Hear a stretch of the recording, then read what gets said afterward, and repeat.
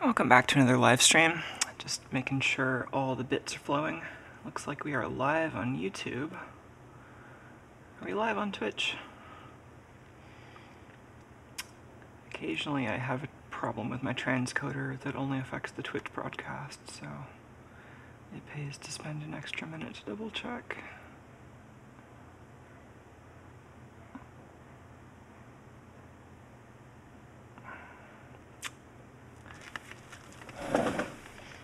Yeah, actually, it looks like I need to poke the transcoder.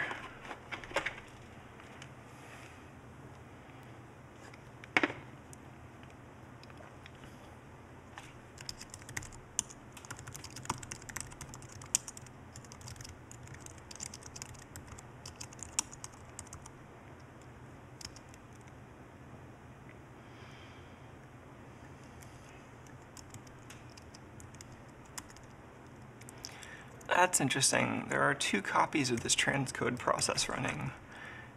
Is it possible that uh, neither of them are doing their job?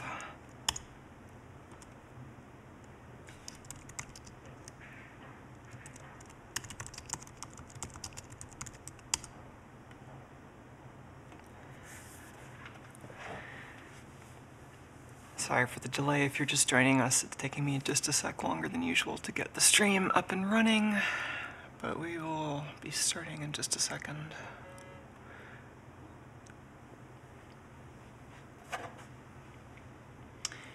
I think we might be live on Twitch now.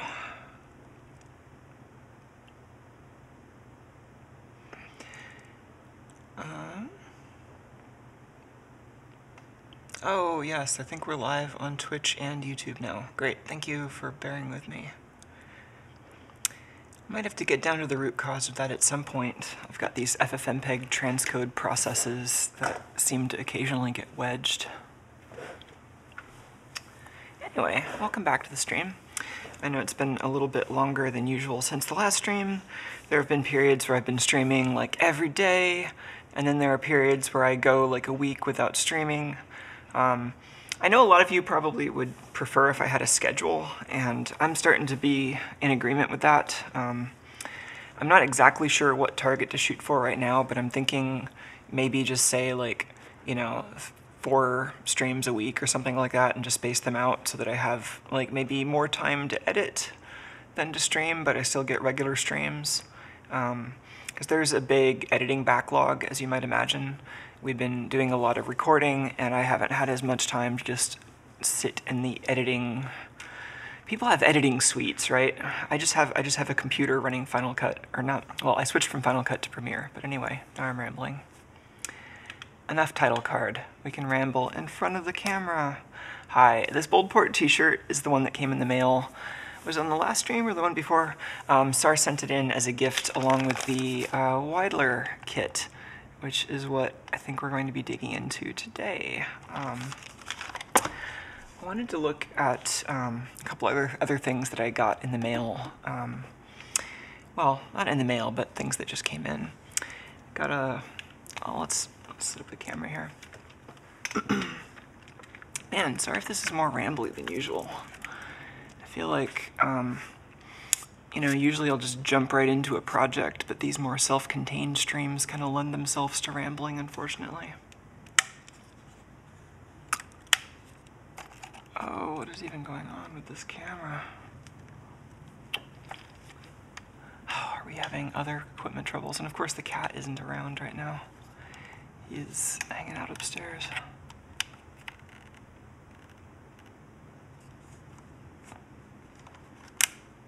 Oh, is it just off?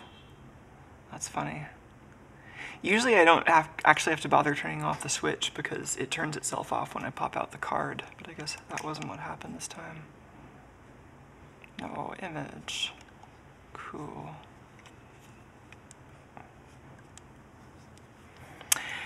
Anyway, welcome back. Welcome back to everyone who has skipped ahead in the video to where I changed scenes to the overhead camera, because that's where you can actually see what I'm doing. So yeah, we're going to be digging into this kit. I expect that's what most of the stream is going to be about. Um, we will be collecting footage that I will eventually turn into one of my edited Boldport videos, but for the moment it can just be kind of a relaxing, chill, like, you know, assembly afternoon kind of thing. There's actually a really delightful assembly guide that goes with this, which we'll be diving into.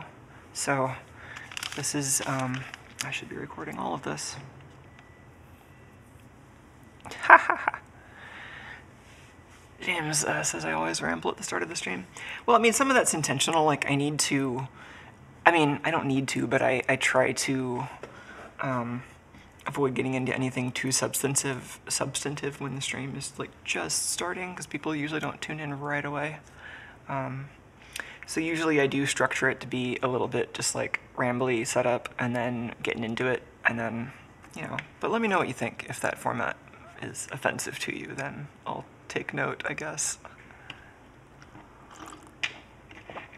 This coffee is cold. It's okay. Um, so yeah, we'll be diving into that. Then I also got this as a gift from a friend who was just traveling to Spain. So um, yeah, it's uh, it's actually unfortunately it's assembled. Um, I, I, don't I don't know whether these were offered like assembled and unassembled. I didn't ask. I was just like grateful to get a gift from a friend. But um, yeah, it's it's an assembled kit, but we could at least like take a look at the design because it's an interesting design that does seem to be um, intended to be relatively easy to understand and modify. It also looks like it needs a case, right? So that might be an interesting sub-project if we wanted to. Um, I think that this is a, yeah, it's a guitar reverb and delay uh, filter and amplifier. So I don't, I don't play guitar, but I have friends who play guitar, and um, I'm also just like interested in electronic music, and so there might be some cool applications for this. Like, th depending on what kind of input stage this has, this might be good with piezo pickups, which I'm super interested in. Um, and I could also just make a nice case for it and then give it to a friend who does play guitar, um, you know, and use it as a jumping off point for like a more customized project. There are a lot of cool options for this. So I'd like to at least take a look at how this circuit works while we're here. Um, but yeah, no, I definitely want to um, want to do more like editing together uh, quick little videos about these kit builds. So collecting footage that I can put toward those projects is always good.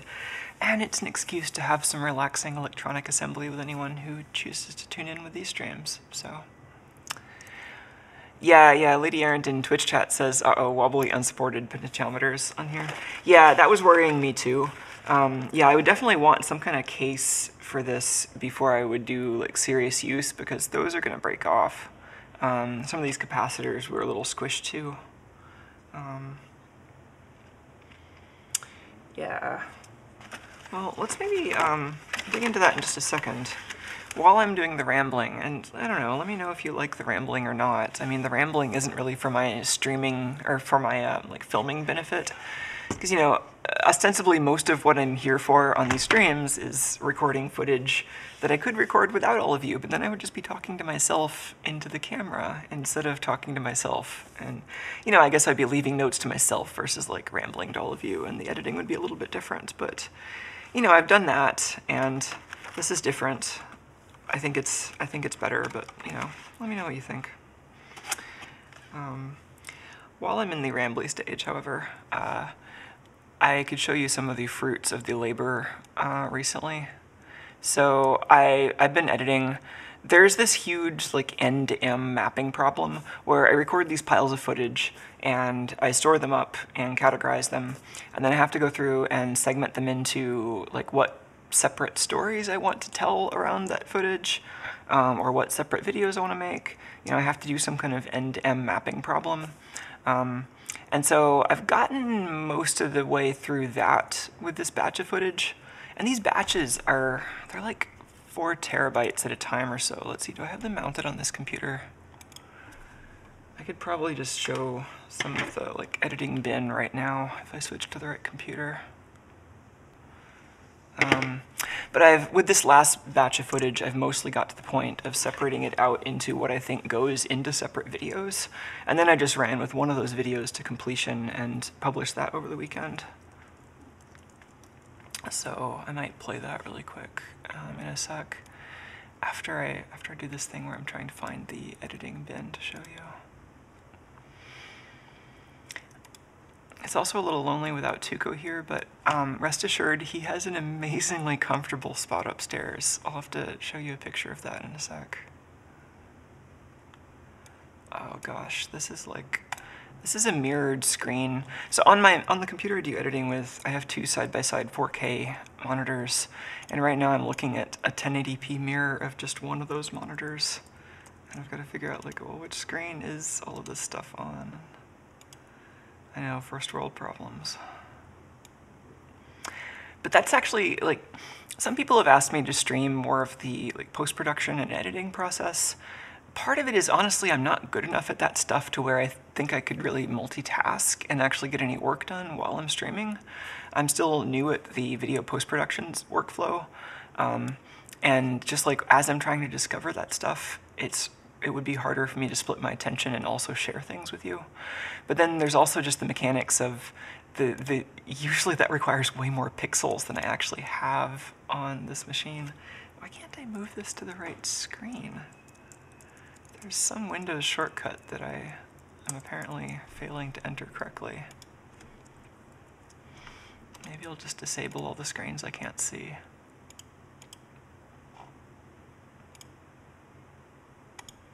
disconnect this display. Oh, that worked. Oh, so this is going to look terrible because it's a 4K screen scaled down. Um, oh, what was this? Oh yeah, I was editing. Do we have audio here? I think my audio is muted, which is probably good because the audio gets really annoying. Um, oh yeah, so this is like this is like the next little bit of Actually, maybe I do kind of want some of the audio for this. So I picked a track, and I've been I've started to sync this up, but there's still a lot of footage to go through. This is like the next video that's going to come out. Um, that's just going to be a little one that has like a voiceover that tells the story of my attempt at repairing this gear. It doesn't really go anywhere, but it might be an interesting little tidbit and like you know, maybe a warning to if you have one of these motors, check out the gear and see if it's one that has the problem or one that doesn't have the problem. And then maybe like a question on like, well, if you wanted to make a new gear, like how would you do it? And like, you know, if you want to, you know, because like it'd be interesting to see, um, you know, just if like like I could start a discussion on different kinds of methods for that. Like if people want to suggest like resin casting or professional 3D printing or whatever, like, you know, it'd be interesting to see where that goes. And I think I can make an interesting video out of this scrap of footage. So that's like one of the current editing projects. Can I actually play this? I think some of this is rendered. I'm like, I'm like reaching for the controls that would usually be on my editing desk. It's like, ah, how do I even play this? I think it's this key. Yes. Oh, and I'm so into 60 frame per second editing now that I've started doing it. Because it means that I, I can get more, um, I think a lot more clarity out of the fast forward sections with 60 frames, but then um, like I can also get kind of a nice smooth feel from like, like if I have footage that's recorded at 30 frames a second and then speed it up about 8x and play it back at 60 frames, it has a pretty interesting, like slightly surreal, almost comic book kind of look to it that I've been enjoying. And this is the section I haven't edited yet, so it gets really slow. But yeah, just that first couple of seconds of video is, is like a lot of work still. Um, and it, it's it's like also choosing the track and um, uh, can I turn on audio without this being extremely loud?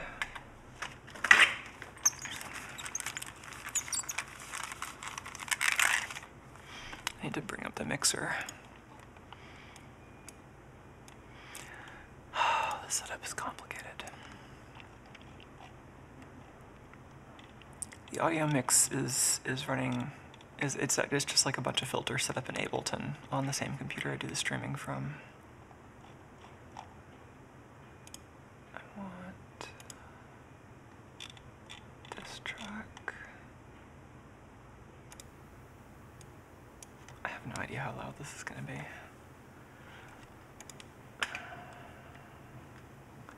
It'd be helpful if I had physical knobs for the mixer within reach, but they're like six feet that way. I should really um, find a better furniture solution so that I can reach all of the knobs while I'm streaming. Oh, that's gonna be loud. Let's turn that down. Oh wait, I've got so many mixers here. There's a mixer I can use without flipping the KVM switch. That would be the one down here.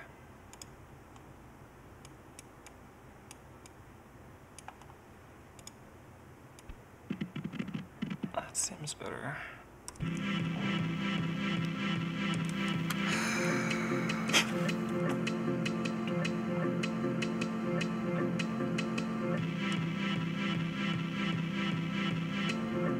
Yeah, see that that's much more illustrative of the vibe I'm going for with the music, I think. And then this is gonna probably change, and there's gonna be a voiceover. I might have to put some other music after it, but you know. So I don't know. There's that. Um, what was the one that I just released? I could show you what that looks like in the editing if I can read any of this text. All the text is really tiny on this monitor. I'm seeing the same pixels you're seeing. Um, I think I put it in a finished folder, which is simply, oh yeah, here's the whole timeline for that project. I was going to show this video anyway, I might as well show it in the editing uh, software, right, if I can. Let's zoom in slightly.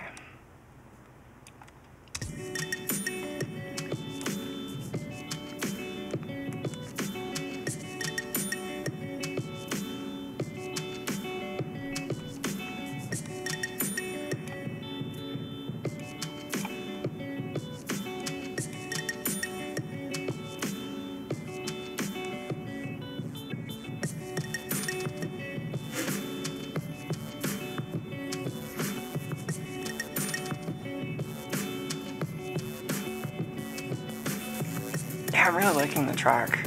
Um, I feel guilty for talking over it even in the slightest.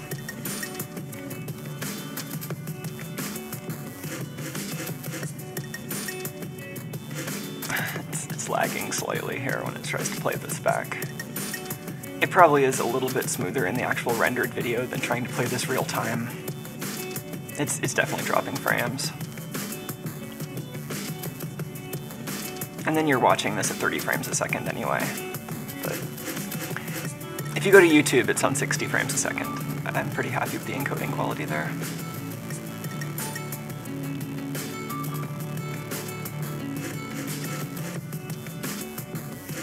Yeah, some people have been curious about like the edits and like, I mean, you can see if you're just watching the video, but I mean, sometimes it's helpful to see the timeline.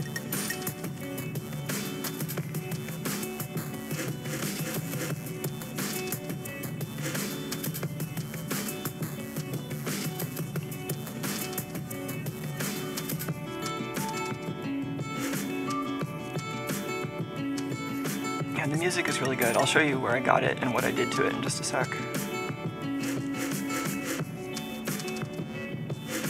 Oh yeah, this is, oh, yes. See, if I'm editing and it does this, I would give it a break. Like, all right, all right, yes. Hold on, your buffers. Oh, is it catching up? All right. My hard disk is not quite fast enough to do this in real time.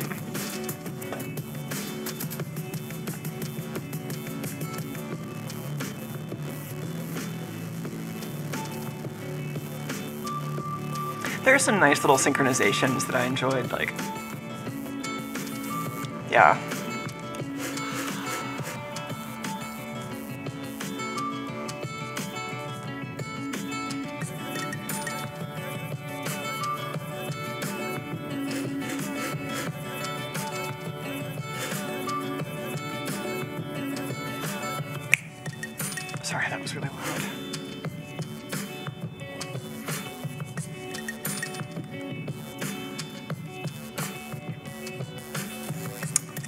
Starts to look kind of like a music oscilloscope right there.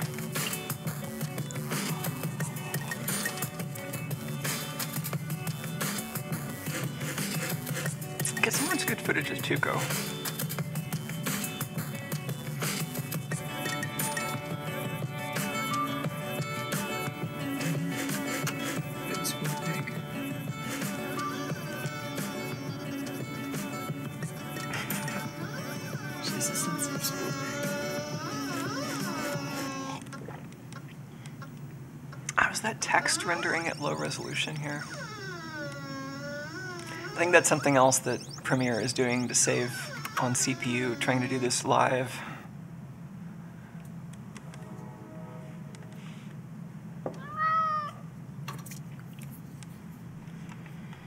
This section here I rendered way back in Final Cut Pro, which is why they use Apple style emojis. And I, um, I just have like a video with an alpha channel that I can throw in there. I might redo the the end titles at some point because I'm not super attached to it, but I just wanted some consistency across changes because I, I recently, like as of a couple of videos ago, switched from Final Cut Pro to Adobe Premiere, so a lot of this workflow is still new to me. Um, yes, so I wanted to show you where that music came from. So, I think there's actually a link if you go to that on YouTube.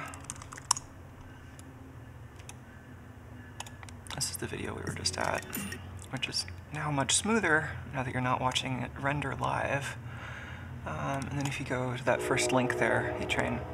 this is their Bandcamp page and it's Creative Commons. You can also buy it for a dollar, and it also links to some other stuff they do. Um, they've actually got a lot of cool stuff. Um, a lot of it's Creative Commons also. Um, so yeah, uh, Broke for Free is the name of this uh, electronic musician who I guess is local. It'd be interesting to see if see if this guy wants to have coffee sometime.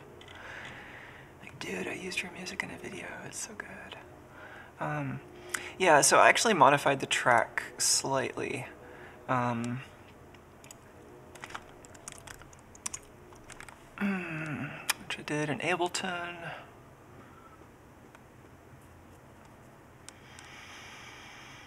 Which Ableton is very convenient for making remixes like this because it does automatic BPM detection and it can convert things to MIDI and it's it's really handy. So you can just like drag and drop the track on here and um, make some modifications. So I did a little bit of filtering and compression just to make it go a little bit better in the format of like an internet video. Um, and then there is this vocal section at the end, which parts of it were good, parts of it were a little distracting in the context I'm using it in. So then I kind of switched it around to like reprise the beginning of the song, and then I went back into the vocals a little bit, but then changed the ending a little bit, and just like copied and pasted some stuff. Like, don't actually need much musical skill to make a remix at least this kind of remix. It was a very low skill remix. So yeah, definitely, um, definitely a good track. Um, what else? I guess while I'm on this computer, there's, oh gosh, this text is so little. So I had the bad gear. I had some video about the software for the robot. Zoom out.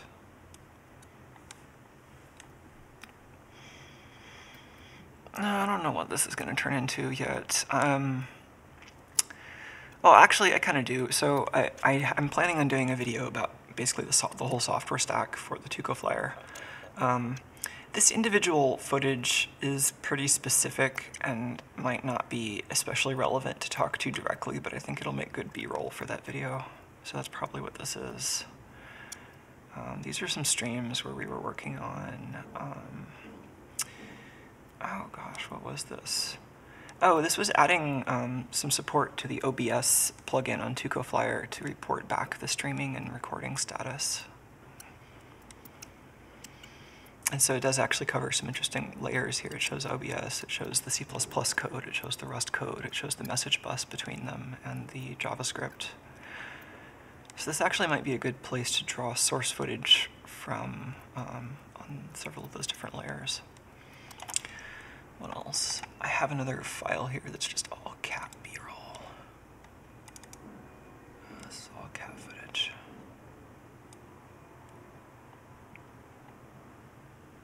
Oh yeah. I gave away this rug. It turns out I'm super allergic to it, but it was kind of interesting. It also didn't really look good on camera from far away. It was like a rug we found free in the hallway anyway, so it wasn't a huge loss, but it almost worked. It was just like covered in something I was allergic to. Oh, that'll be the secret shop cable for that. And there's my public Wi-Fi password. And for low thousands of hertz. Um, maybe as low as less than 100, but maybe not. Um, like I could use just other database. So yeah, I got a bunch of that. Um, what else? Oh, this is all the footage. Um, this is all the footage I'm going to use to make the video about um, the flyer uh, as it's currently operating. So I want to do a video that's basically a voiceover about just like the status of the Flyer project and the motion control going into it and like what works and what doesn't work. Um, and I think this is going to be, yeah, so there's some footage in here about the leash. Um, oh gosh, yeah, so this is also really slow because of course none of this is on SSD. I, this is so much footage here, I cannot afford to keep this all on SSD. So I have to kind of give it a sec. Um, oh, there's a bunch of different stuff here. There's some on the new leash wiring. Uh, but I think a lot of what this sequence is is actually just footage of um, of my cat shot through the robot. So like we can show off what it's actually currently capable of doing.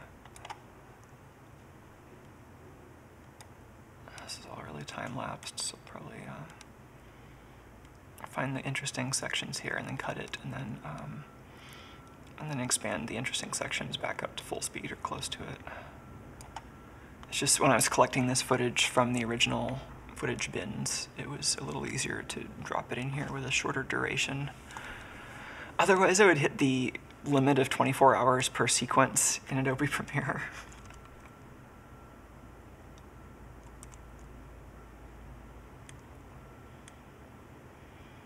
Yeah, some of this will actually play without running out of hard disk bandwidth. Okay, what else do I have? Oh yeah, there's also just a lot, there's a lot of footage on gimbal reverse engineering. And I'm honestly not even totally sure what to do with this. Um, but I think my best bet here is to do another video where I use this, um, you know, I kind of summarize this interestingly in editing, just like find like visually interesting and thematically interesting parts of this footage, but then talk over it with a voiceover on kind of the status of like what we've learned about the gimbals from reverse engineering them and how that's allowed uh, the kinds of control that the robot has now. Um, you can see the camera right here is, is rolling to the side because this, this stream was while I was trying to figure out how to correct that.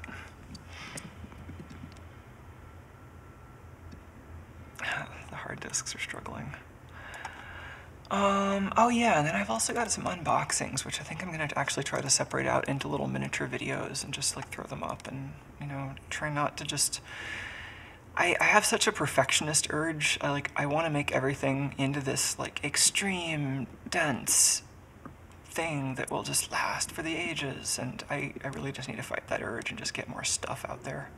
So I might just like throw some of these little unboxings up as relatively simple videos with minimal editing um, and you know just see if people like them. So I've also got a folder for those. And so, and all of this, all of this is just within one of my chunks of footage, which are these like four terabyte bins that I've been working with. Um, so that's this one. Scanlime TucoCam 4. Yeah, how big is this one? 3.3 terabytes. Yeah, so I try to keep the bins under 4 terabytes just so that they can fit on 4 terabyte hard disks. And so I've already started recording, so this is Scanlime TucoCam 4. I've already started filing away footage on the NAS as Scanlime TucoCam 5 for the next set of videos. But yeah, at, it's actually going to be a lot easier. At, at, in the past, when I was editing on a Mac on Final Cut Pro, I was really constrained by just how much fast storage I could attach to that machine. Um, and now that I'm just editing the stuff on a PC, it's just easier to throw more SATA disks on there. And I might even at some point be able to start putting some of my footage on, on SSDs, which would be nice. So. Anyway, um, yeah, I think that's enough. That's enough editing rabbit hole there.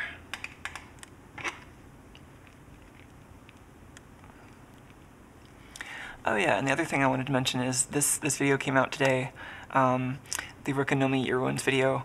Uh, I was trying to make today's stream kind of chill, and, and this video is like really intense, and so maybe I'll make this one opt-in. Um, I won't play it here, but if, if, you, if you are into some really cool but also kind of intense music video, then I would totally check this out. Um, I, I, mentioned that I was helping some friends out with the, uh, the camera and lighting and some effects on a video, and so this is, this is the end result of that collaboration. But yeah, I think that's enough rambling. Um, let's see what's what's up with this EAKit thing. Let's go back to the real world here. Enough of this rambly computer world stuff. I'm like, it's like weird taking off the headphones. I was almost getting used to being able to hear myself through the microphone. Looks like James has another vote for just throwing more videos out there without them being polished. Just produce more crap. Produce more crap, Scanlime. I know, I should produce more crap. Alright. But yeah, the editing does take a long time. Um, and it seems like I don't know, I tend to edit for my own attention span. Like if if the video is boring me, I don't want to upload it. So I I tend to be pretty um, intense with the cuts when I when left to my own devices like that. But I don't know. Maybe I'll try to find styles that just leave the cuts much further apart and try to retain more of you know, like I could try to do something where with these unboxings, maybe I just try to take like just a limited number of cuts to make the result into something watchable and try to constrain myself that way.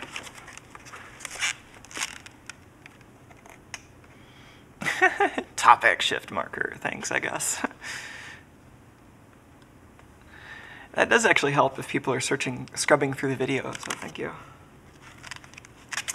Um, yeah, so this is pretty neat. Um, so my friend was just traveling in Spain, um, and uh, they saw these kits at a local shop there. There was just like an electronics shop next to where they were staying, and um, and they thought of me and went in there and brought back a kit.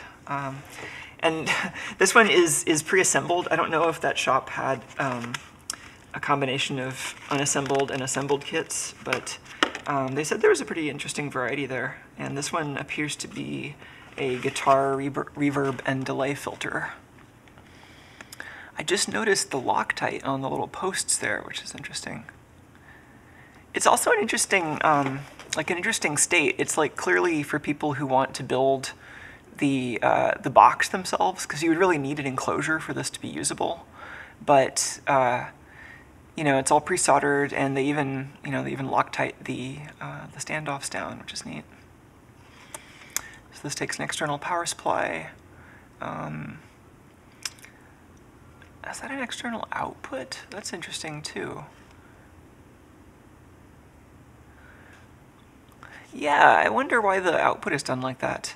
I mean, it might just be to avoid, um, you know, having to make the circuit board too large or too much mechanical stress on the circuit board. Maybe it just makes more sense to allow um, any kind of connector you want. Um, maybe some people would want to wire this into the same box as an amplifier. But yeah, we can get a sense of what's going on here. I don't know what this chip is. Like, it, I would imagine it would be some kind of specifically like a delay related chip. So let's say PT2399. And then this is a TL082, so this is an op amp, I think. So we should definitely find a schematic and some data sheets for this. Let's see what kind of documentation is included here.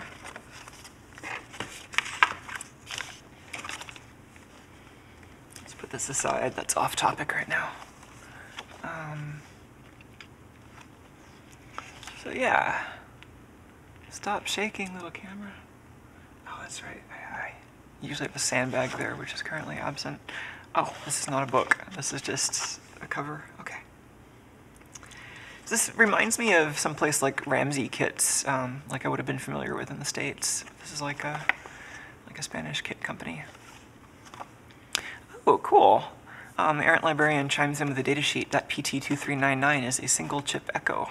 Cool. I want to know what this sounds like.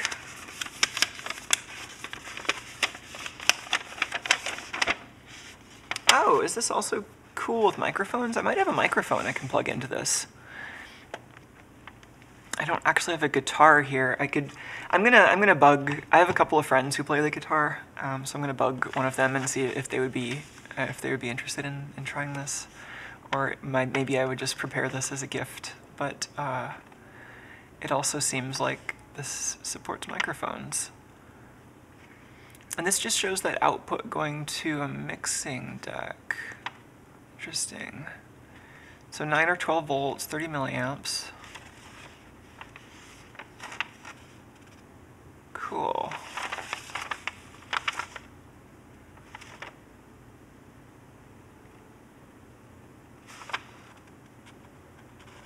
So yeah, it's an adjustable reverb or delay, usable with a microphone or electric guitar, or oh, or a line signal.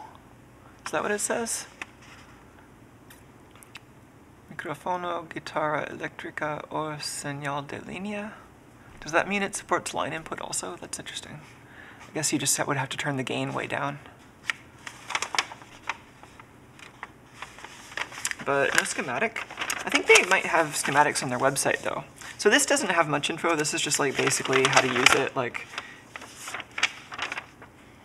I would have expected maybe even um, like a mounting hole diagram since I figure anybody who buys this would want to make a case for it and it would be nice to like have the dimensions listed, but obviously you could measure them, but Oh, this also lists the uh, the model number here in the bottom copper. EA AU3. Oh, gotcha. James noticed a jumper marked mic or line. Oh, you're right. Yeah, that explains it. Well, that's cool. Maybe I could get this. How, how hard would it be to hook this up to the audio here? Um, I could probably just plug this into um, plug the input into some audio source like a phone or an iPad or something, or a microphone, and then plug the output into the, um, the auxiliary input to my streaming machine where you can hear it. Uh, let's see if we can find a schematic first. I'm curious about that side of this.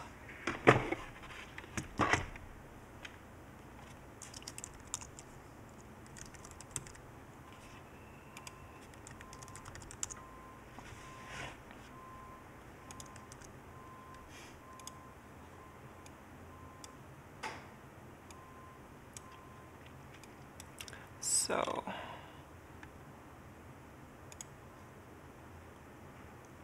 Is this the same one? Yeah.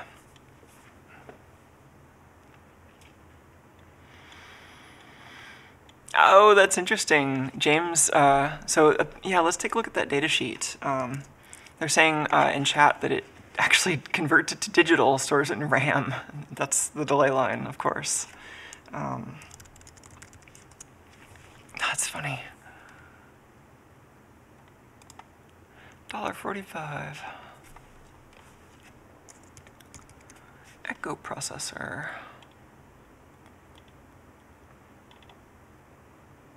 Huh. Karaoke mixer. That sounds like what we've got here. Yep, that's neat.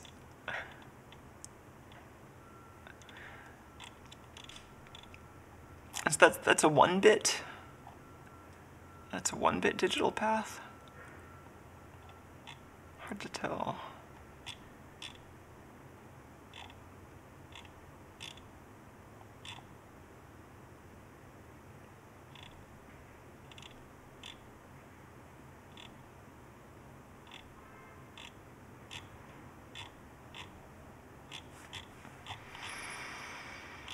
Hmm, neat.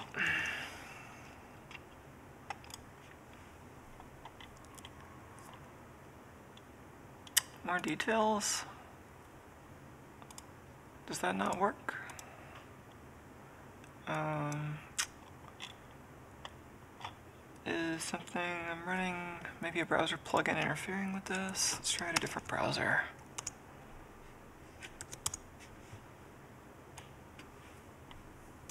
No, I don't want to change my default browser. Oh, that's just supposed to scroll down here. Huh. Okay, that just tells you what it does. It doesn't have... Maybe this is more interest, more like for, um... Yeah, I don't know. I don't actually know who this is for.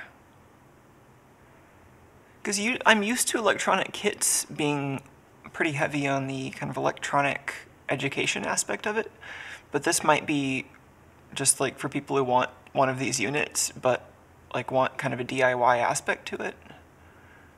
I'm not quite sure what's going on here, but maybe there's a different section here that has details about the kits. Not seeing it. These are different kinds of devices. Are any of these other kits going to have information? It's VU meter. Oh, some of these have manual links. Was that one just missing links? Maybe they just don't have info on this one. Oh, previous? Was this discontinued maybe? Oh, maybe this is just an older kit. Um,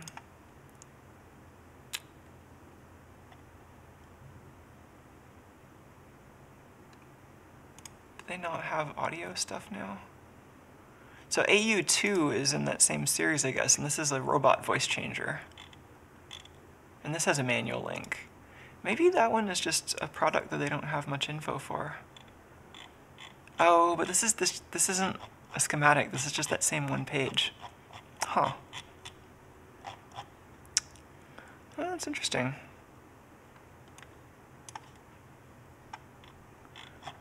Well, yeah, let's just try it out. Interesting chip though. So I assume it's just this and an additional amplifier front end. What are these other controls? We've got volume, um, the reverb and the delay. So I assume reverb would be feedback and delay would be the width of the delay path here.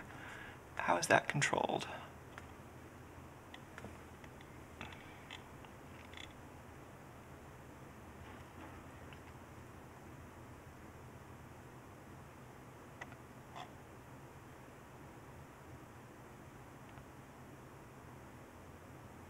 Okay, overall delay time is determined by the clock frequency of this VCO.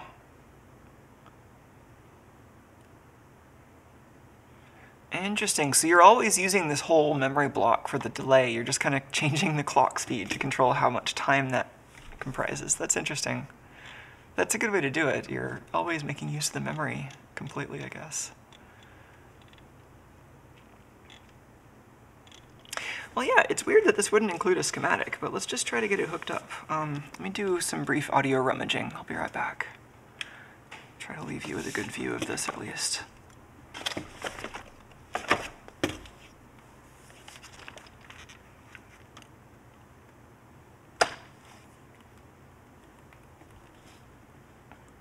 RA Servo AF. Getting there. And that chip is Oh, stop your wobbling. TL082. Yes, if I stare at the actual chip and not the blurry monitor, it is obviously a TL082.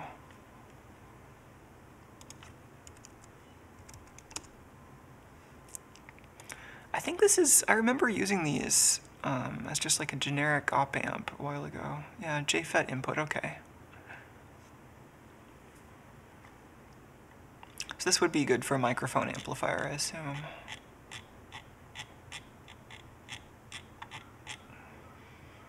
Yeah, let's see if I've got a microphone.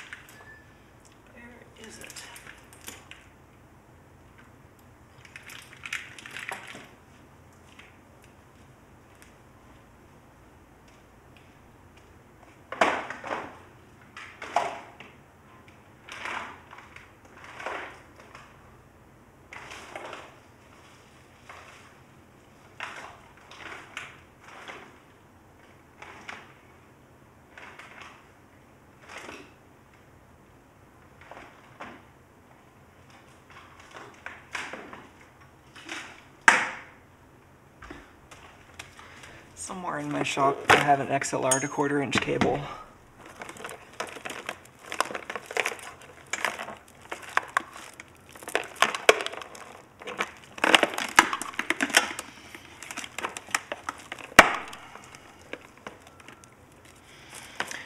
How's everyone else's Monday?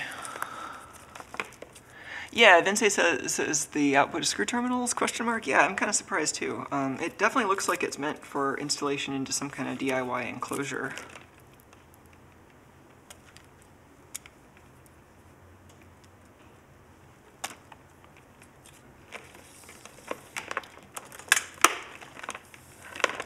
Yeah, like if you're building a box to take around for particular audio gigs, then maybe you like you know they showed this connecting to like a mixer board.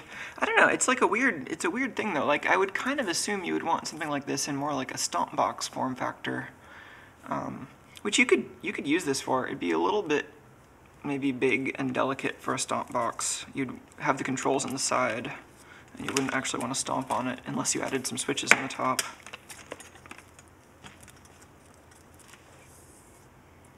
I think I've got to connect a cable long enough for the output here. Um,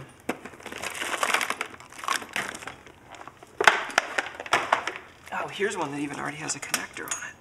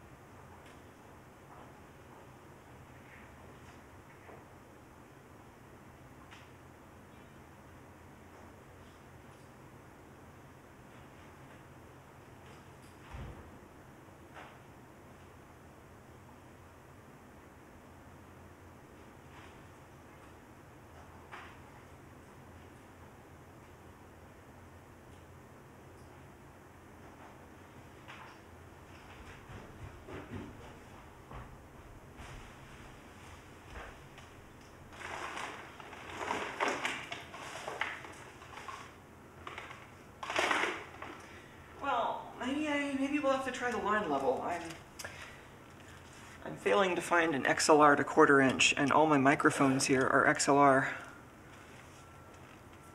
But we can try the line input.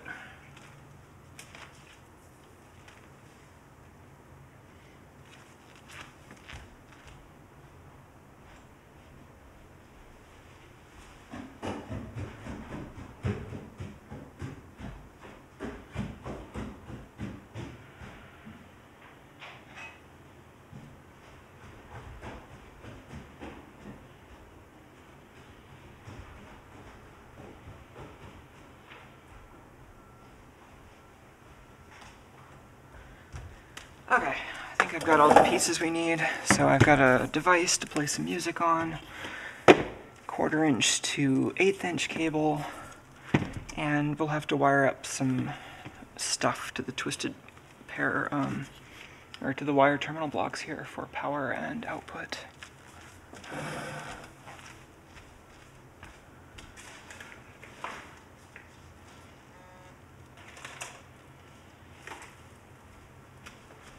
Let's warm up the soldering iron.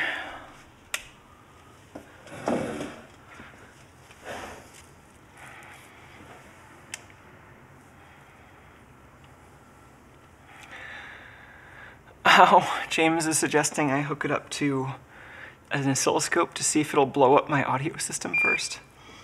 Um, I how would it blow up the audio system? I think worst case is it blows up the transformer it's connected to.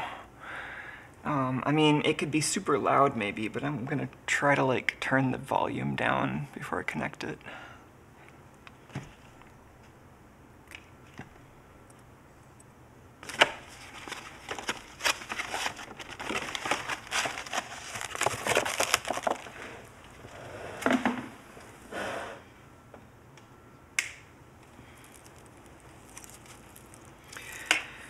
Yeah, we could try a phone frequency generator. I don't know. We could also just play some music on it and play with it.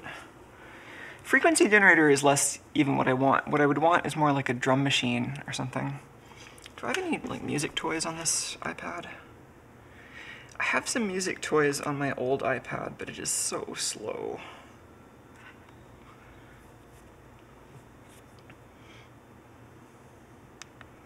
Anyway, if you have if you have a quick music toy that I could get on the App Store or on a website, let me know um, while I prepare this cable, and we can try piping it through this thing.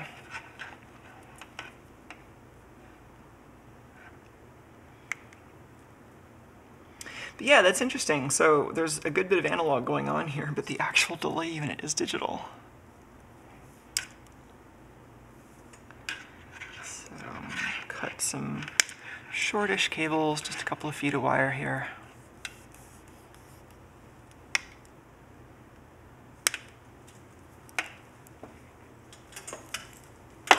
It, it, it's interesting though, the temptation does arise to make a little custom analog effects rack of some sort. Um, maybe what I'm thinking is something kind of like a Eurorack but less modular, which is a silly thing to fetishize.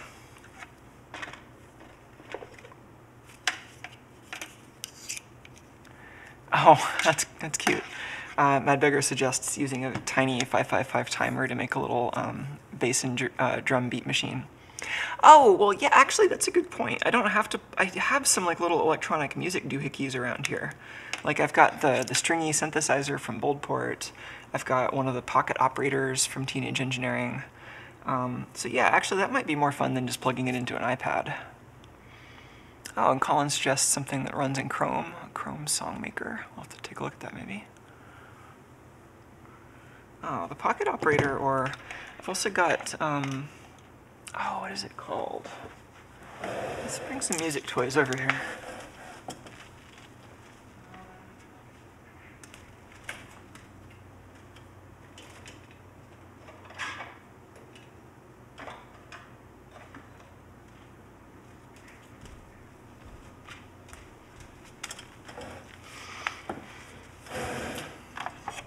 Yeah.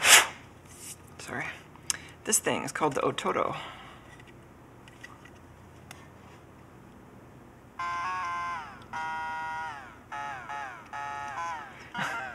so it's a, it's a little sampler synthesizer. It's a ATmega 32, so it's like an old school Arduino basically. Um, but it's got a headphone and speaker amplifier and a few different sample patches. And these are all cap touch with alligator clip um, attachments.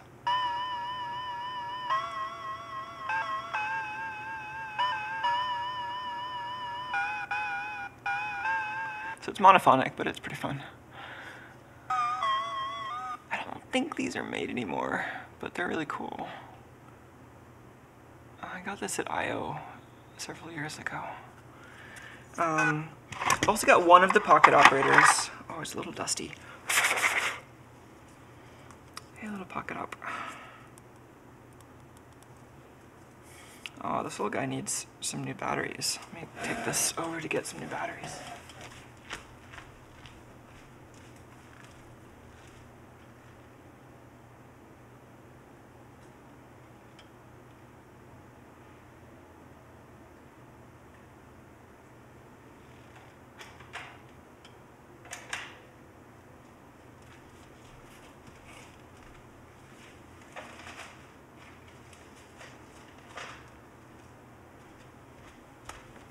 Oh, yes.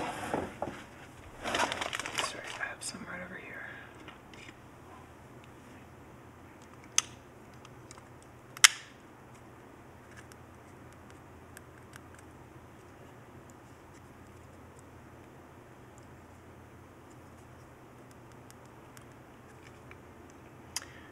there's a th- these batteries are a little bit smaller than the battery holder on. That's interesting. Are these batteries longer? Didn't realize this battery holder was so sensitive to the length of the battery. There's two Energizer cells, maybe. Instead of Rocket brand. Uh, oh, it's still not lighting up. My battery holders need to be bent inward a little bit.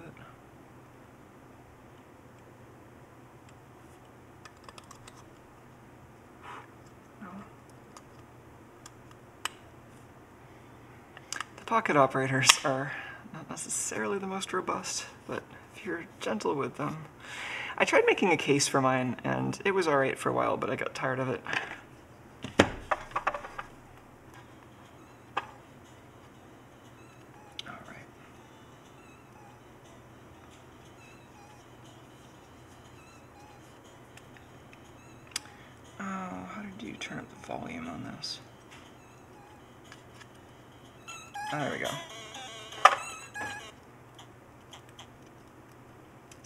This is.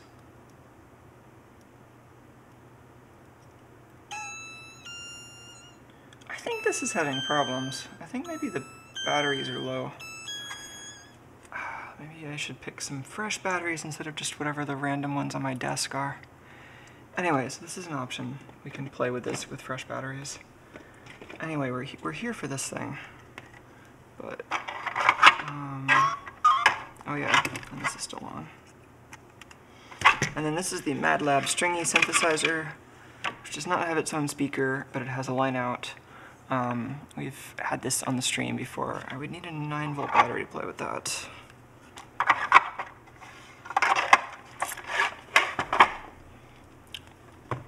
Let's solder some wires onto the outputs here. Well, specifically, I wanted to solder wires onto an eighth inch jack. And then the screw terminals, we don't need any solder for those, of course.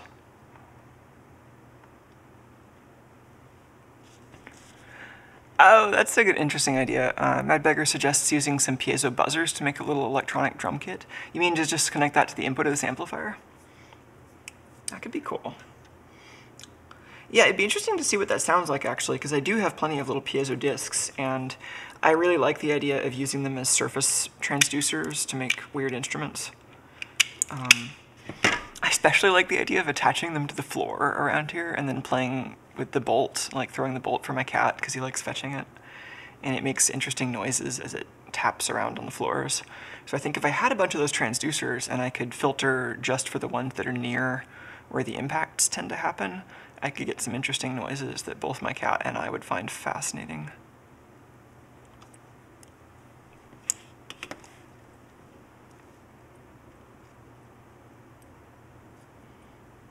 Alright, I'm going to connect this such that ground is the sleeve of the eighth inch connector and um, both the tip and the ring, so both stereo channels are just connected to the output.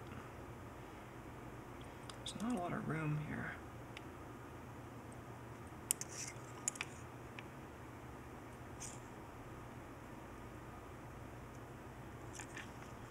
Let's use something. um, Yeah, something like this.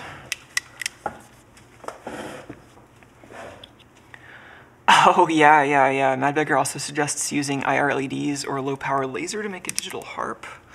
Um, I did something like that a while ago. I made I made like a like a little optical pickup using a photodiode amplifier.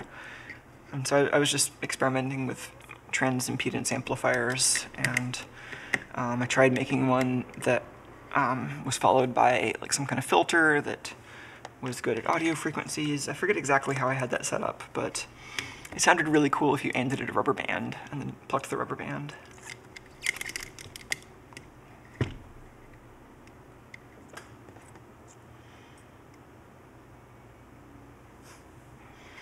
You may notice uh, some pink paint stains all over my equipment. That's perfectly normal. Don't mind. Don't mind that.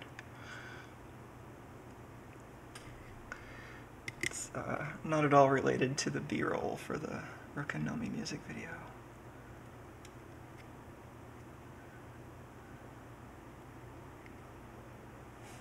Actually, you should see the bottom of my microscope. Um, well, maybe without the light shining. There's still there's still some paint on this. that was really fun though. Um, definitely has me wanting a better macro photography setup for doing like weird fluid and vibration experiments. Right, right. Kate, um, uh, Kate says that they still want to make uh, 3D printed uh, kind of feedback tuned instruments. Yeah, this was this was like a weird conversation from a while ago where we were talking about having instruments where as you're 3D printing them, you could have some kind of closed loop feedback with the sound that they're making. So maybe like maybe you have like a wind instrument or a percussion instrument or something, and then you 3D print the actuator part, and then there's a continuous tube or like surface or something that you can extend, and so you continuously tune it as you're printing it until you get it just right.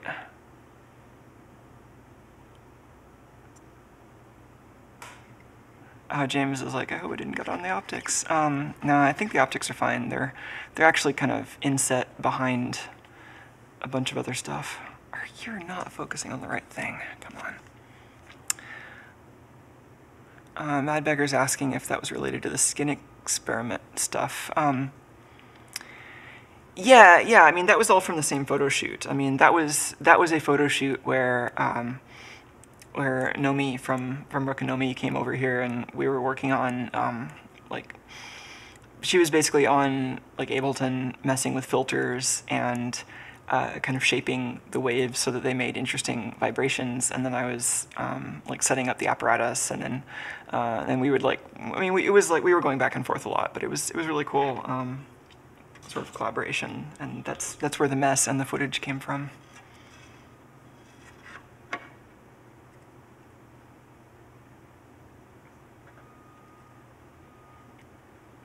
But yeah, I posted some of that on Twitter, um, just like a little tiny bit of it. And there's a lot more of it in that um, Year Ones video that I posted a link to.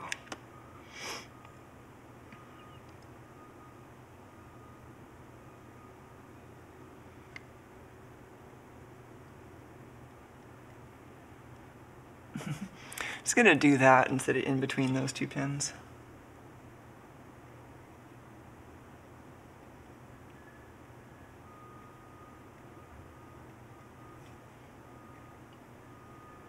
Oh, my solder is kinked.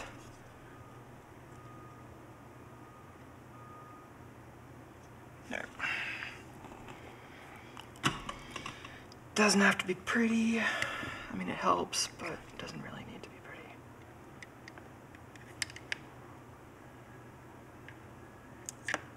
That'll do.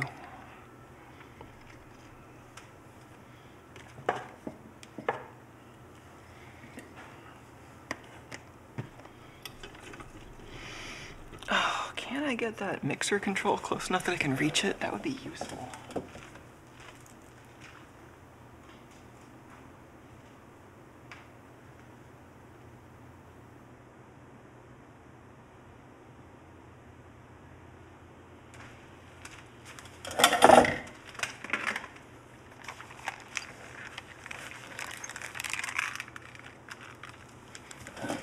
right?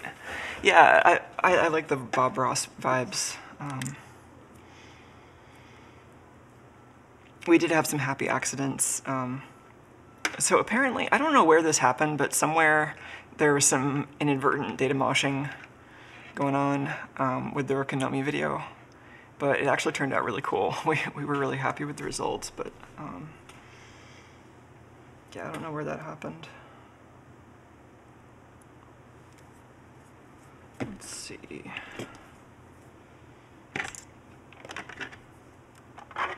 Which input source should we use? Can we maybe get a good percussion out of the percussion beat of some sort out of the pocket operator, perhaps? Um, let's get some fresh AAA's.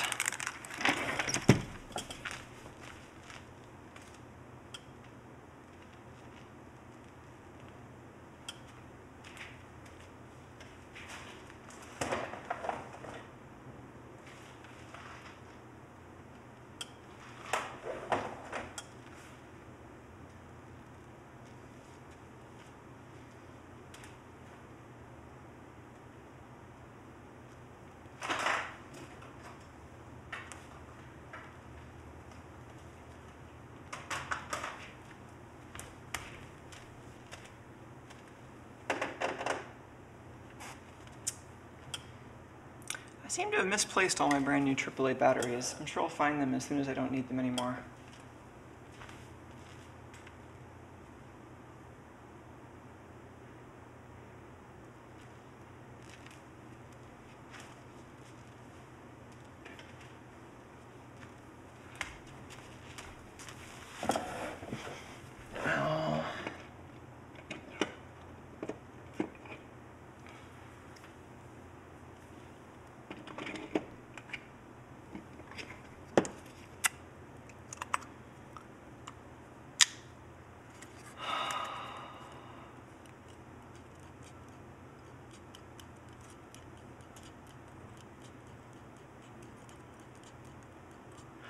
This is working.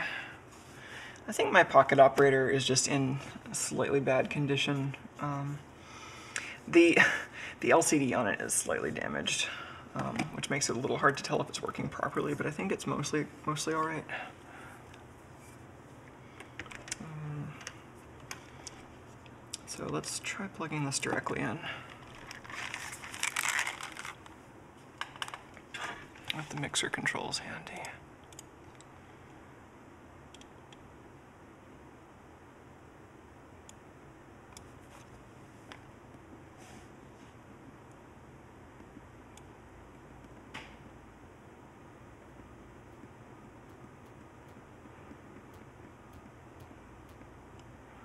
Oh, there it is. It's so quiet.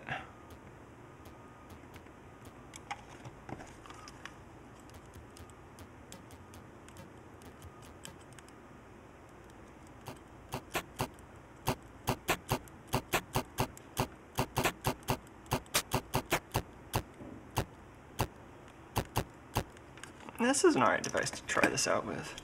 It could use some delay and reverb. Alright. So that was just this connected directly to where we can hear it.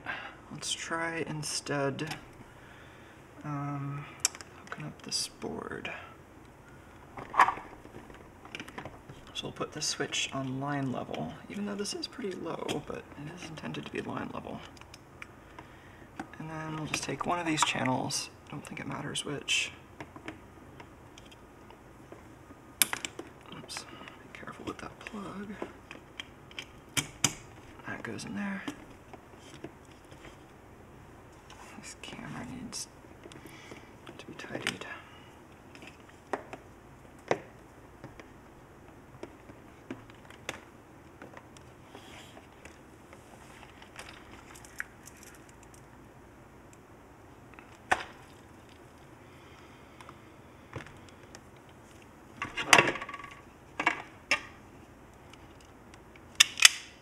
This is a really strange experience doing this wearing headphones. I'm not used to this. I get used to it after a few minutes, and hearing myself talk starts to be less weird. Yeah, the pocket operators are super good. This is the only one I have. This is the robot, which I think is number 28. Yeah, PO28. They had this whole series of little single board instruments. They all run on two AAAs and have a little LCD screen. There's a speaker underneath the screen, which is also where the processor is. I think these run on some kind of Cortex M3. I don't exactly know what processor it is. That would be an interesting thing to take apart someday, wouldn't it?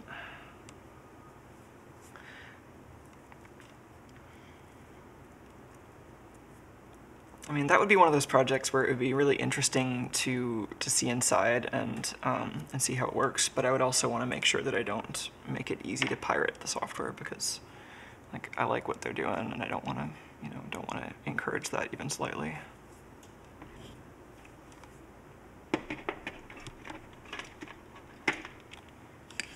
This is output. Are ground and signal labeled? Yes, they are.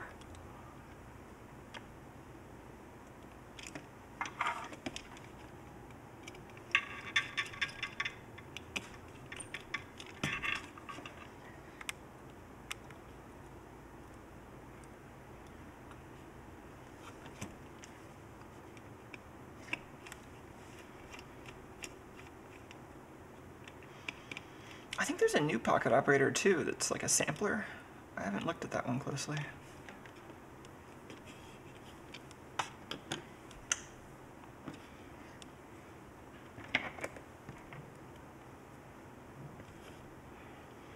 Why did they make the polarity here different? Is that a, oh that is, that's a 7805 uh, voltage regulator right here. We'll be going deeper into voltage regulators in the next half of our stream.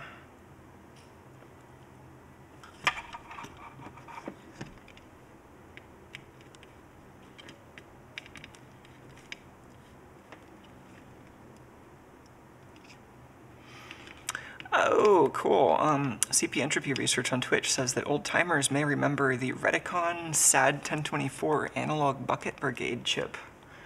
That sounds interesting.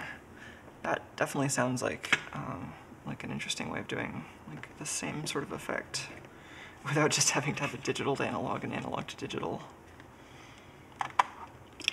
Okay, so I think we have volume, reverb, and delay controls. Let's just try turning everything down. And this seemed to want 9 to 12 volts, so let's give this 9. Definitely a current limit less than 2 amps would be nice. Let's turn the current limit down to like 100 milliamps.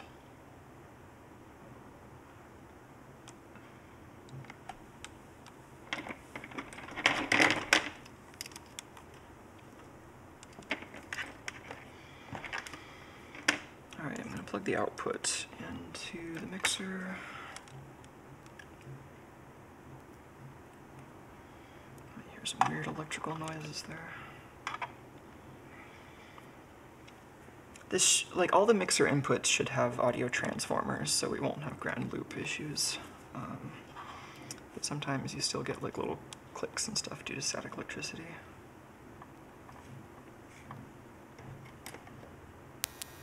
Whoa. How do I have a ground loop?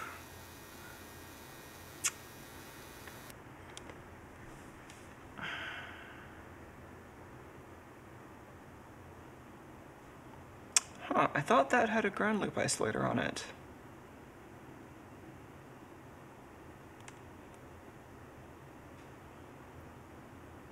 What a Rube Goldberg machine.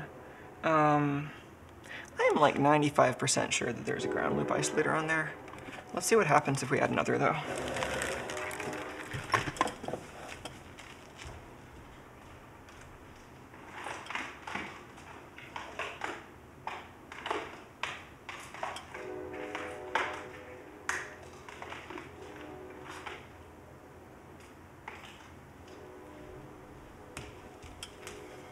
Hmm.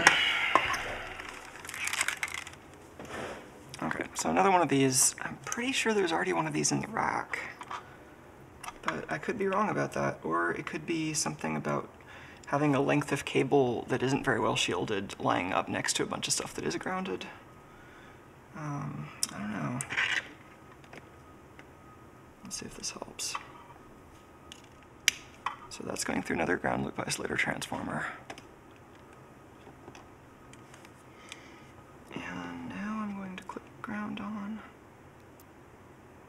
Okay, little tiny click, but no hum now. That's what I would have expected.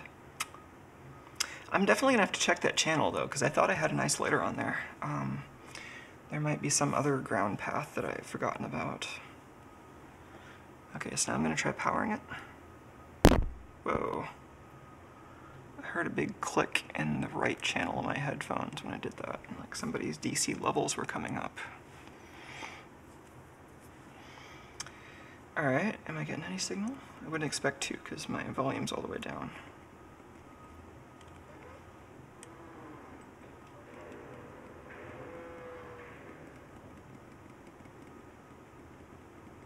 Let's turn the volume all the way up on the pocket operator.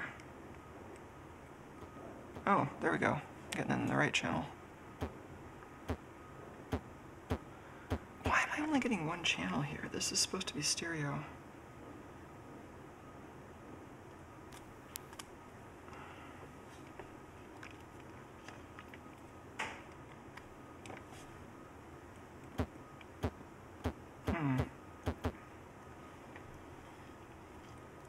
Problem with this soldering job? Oh, did I miss? Is this pin actually the tip? Was that was that just two sleeve connections and this is actually the tip?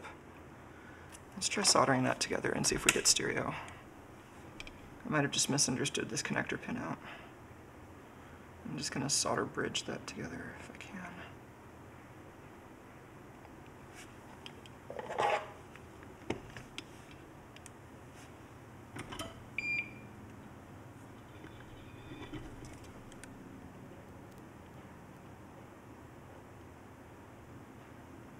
Can it bridge? Will I need some wire? Nope, got a bridge. Cool. The laziest sort of stereo. Okay. Yeah, I got you, iron. Is this any better? Huh. Now I'm getting nothing.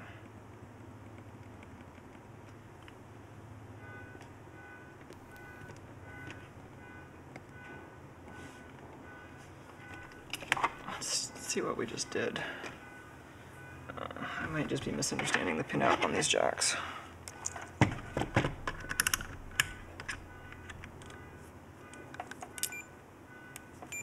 Let's turn off the power.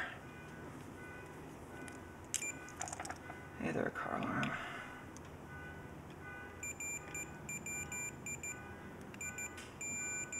Yeah, I think I might have just shorted that. I don't know. Think maybe that was actually a part of the switch, and maybe I was. Maybe I was wrong. Maybe that was actually part of the switch, and maybe this jack was just busted. Either way, let's try that again. Um, I think I might have just been. Might have just been that this thing was missing a channel somehow. Let me grab it, grab a fresh eighth inch jack, and let's do this properly.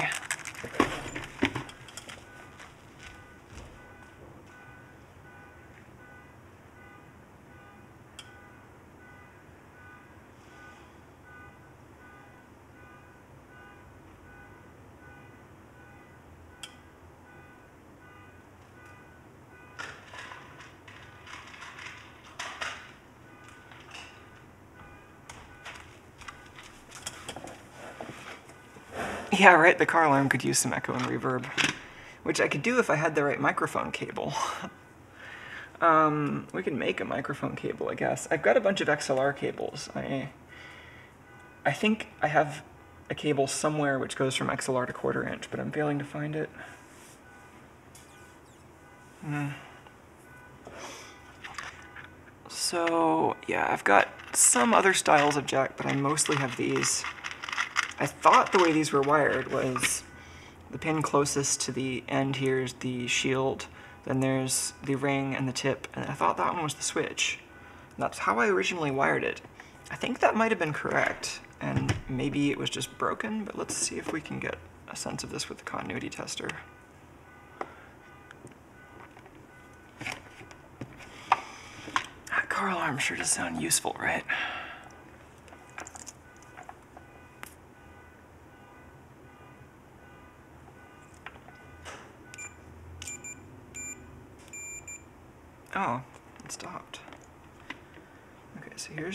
Shield. Well, maybe shield, maybe just the ground.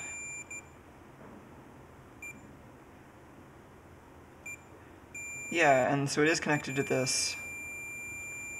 Okay, so that explains why when I made that last bridge, I shorted it out. And then let's see if this is connected the way I thought, thought it was.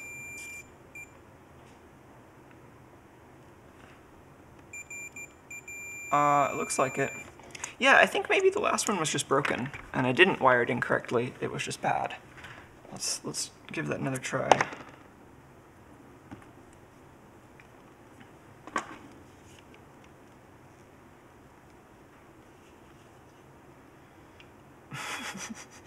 right? I'm sure someone just saved their car from vandalism. I'm sure that's what just happened.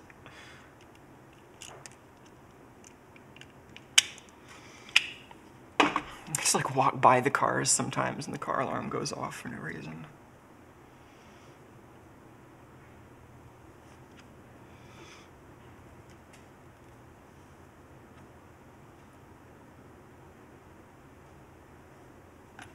I need the little squiggly hand object again. With the power of squiggly hands,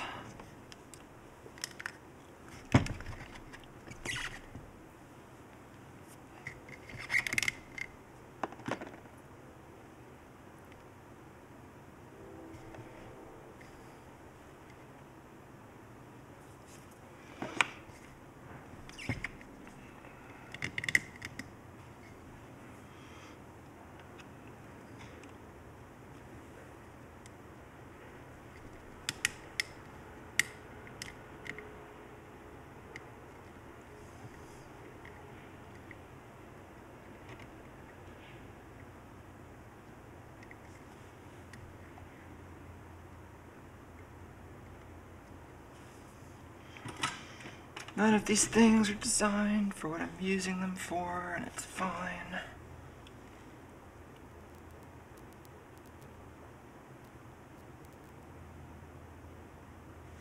Oh, it does help if I turn the soldering iron back on.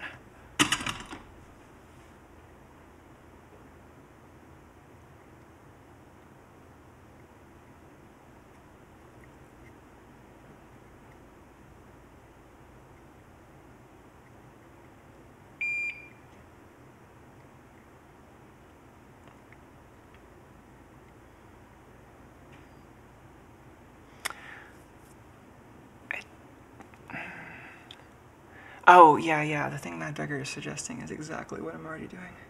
But yeah, it is the it is the solution, right? Oh, let's just do this. Solder that on and then do the next two.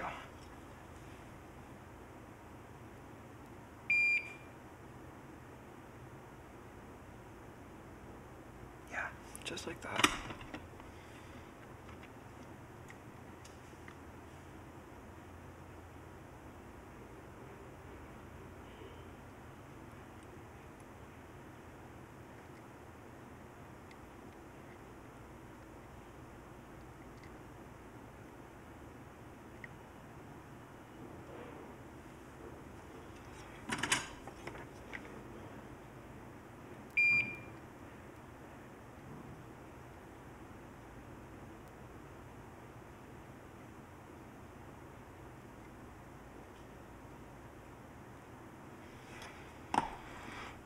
Ah, That's not pretty, but let's let's let's see if it helps.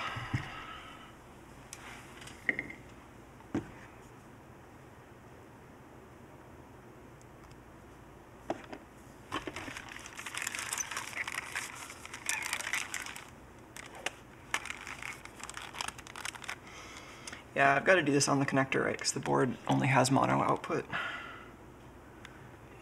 I could also have done this in the software, like I could have just changed the way the channels are routed, but the stubborn part of me was like, no, it's supposed to work the way I intended it to work. Cool story, right?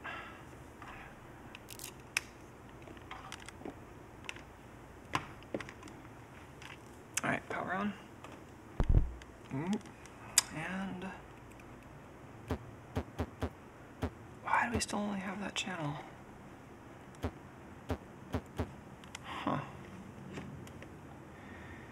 You know, I wonder if this has to do with the isolation transformer. You know, is it possible the left and right have somewhat different impedances?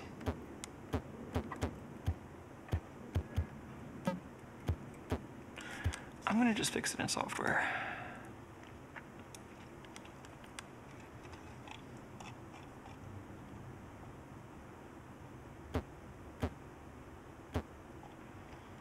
Oh, what channel is this?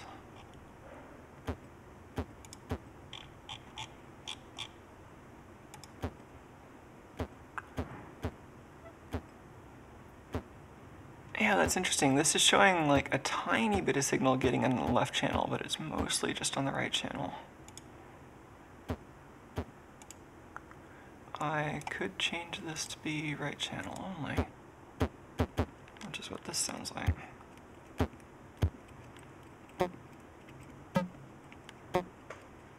Okay, and that's going through the reverb delay board, but the potentiometers are all turned all the way down.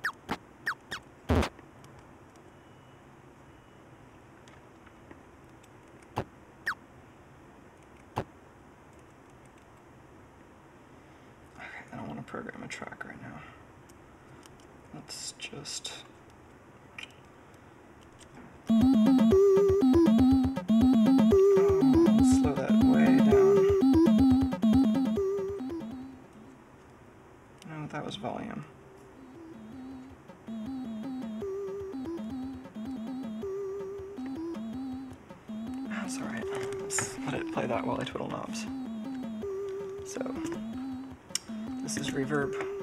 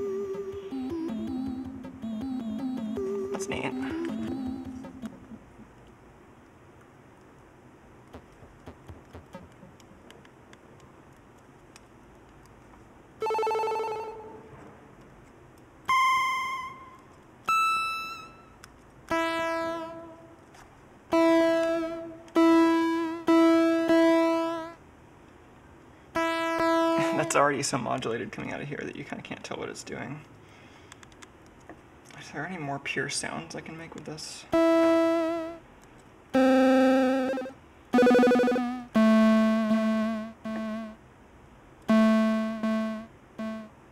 It's not entirely what this synth is designed for.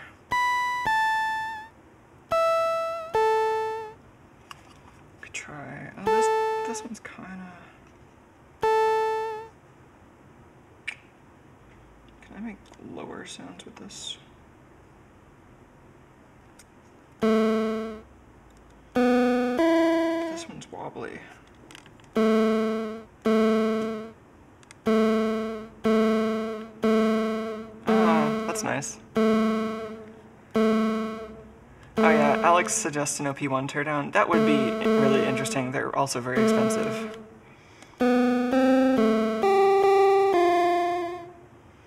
That's kind of cool. I want, I want the wobbliness on this instrument to go away, actually. I don't think I can separately control that.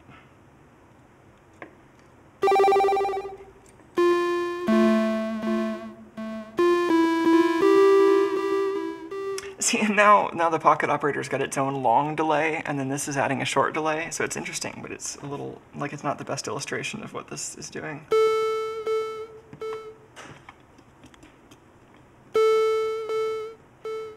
Yeah, let's try a simpler synthesizer than the pocket operator here. Um, the stringy, maybe? Um, I mean, it's a little closer to a guitar. I'll need a 9 volt battery for it.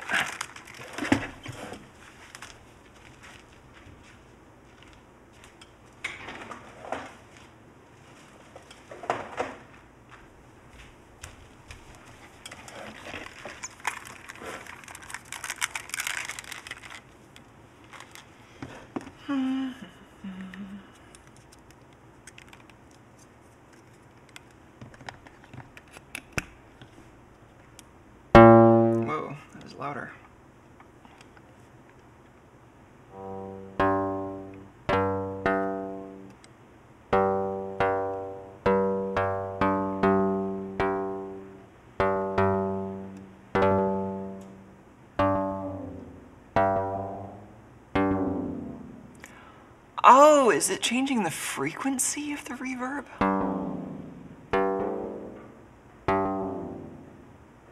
Oh, that's kind of cool, actually.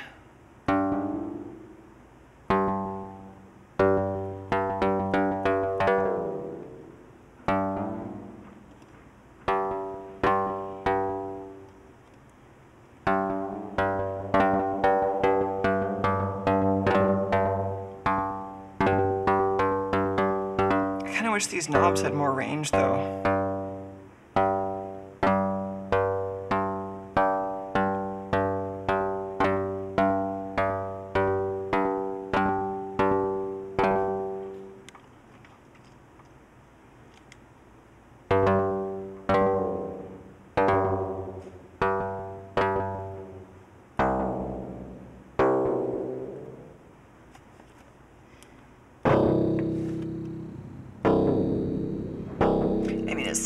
This knob, um, the one labeled pot 2, is changing like the VCO frequency, but I would have expected that to be pot 3. Um, the reverb pot seems to be attached to pin 6 on the PT2399 chip.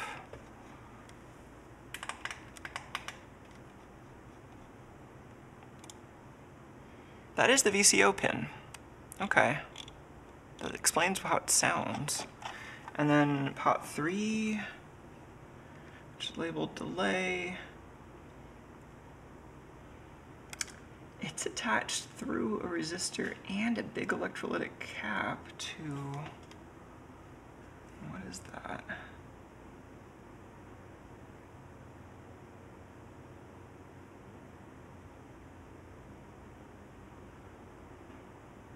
Is that pin 16?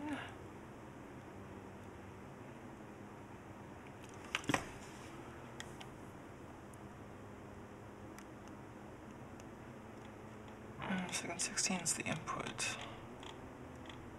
Is that like a wet dry mix, maybe? This would be easier to tell what was going on if I just had like a, maybe like a, even a metronome or something.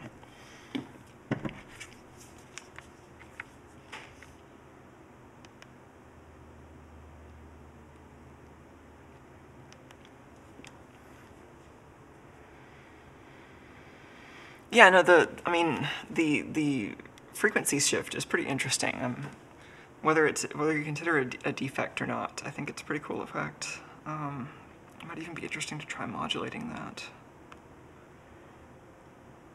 Do I have a metronome?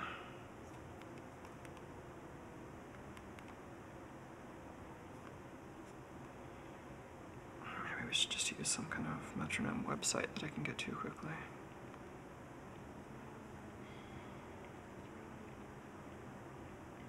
Something I can plug into this input.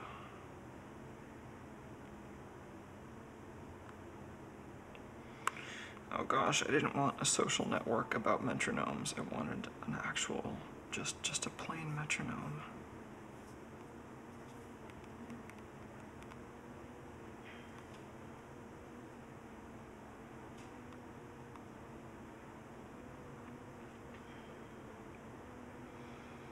Oh, oh, that's interesting. If you Google for me- metronome, it has one built into the search results. I don't know why.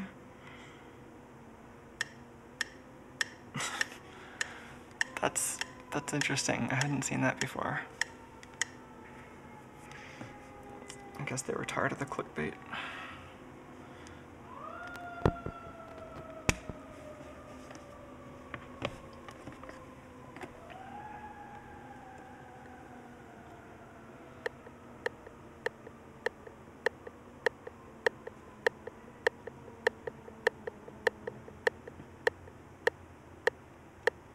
Yeah, that feels like a wet dry mix. So this feels like just the original audio. And this is the original audio with some delay, but not. Like, I, I feel like this should go further up. Like, I, I should be able to cause it to feedback with this, but it isn't. So maybe that's, um, yeah, maybe this isn't feedback. I don't know.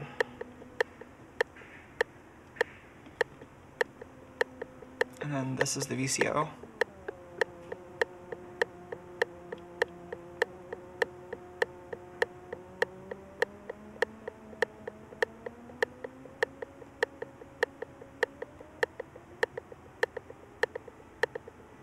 Can definitely hear the VCO itself in that audio.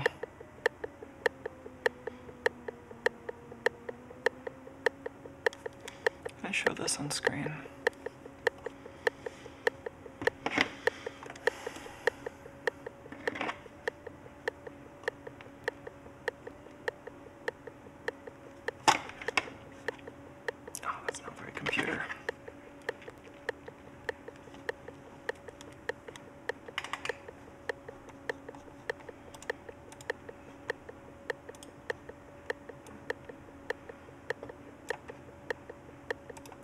Is the input we're connected to.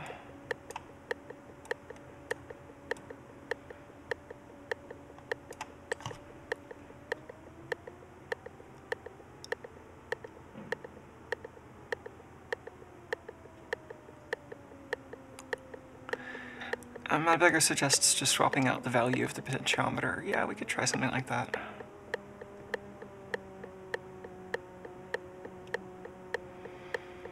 I would kind of maybe want to make a schematic before we go to that length. Um, it seems it seems like it might be nice to trace out the schematic on this board. I'm, I'm frustrated that you can't just download it. I was expecting to be able to download it. Um, but yeah, maybe I'll make the schematic for this offline and then come back to this and we can maybe make a quick modification and turn that into a little video of some sort. Maybe make it a video about this uh, PT2399 chip, perhaps.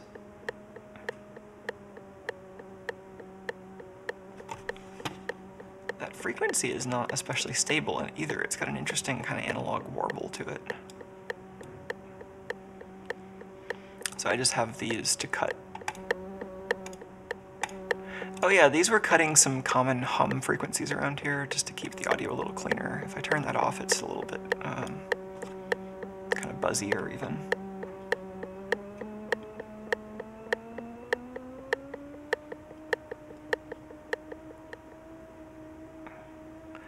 I turn the input volume down all the way, then it's just the VCO.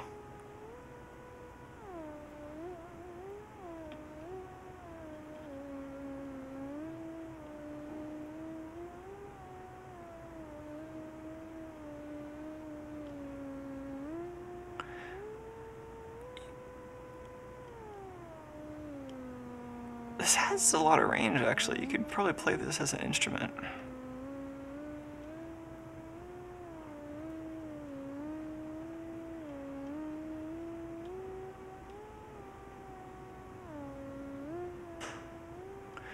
Is this actually? It's going up, um... Oh gosh, how do I read log scales? Is that really 100? No, that's like 400 hertz down to like, this has a cursor, right? I could put the mouse on that. Yeah, 472 hertz. Down to a really wobbly 193 hertz. Alex suggests connecting the knob to a servo and then controlling that with a keyboard. That would be kind of funny.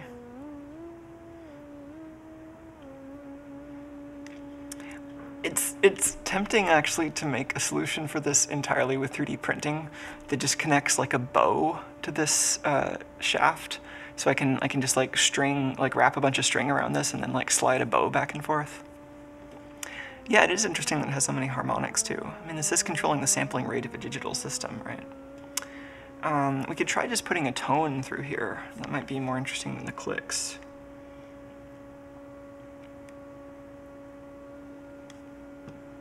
And then does this control the level of the VCO? It does. Okay, let's try a quiet tune. Um,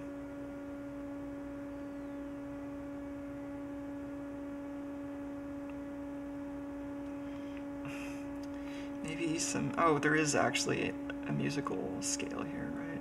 Cool. Yes, play an actual note.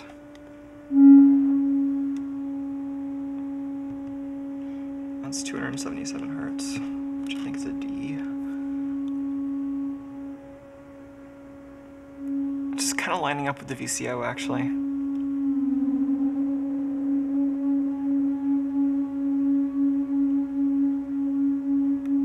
Oh, I like that.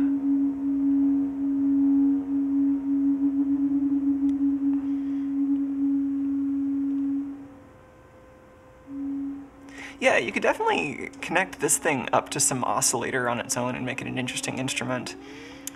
Um, I mean, you could, could use a 555, but my inclination would be to make it a mechanical oscillator. And I mean, obviously this has been done. I mean, it's called an electric guitar, but um, it would be interesting to try just like adding piezo pickups to strange objects and go that route also.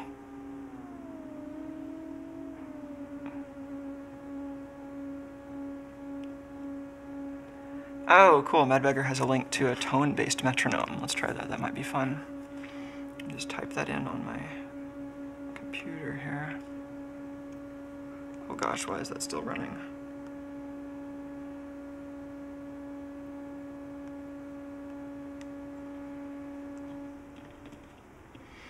Yeah, you can kind of treat this like the middle knob is frequency. So that, that one's labeled, what is it labeled? The middle knob is labeled reverb, which I don't think that's right at all. That one should be labeled delay. Um, that controls the VCO frequency, which controls the, the length of the delay. And then the left one is input volume, and the right one is delay volume. I think that's just all they are.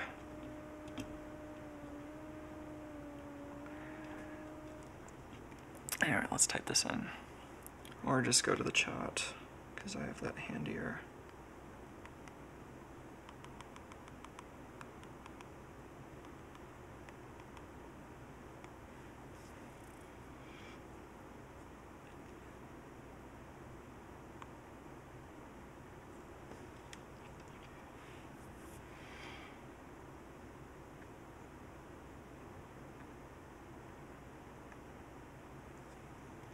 Oh, ah, then I'm, I'm missing some questions here.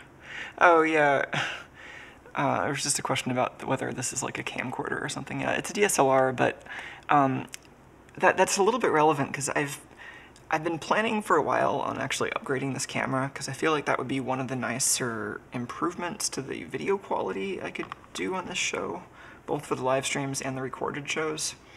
It would be nice to have a little bit more clarity in the recorded videos. Um, especially if I can record at 4K and then edit down to 1080 or even just edit in 4K, that would be really great. Um, but even just having a camera that just just gives me cleaner video than this current camera would be nice. Um, and then for the live shows, it would be nice to have a higher resolution HDMI output because this HDMI output is not great.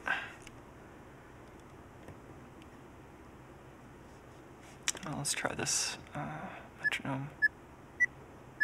Oh. Pretty chirpy.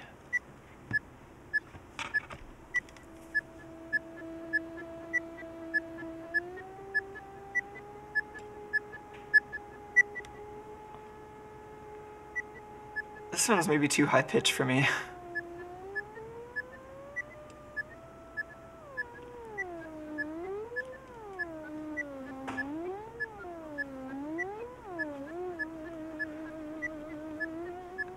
course, it would also be interesting to feed like another saw wave into this input, right?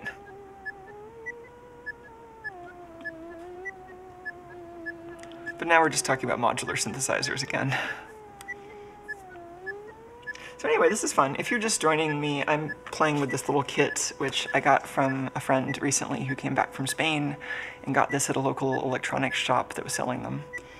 Um, the brand is EAKit, and I haven't actually been able to find just like schematics online, which is strange. Um, it's it's it's like I'm not quite sure what the what the market is that they're selling this for. It doesn't seem like they include the kinds of materials that you would need to really use these to learn electronics. But it seems like maybe they're they're for like kind of DIY enthusiasts who are also musicians to build their own gear. Because um, it's yeah, it's an interesting little device. It's it came pre-assembled. Um, it has this PT2399 delay chip and uh, you know pretty generic op amp that's being used as a microphone amplifier. So yeah, it's an interesting device, and we might find ways to use this for a little like. I'm imagining this would be really nice for just like some kind of little like box that has, you know, like a self-contained instrument of some sort that you can play with, either a little like electromechanical feedback loop of some sort inside, or a pickup on some kind of mechanical oscillation. And that, yeah, the VCO on here is kind of unexpectedly interesting. So yeah, I think that's where I'm going to leave this today, but um, it's a really interesting little device that I hope we can come back to soon. I think I want to switch gears and read about this uh, Boldport Widlar kit. Oh, stop. No. no, please stop that. No more beeping. This is the opposite of always be beeping. Oh no. It's in the background in iOS now, and I can't pause it because there's something external that's repeatedly pausing it and playing it. I think I just have to kill the process. Thanks, computers.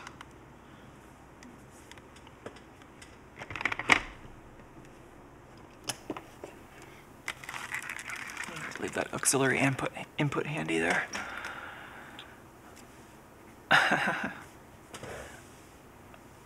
the great DJ Elizabeth. Yeah, I, I don't think this is my uh, the top of my DJ game here, but I don't know. I I think it would be interesting to do some kind of live music collaboration with somebody, but I am certainly um, not anywhere near like competent enough at music to feel like doing something like that by myself.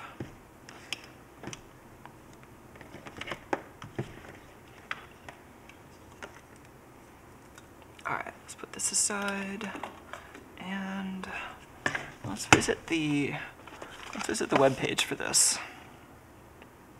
So I'm gonna actually switch SD cards, try to be nice to my future self and make it easier to categorize this stuff.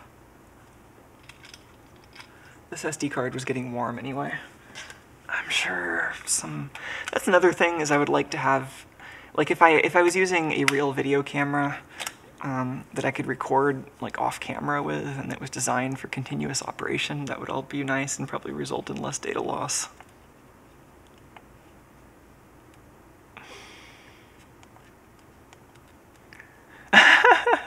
right? Kate says, Look, I watched sci fi back when. I know how computers are supposed to beep.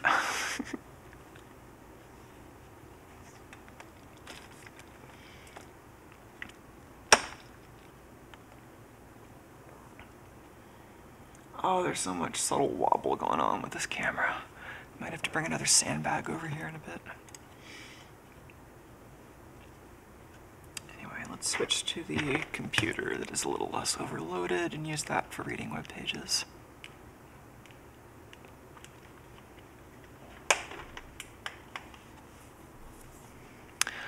All right, so yes, this was the, the thing we were just looking at, this EAKit AU3, which, of course, I leave keyboard focus on the wrong window.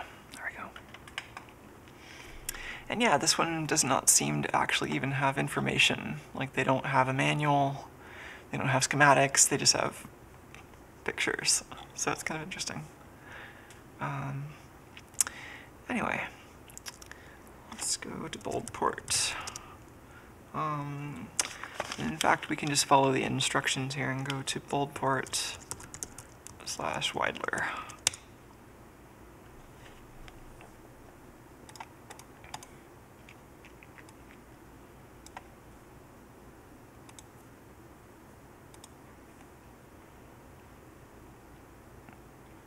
Oh yeah, yeah. James says I'm always excited when I use a computer where there's EMI issues between the sound card and the other bits, and it does that little noise in the background that changes depending on the load.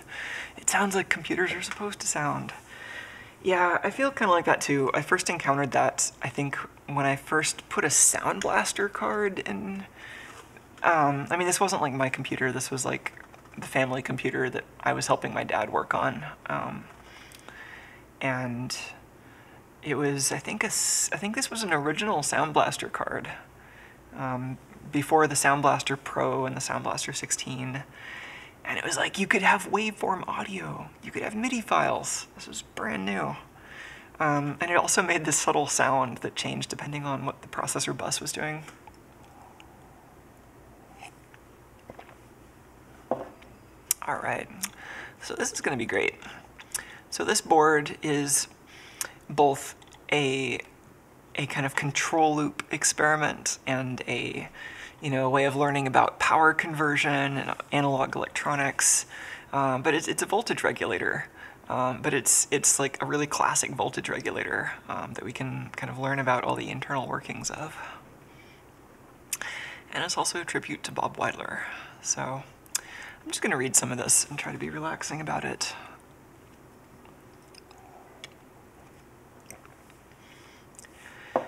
So this is a tribute to analog design master Bob Widlar.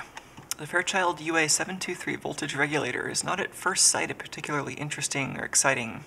I said interesting when I should have said exciting. it's not a particularly exciting integrated circuit. Uh, designed by the legendary Bob Widlar and released in 1967, it should have followed the majority of its contemporaries and faded from supplier catalogs and parts lists during the 70s, as it was superseded by more capable devices.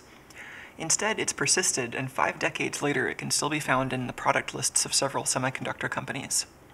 This project is a tribute to the chip designer and its legacy. Yeah, so there's there's Bob Widlar rendered in copper and solder mask, and uh, we got a UA723. Ooh, is that a link to the? Oh, it's a link to the product page. This little critter. Oh, can I just be on the internet? Uh, and then we've got a NPN transistor, which I think we're using as a pass transistor probably. Bunch of resistors, a trimmer, some capacitors.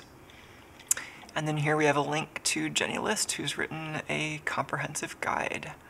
So yeah, you might also know some of Jenny's writing. Like I've I've seen her write for Hackaday, and um, and she has written this delightful list for uh, delightful page for Boldport.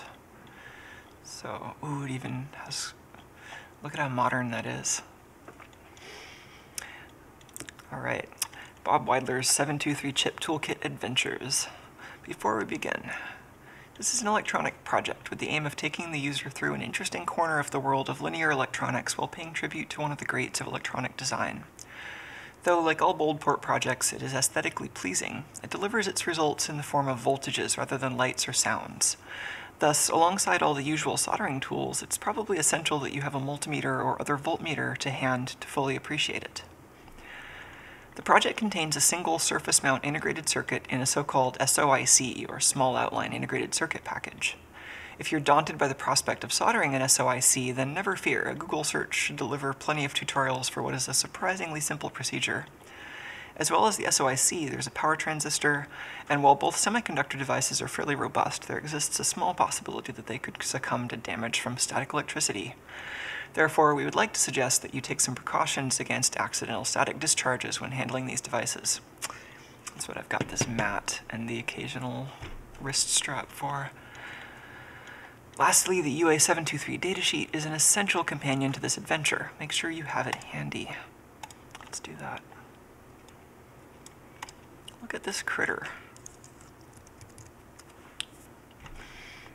So 150 milliamp load current without an external power transistor, which is kind of similar to what you might find in like one of those little 78L05 chips, like what we just saw on this um, this audio doohickey actually. This this is a 78L05, which I think is rated to 100 milliamps. And it would have a lot of the same parts that you would see inside this voltage regulator circuit, but you know, fewer pins exposed, and a lot more of it's just kind of in there without the ability to tinker with the individual parts. Let's actually record this maybe.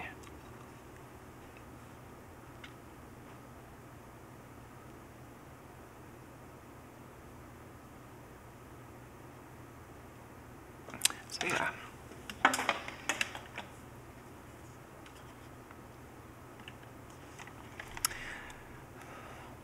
So we have a couple of non- non-connected pins. Current sensing, frequency compensation, current limiting. Inputs for an amplifier. These are all the building blocks that you would need to build your own voltage regulator. The voltage regulator is kind of like a servo motor. It's it's a little feedback loop that's trying to reach a set point that you've given it. And whereas the servo motor is trying to reach a position by applying current to a motor, this is trying to reach a particular output voltage by applying voltage to the base of a transistor. And that's the whole thing. It's just a few transistors, some resistors. Uh, it'd be cool to see a die photo, actually. I'll have to see if I can dig one up. So back to back to this. Um, So the Fairchild UA723 voltage regulator is not at first sight a particularly exciting integrated circuit. Oh, is this the same? Yeah, this is the same thing I already read. Um, yeah, and so continuing on, um, instead it has persisted, and five decades later it can still be found in the product lists of several semiconductor companies. We'll try to answer the question of why that is the case, and delve into its operation with a selection of circuits using it that you can try for yourselves. So have a look at the functional block diagram on page one of the datasheet.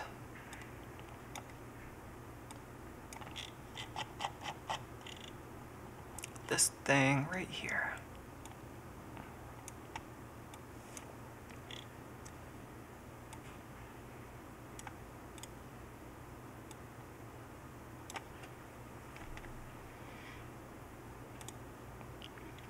The 723's internals comprise a collection of parts from which almost any voltage regulator circuit can be constructed.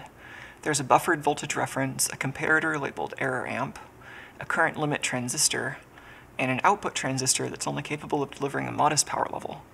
Except for the comparator output being internally connected to the two transistors, nothing is pre-configured. Yeah, that's interesting. The designer is required to create their own circuit and is forced to think about the internals of the voltage regulator. On the following datasheet page, we see a much more detailed schematic of the internals. Normally, you wouldn't need to follow the innards of the chip in this detail, but an interesting exercise is to identify the building blocks. The top left corner with three resistors and two transistors, for example, is the Widlar current source. It allows the designer to achieve low currents without large value resistors, which were expensive and large as discrete components, and hard to achieve within an integrated circuit using the technology available at the time. What other blocks can you identify? Hmm.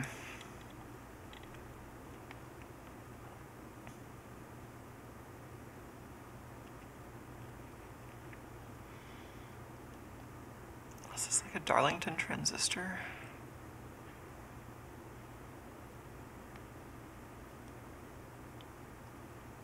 Wow, what's even going on there? I'm in way beyond my depth with this kind of analog design.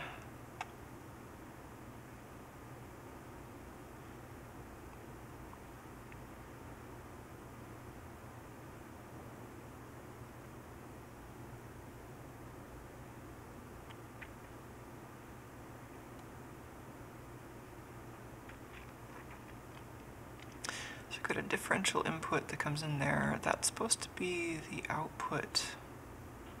Does this go?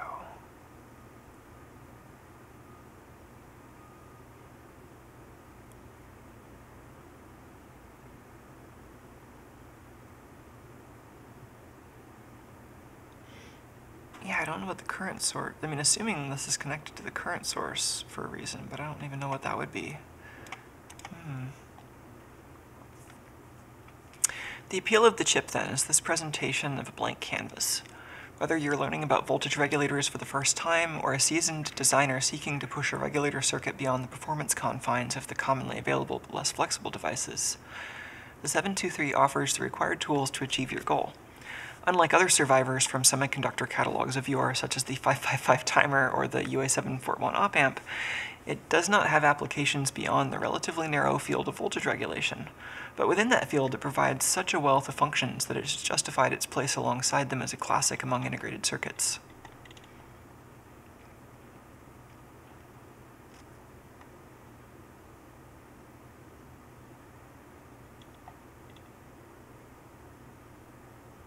So yeah, that's the same diagram we were just looking at, but with better colors.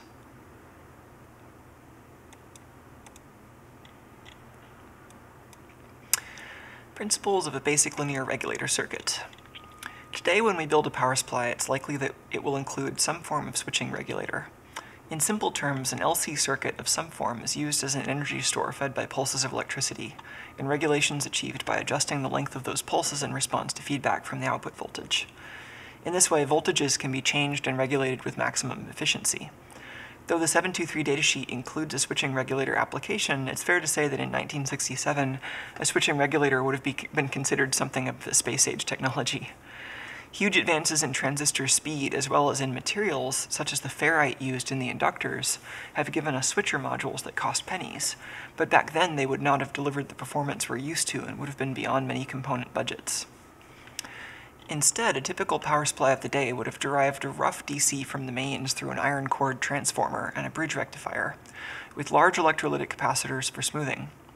The regulator, if there was one, would have been a, linear design, an all analog affair in which regulation was achieved by varying the current flowing into the load in response to feedback from the output, and dissipating any voltage drop between rectifier and the output as heat. The key component of this type of linear regulator is a comparator. This is an amplifier with two inputs that performs the simple job of deciding whether or not the voltage on one input is higher or lower than that on the other input. If one of the comparator inputs is connected to a stable reference voltage and the other to the power supply output, the answer produced by the comparator can be used to say whether the output current should be decreased or increased. If the base of a transistor in series with the power supply output is connected to the output of our comparator comparing the two voltages, we've built a simple but effective voltage regulator. This principle forms the basis of all linear regulator circuits using the 723. So, yep, that's, that's what we've got right over here. I'm going to take a drink. It might be nice to just like edit this into like a reading of this because uh, this is a nice description. It'd be fun to just like read this and then intercut that with the kit assembly maybe.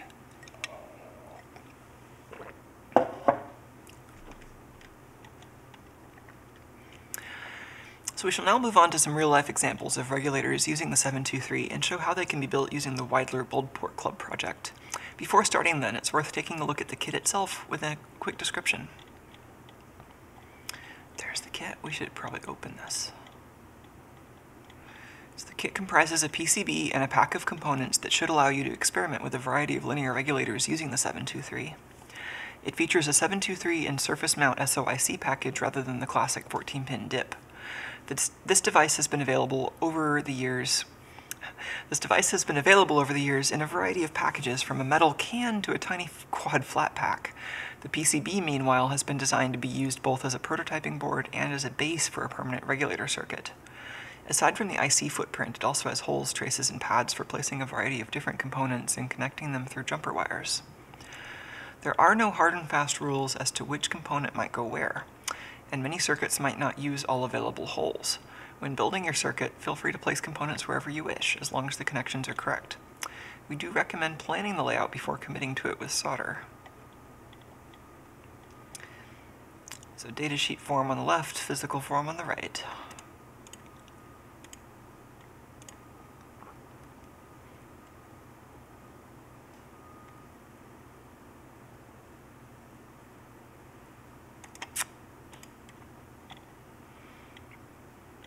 So we have a simple positive linear regulator. So there are two basic 723 configurations, one for use when the desired voltage is less than that of the internal voltage reference, 7.15 volts, wow. And one for when it's greater. They follow the same principle of using a comparator to compare the reference and the output voltages. Their only difference is that the lower voltage version drives its reference from for comparison through a potential divider, while the higher version does so with an out while the higher voltage one does so with the output voltage. That is a high reference voltage. I think the LM317 for comparison is like one and a quarter volts.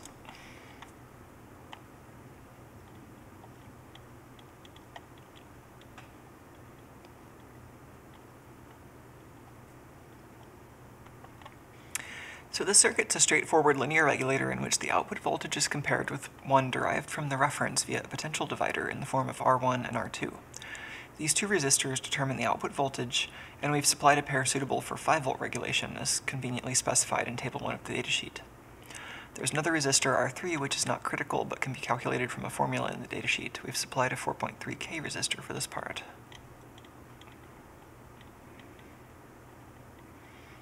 And we've got a current sense resistor for the current limiting, which is pretty cool.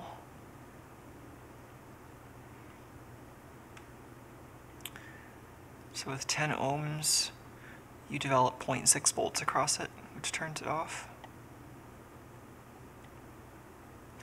Yeah, so the idea behind that is the um, you attach a sense resistor to this base of the current limit transistor, and once this reaches a high enough voltage to start turning on this transistor, which is usually 0.6 volts for silicon transistors, then this will kind of start to siphon away some of the power, you know, some of the current that would be flowing into the base of this transistor.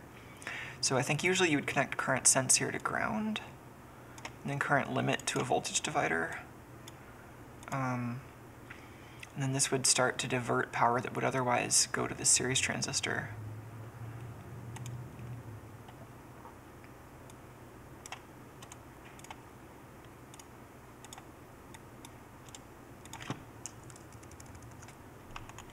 Cool, so that's ground, regulated output, VN.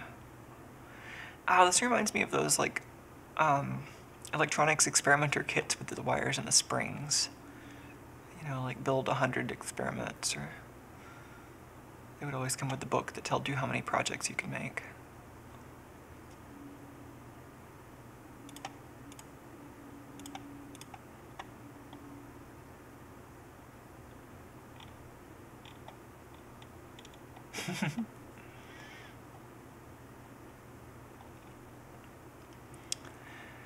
This should be a simple enough circuit to construct whether you wire the discrete components via the holes in the board or by soldering them directly to the exposed pads. A pitfall lies with R2 from ground to pin 5. It's all too easy to wire it the wrong, to the wrong end of R1 on pin 6 by mistake. This yields the happy accident of the output voltage being the reference voltage plus a diode drop, or a serendipitous 7.23 volts, but it's not the intended result. Modern regulators are often designed to work from a supply voltage just above their output voltage and are usually referred to as low dropout as a result. In 1967, integrated circuit regulators were in their infancy, so the 723 requires a relatively high input voltage of between 9.4 and 40 volts to keep its internal 7.15 volt reference operating. See these and other handy figures on the datasheet. Your input voltage for these circuits should be within that range, and when building our versions of them we used a 12 volt input.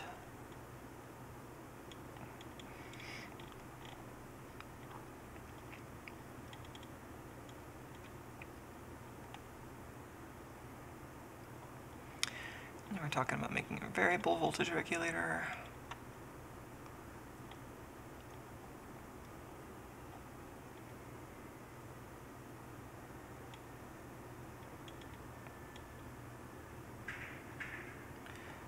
Cool. So the so this circuit uses the kind of topology for lower voltages than they reference, and it fixes it to 5 volts. And then this other example fixes or uses a variable um, 10k potentiometer um, to make a voltage between about 7 volts and just below whatever the input is. Interesting. So that's that's interesting. Like usually when you use linear regulators, you use the low dropout style, which can give you a value of almost the output voltage, but not quite. Um, yeah, I wonder actually what the what the limit is here. I mean, I would think it could be. Um, I guess it's still going to have a 0.6 volt diode drop from the transistor. Now we're talking about external pass transistors for higher currents.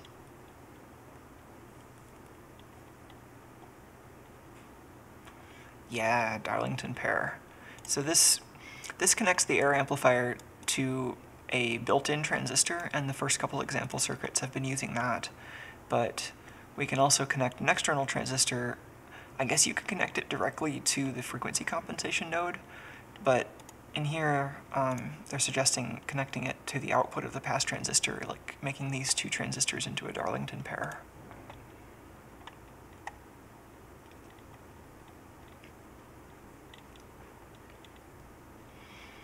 In a series linear regulator such as these, the energy involved with the voltage drop between the output and between the input and output at whatever current is being drawn will be dissipated as heat in the output transistor. Even at the fairly modest 200 milliamp current limit set by that 3 ohm resistor, there can be enough energy involved in the heat to heat the transistor to the point at which it fails. You can easily demonstrate this using the circuit when you short the output through a suitable ammeter. You'll see the current remain stable at just above 200 milliamps. But if you place a finger on the transistor, you'll find it rapidly heats up. We couldn't hold a finger on the transistor for more than 15 seconds in this configuration, and we'd strongly recommend that you don't operate it this way for longer than that time. Yeah, it's really, like I grew up with linear regulators. When I was learning electronics, um, you know, as a kid and like trying to figure stuff out, buying parts at Radio Shack and building kits and um, reading Forrest Mims books and that kind of thing. Um, like switching regulators were still very exotic, and this was in the early 90s. Um, you would find switching regulators in commercial products sometimes, but designing something with a switching regulator still felt kind of unachievable as a hobbyist unless you really knew what you were doing. Um, so I would research it, but I, I never actually built any. Um, whereas, you know, linear regulators were just easy to add. And that was partly because of all this integration. You didn't have to think about all these separate components. You could just stick a three-terminal device in. Um, and this is kind of where switching regulators were at um, at the point when I started to learn about this stuff. You still had to think about all the separate components and like.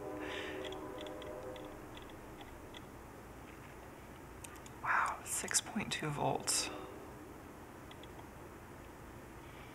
So VZ is the zener voltage. Would you usually connect that to like a resistor and ground?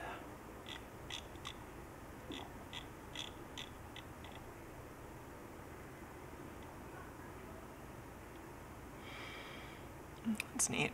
Common voltages. 250 volts.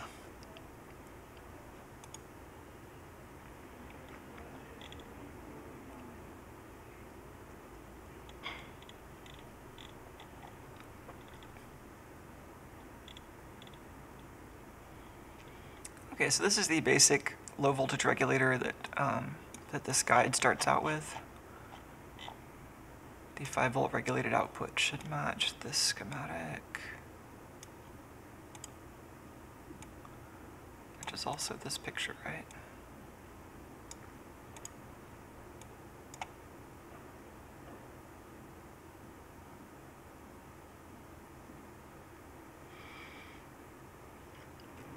So this frequency compensation, I think that's to keep the instrumentation amplifier from oscillating. How's that actually hooked up?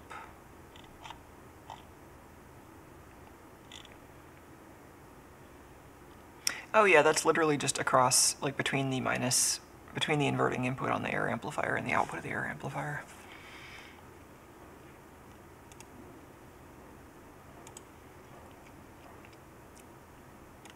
And then so in minus,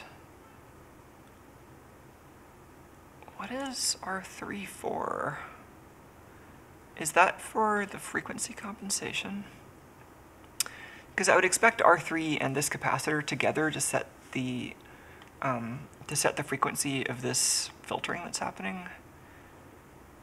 But R3 like in the steady state, I wouldn't expect this to affect the voltage seen by N minus. So it looks like N minus is connected effectively directly to the regulated output. And then N plus is a voltage divider dividing that seven point whatever reference down to like, for example, the five volts that we're outputting. Yeah. Well, this might be, it might be nice just to follow along with this and try like building a couple of these, and this is certainly a nice simple place to start. Let's open this up and solder the chip down.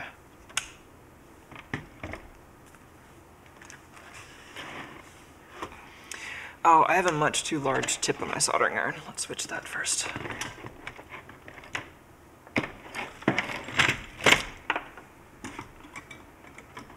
I was like making wiring harnesses, so I have a big old chisel tip on there. But maybe something smaller for doing surface mount.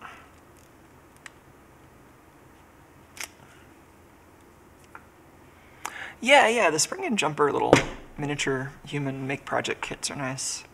Yeah, I, I definitely got one of those when I was a miniature human, and it was fun.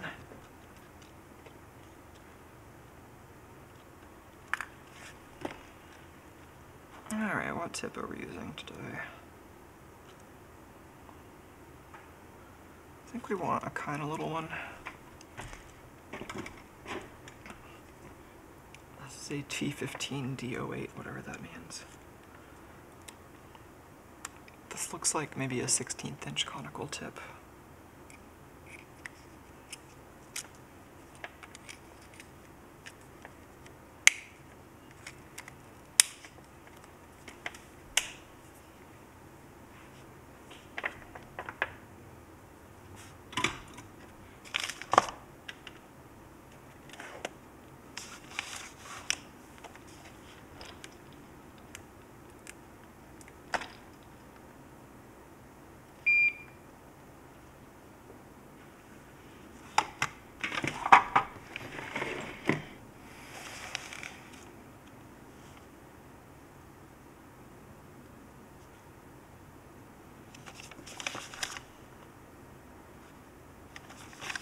All right.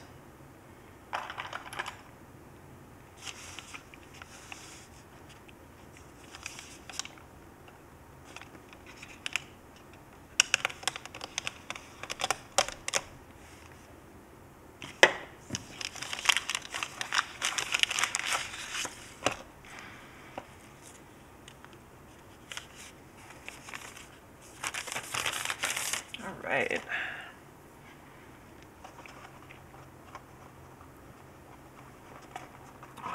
One of a soldering project.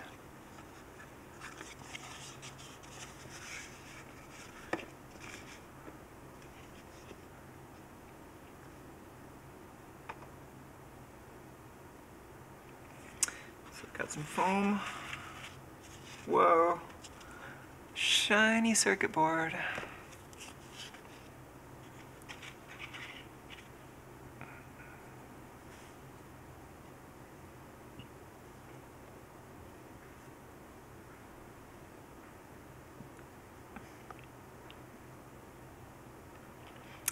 Bob Widlar never talked about his early years or anything personal. He was very charming, but always a bit mysterious. He seemed to be more artist than engineer. He cherished creativity more than the concept of general intelligence.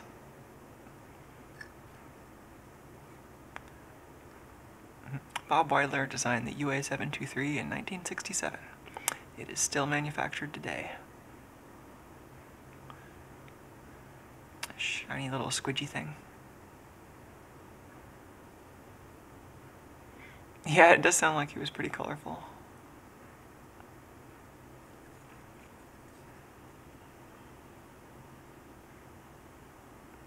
Got a nice little row of bumpy header pins there.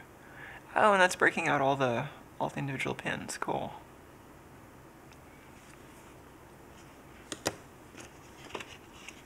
And this is our big old pass transistor. BO23, what is this?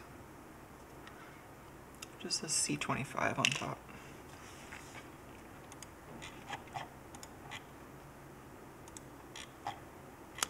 This is a Fairchild BD239. Oh, yeah, BD239B. Alright. That is an NPN BJT transistor. And we have a wide selection of resistor values here.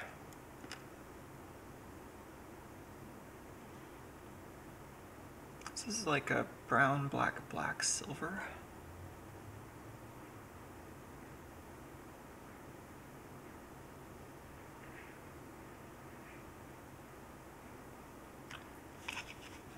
What would that be? That might be the 10 ohm. It's yellow, orange, red. Which would be our 4.7. Don't see 4.7. Oh yeah, 4.3. Sorry. And this is brown, green, red, which is 1.2k. No, 1.5k. Here I am getting all the color codes wrong on camera. Where's this one? Oh, brown, black, black.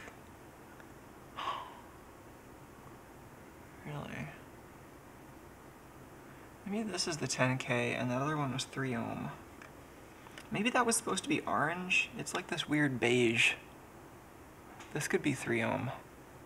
We'll measure them. Got some capacitors. This is a 470 picofarad. We should have two of those.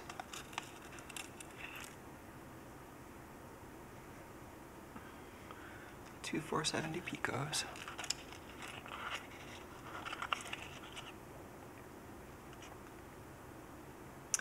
This is 101, which should be point. Oh, that's 100 pico. Yeah. 104 is 0.1 microfarad.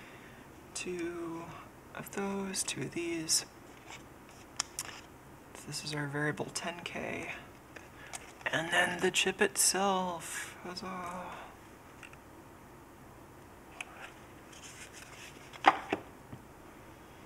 Alright, I think this weird, like, brownish color is supposed to be orange. I think this is going to be our 3 ohm, and that's our 10 ohm.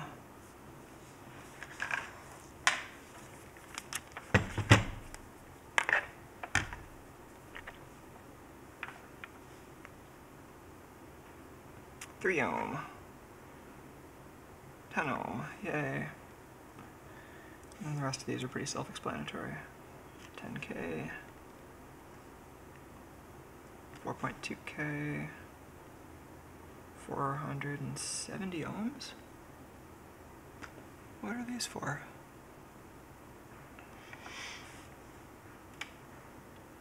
Um, 1.5k. What are the what are those all for?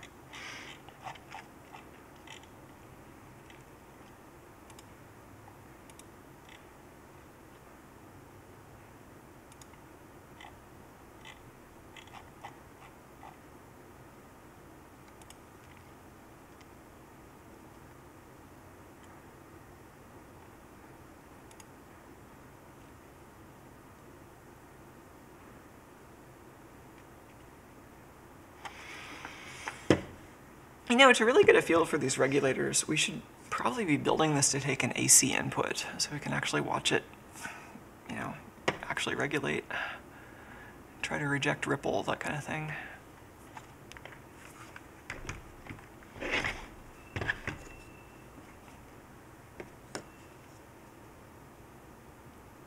Anyway, while I'm thinking about how to do that, let me just do the thing where we solder the chip onto this board.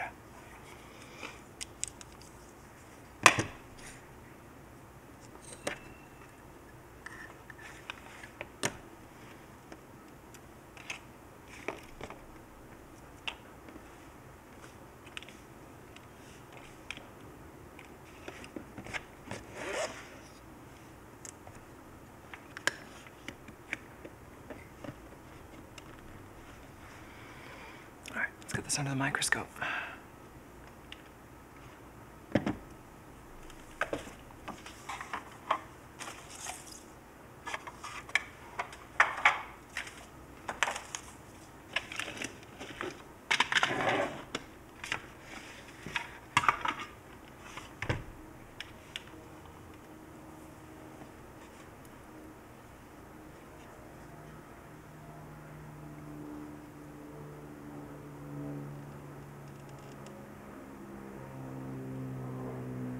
I should be recording the microscope footage too.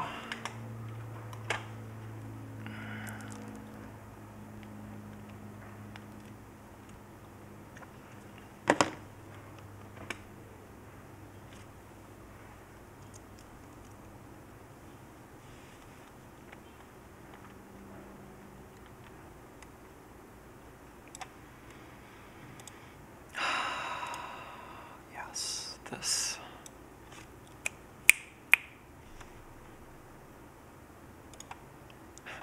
Yet another instance of OBS. This one records the microscope and deinterlaces it.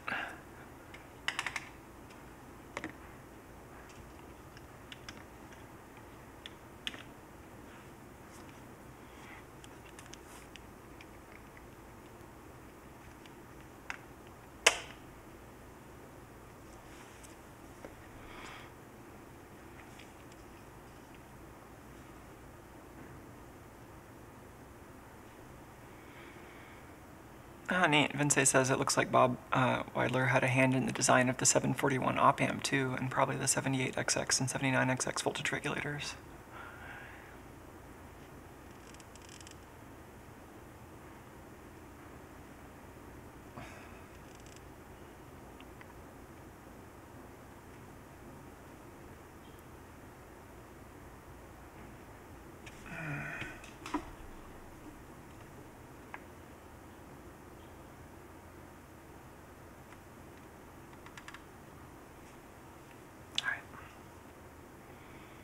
That seems alright.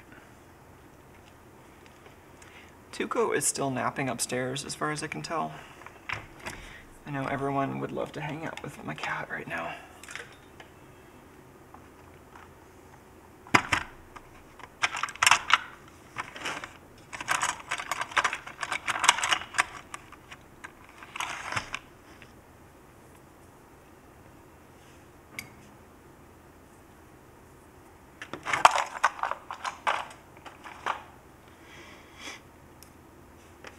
Various ways of soldering an SOIC chip. These are still large enough that you can kind of think about soldering all of the pins individually if you want to. But there are methods of soldering them where you don't really have to think about the pins individually.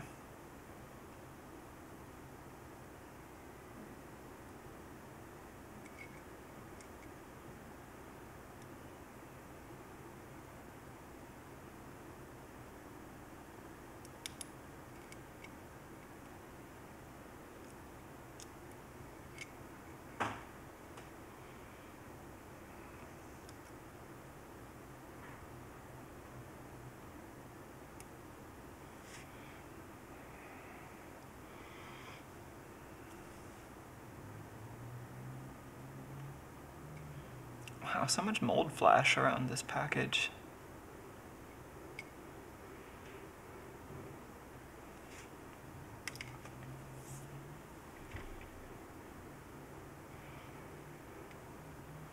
So we don't seem to have a pin 1 dot, but we have this bar, which usually also indicates pin 1.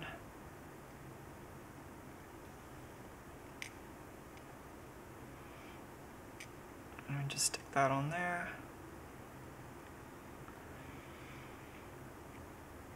And it's totally a viable strategy to just tack down like one corner and then the other corner and then just like drag solder. I think that's maybe what we'll do.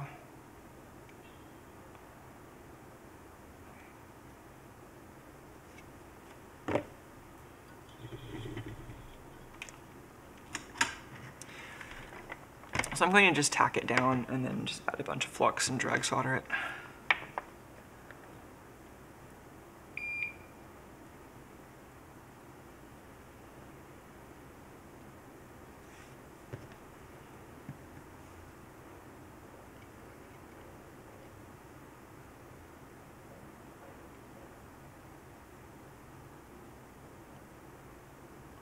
Oh no.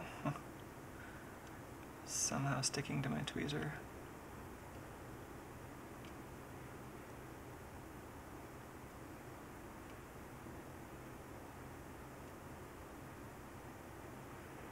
Why are these tweezers sticky? Oh geez, okay, that was almost really smooth, and then it stuck to my tweezers, which I should obviously clean.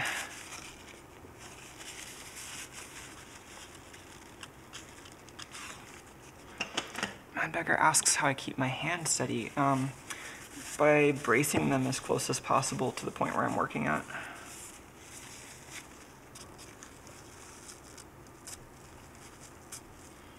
I try to I try to come up with like a little mechanical lever system such that I'm mostly just planting my hand in one place, but then I kind of nudge it um, kind of at the at the root of my hand place it where I want.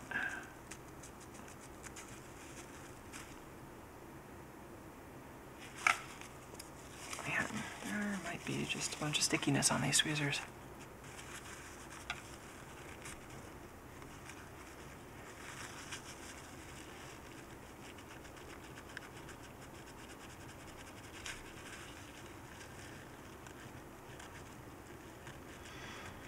This is weird. The tweezer itself is actually kind of strange. It's like there's this burr along the inside surface on that edge. I don't know where that would have come from. It's not like that on the other side.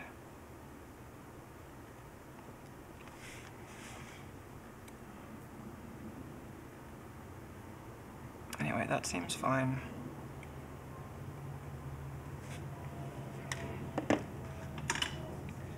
Let's anchor it on this edge too, and then, that solder tip has a booger on it.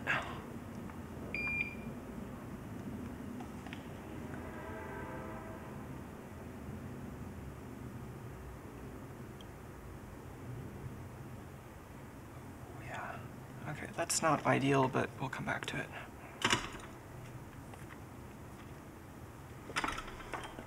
Let's add a little bit of flux. It's worth using flux. You could do this without flux or without as much flux, and you wouldn't have to clean it as much, but I think it's worth using flux.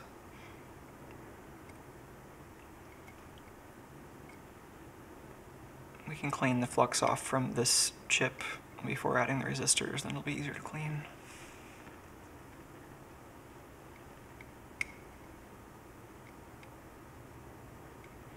This will melt and spread around when it gets hot.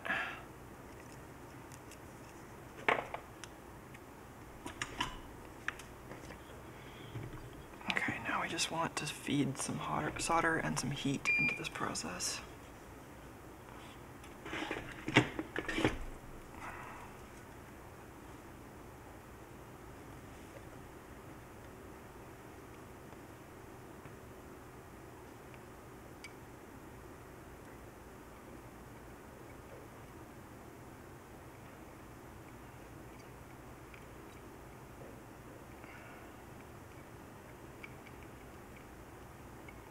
There we go. That that thing it did just at the end was what I was looking for. Didn't do that just at first because I don't think it was quite hot enough. But you're looking for the surface tension to just help kind of pull the solder ball from place to place. You don't really want to have to work it too hard. That's what you're looking for.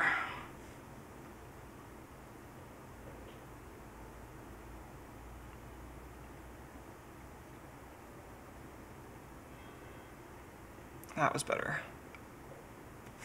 Oops, a little bit on that pad. There we go. I'm gonna clean off those two pads just for aesthetic reasons, but then I will give this a uh, bit of a scrub with alcohol while it's easy. Oh, I don't see any solder braid on my desk. I'll be right back.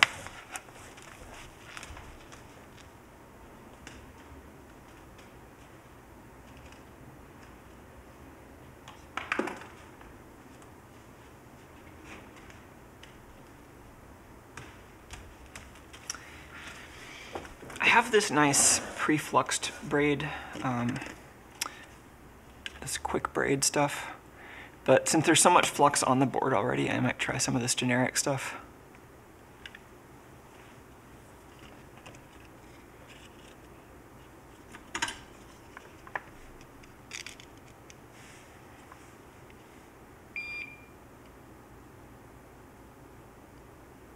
Yeah, see that works fine when there's that much flux on the board.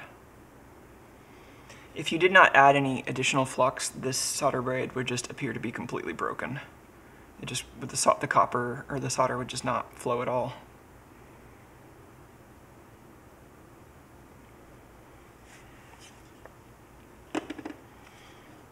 All right.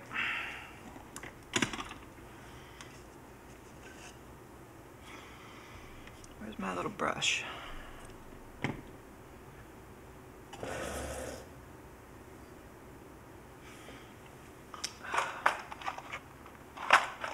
This is the problem with cleaning up my desk. All my favorite tools end up back in their correct locations instead of within arm's reach.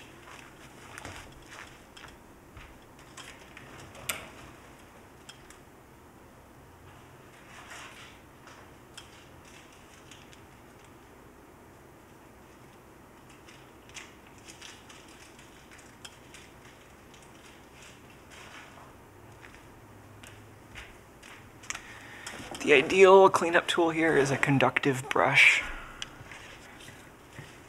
Which is what I've got here. And isopropyl alcohol. well, or whatever flux remover is appropriate for the flux you're using, but most fluxes are happy with isopropanol. Not all, but most.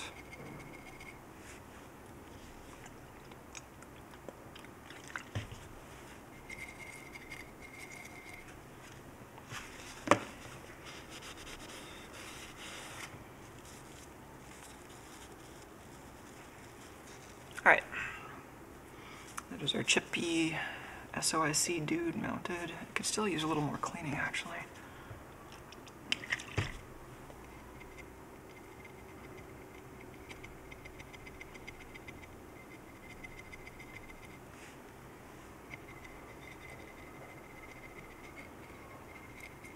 You don't have to clean this flux. I just like to because it's kind of sticky and annoying. And even flux that says no clean, like it's better if you clean it. They're just saying you don't have to, like your circuit will not immediately corrode. But it's still nice to clean it off, especially if your circuit is sensitive at all to um, small amounts of current. There's still some stuff in between the pins, but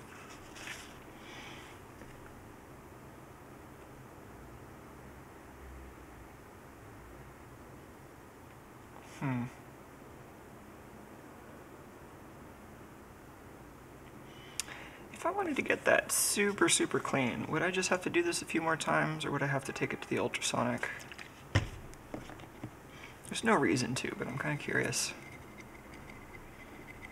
I mean, the one reason for me to do it is to get better photography out of it, which is kind of a useful reason.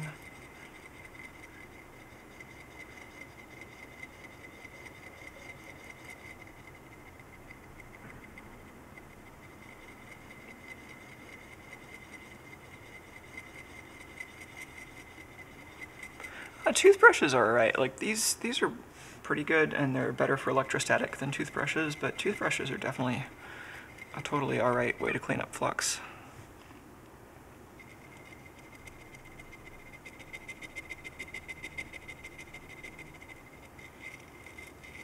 If the lens in this microscope wasn't pretty far recessed, I would have already covered it with flux by now.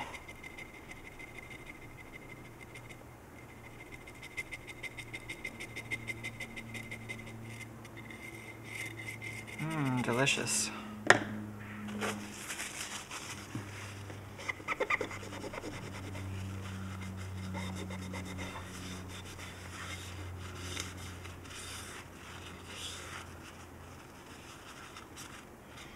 Now I've got little strands of Kim wipe on there too. It's not quite what I wanted.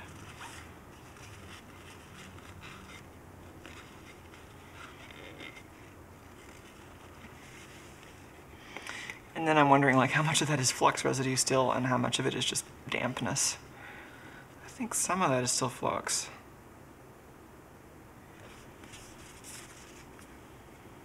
I have an air can.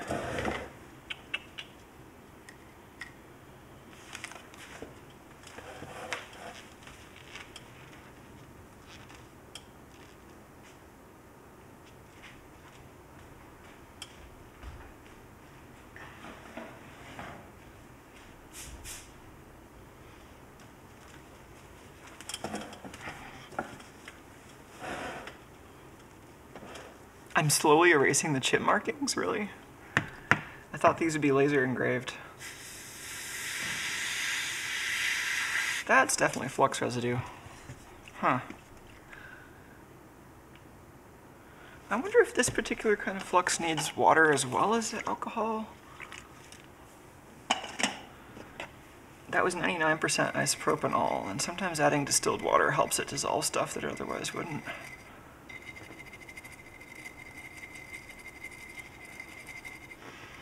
This is entirely me just being a perfectionist and wanting my photos to be nicer.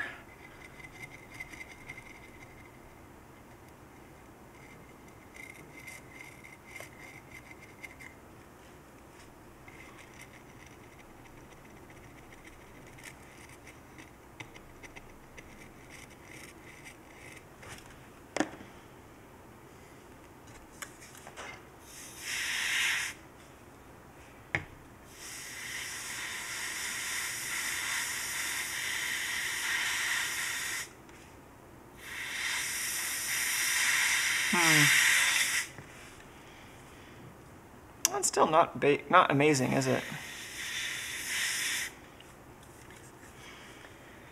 Kind of does seem like I would have to throw, throw this in the ultrasonic cleaner to actually get the rest of that residue off.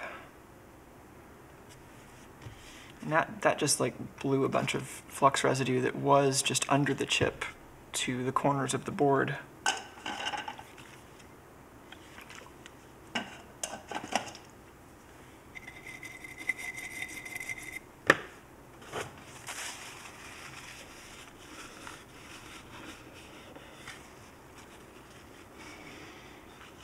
So like if I use the compressed air can, then I get flux residue all over the board. If I use the Kim wipe, it keeps it centralized, but then I get little fibers all over the board.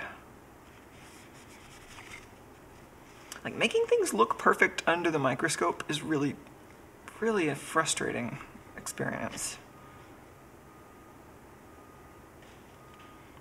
Oh, are these solder mask misalignments or is that intentional? That's interesting. Seems intentional because these two are in different directions. Looks nice. Yeah, if it wasn't intentional, then they would be misaligned at the holes too. Hmm. It's a neat board design.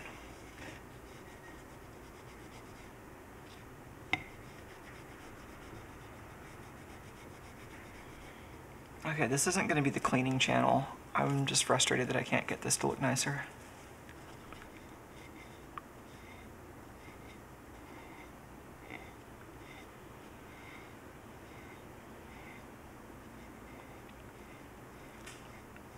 Well, you know, we could make this the cleaning channel and try to get this off with ultrasonic. Because um, I am kind of curious if that would do it at this point. Um, so the thing that I've done in the past, which has kind of worked, and we could try that again, would be to seal this in a little bag with some isopropanol and distilled water, and then throw that in an ultrasonic cleaner for a little while. Um, we could take a quick attempt at that if people are interested.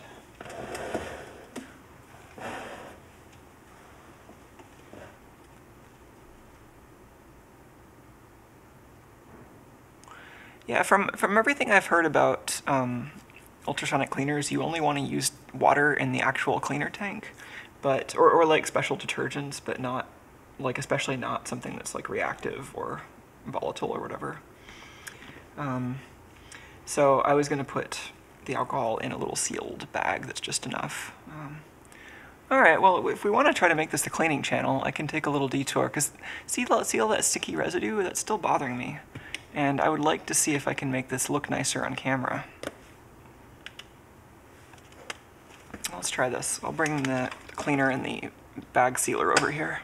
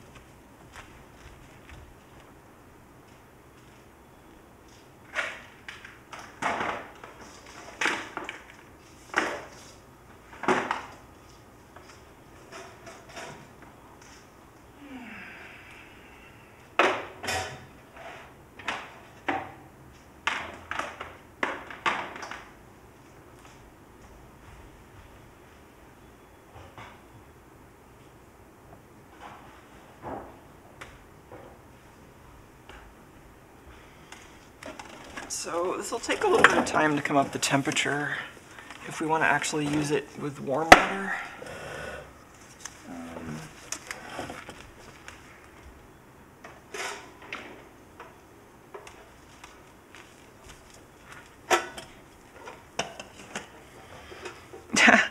if you have been watching This Old Tony, you might recognize uh, this is the same model of ultrasonic cleaner that he took apart recently to, to try to turn into like an ultrasonic welder, I think.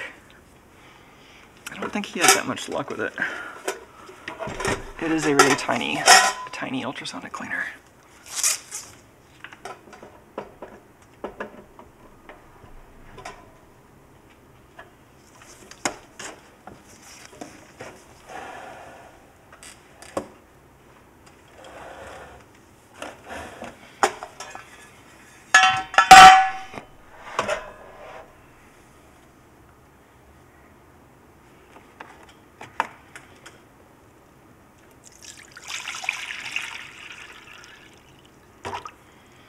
I think that might be enough.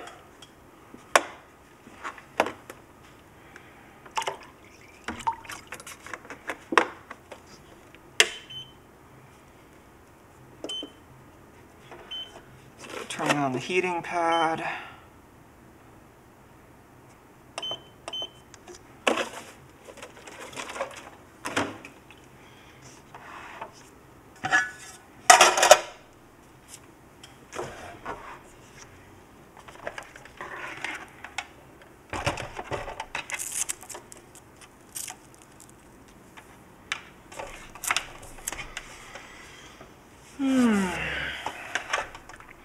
And these great little sketchy impulse sealers.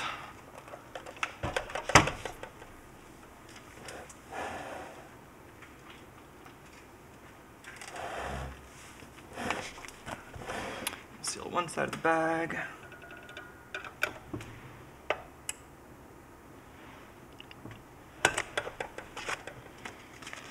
That.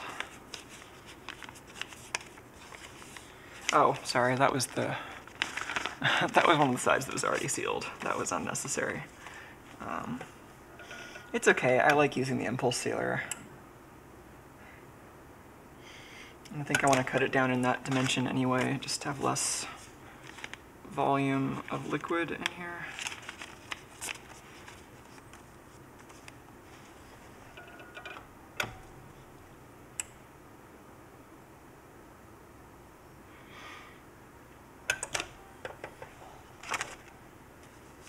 All right. On two sides. Put some. So I'm going to put a mixture of isopropanol and distilled water in here, and then seal it.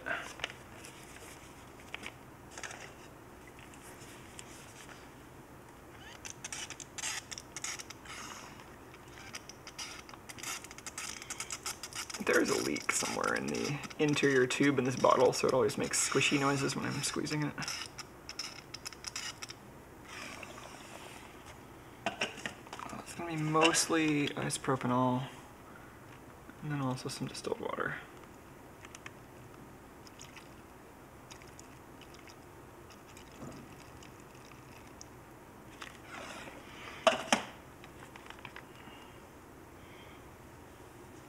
I'm gonna try to seal that with a minimum of air in there.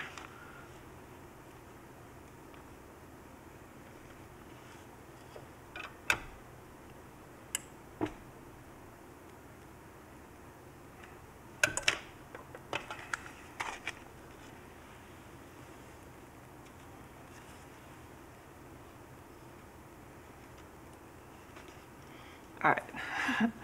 Leaked a little bit as I was sealing it, but I think it's pretty together now.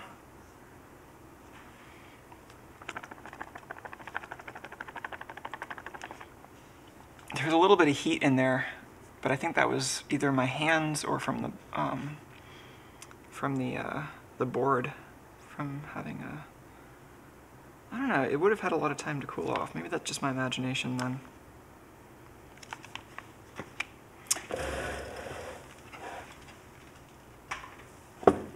Alright. And then this thing, I wouldn't expect it to be very warm yet.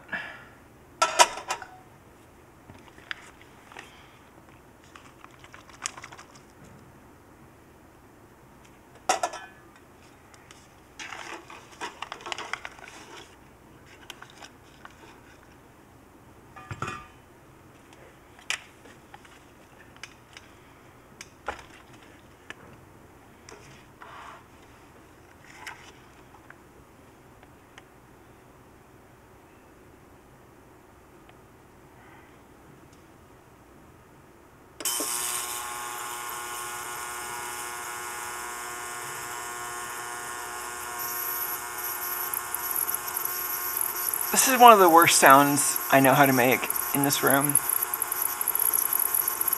And I've, I've got like power saws and a Dremel. This is worse than all of them. Can I, can I filter this somehow?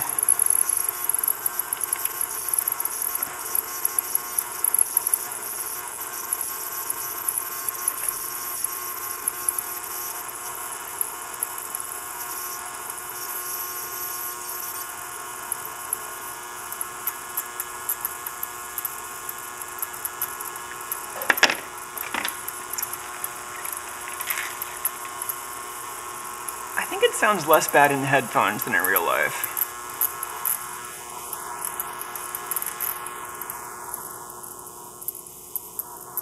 Oh, is that, that's just making it all muffled.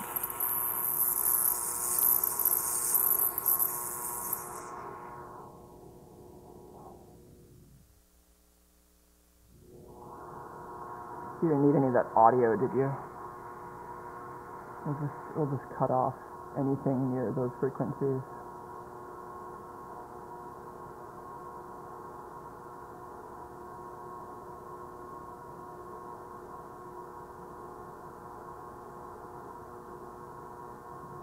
It's hard to tell how much of this is even coming through on the headphones right now. Just this thing in person is making so much noise.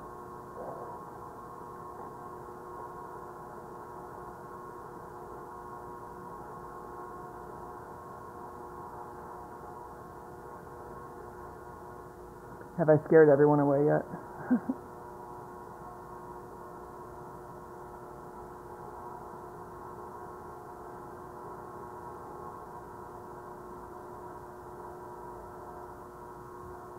um, I don't know if anyone can hear me right now, but um, Illusis Systems in YouTube is saying that water will increase the polarity of the solvent and it won't dissolve the flux almost at all. Um, my understanding of this is that I want some polar and some non-polar solvent in there. So that's why I added water. There are definitely a large category, like a large class of things that won't dissolve at all in IPA, but will dissolve in a mixture of IPA and water. Um, I, I don't know specifically what's best for this flux. Um, I might be able to find something on the data sheet for the flux if I looked at that. This is MG Chemicals number 8341.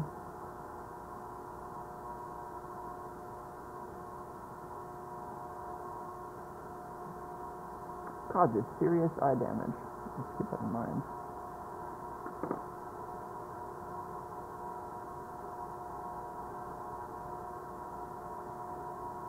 Joseph says we can hear you. It just sounds like it's through a radio in the next room. I mean, yeah. I could try turning this up a little bit. I don't know if you want that though.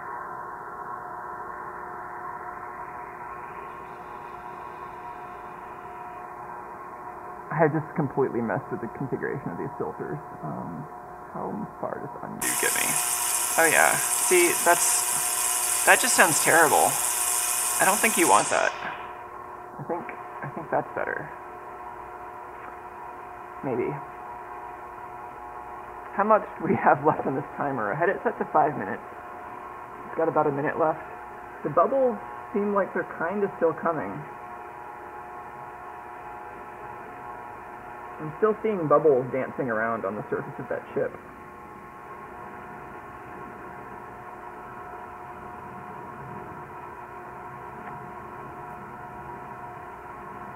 Oh, yeah, sorry about the pain of cutting off the filter, but I guess that does mean the filter was helping, I guess. I mean, we're listening to the same headphones. I'm just also sitting next to this thing, so it's kind of hard to tell how much of an improvement it was.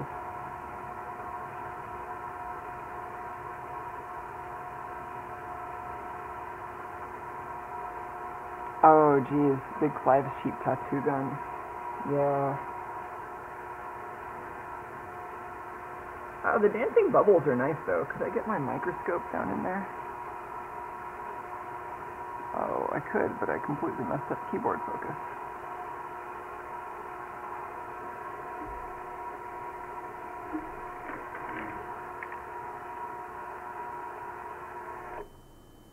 And of course the timer goes off. Let's put it back on for just another minute or so while I get this on the microscope maybe.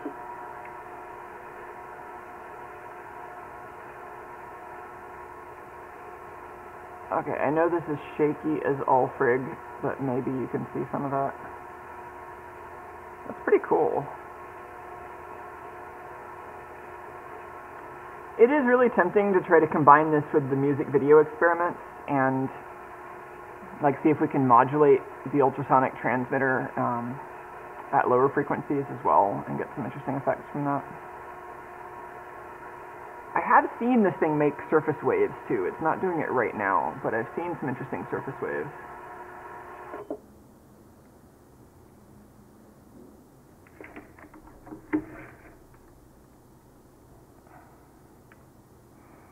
That's as much of this as I have patience for. Can we turn the audio filter back off? Alright, is that does that sound normal? Did you know Ableton Live doesn't have a revert? Can I just open recent set?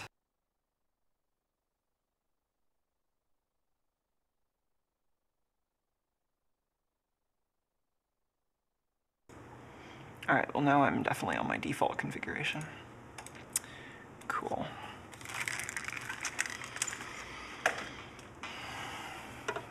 Oh man, sorry. I feel like that's. This thing is just unpleasant to be around. One of the least pleasant machines I have in the shop. It's like right up there with the web configuration UI for some of the like network appliances I have.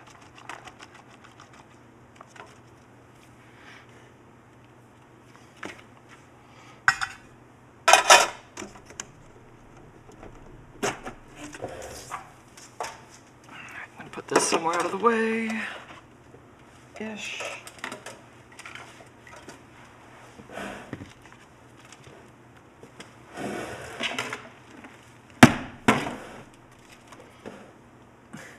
Do I really not have scissors at this desk? I guess I need a pair of scissors.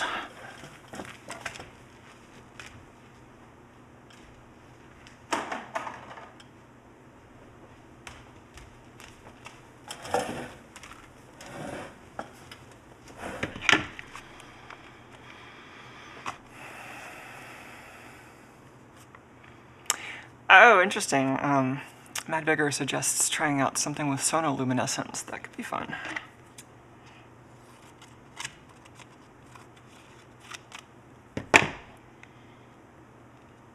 Alright. Pour this fluxy water into a bucket here and take my board out. Give it another little rinse.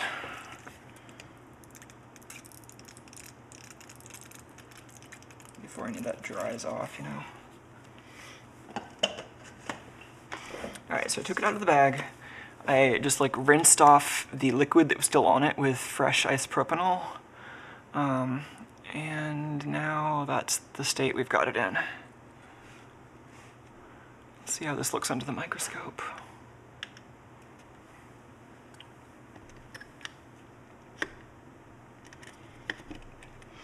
So this is after five minutes in the ultrasonic with isopropanol and distilled water.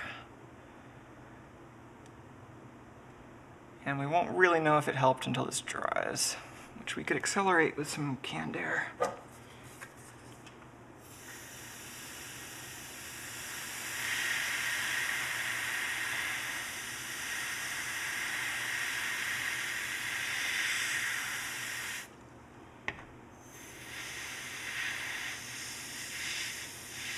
Looking good.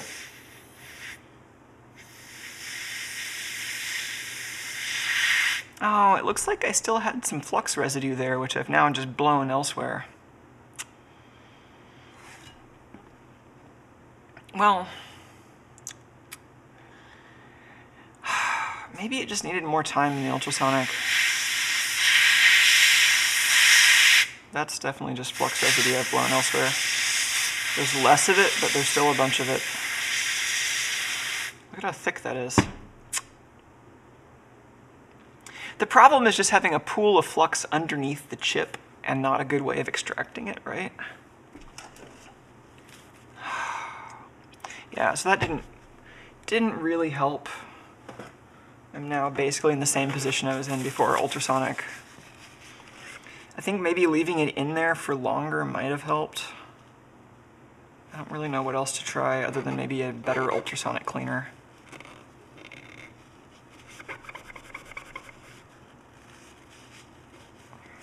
Or maybe just more solvents.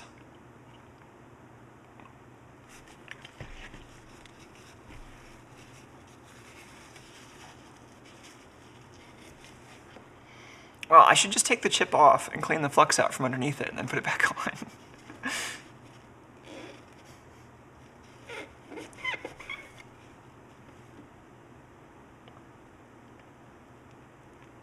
it looks cleaner on the left side because I haven't gotten any fibers from this cloth or this uh, Kim wipe stuck in the flux residue yet.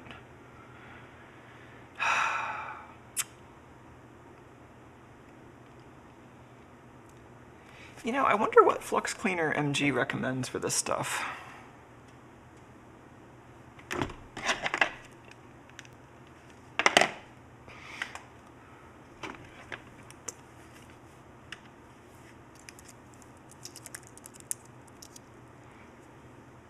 This is 8341. Yes, what cleaner should I use for your no clean flux paste, guys?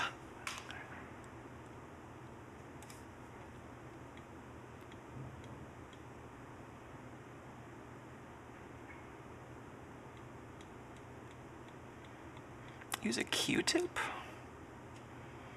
I don't know about that.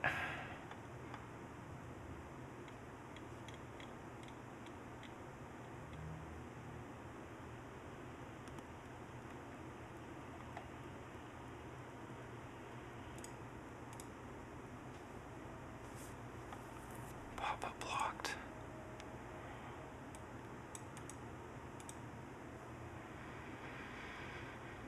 Hmm.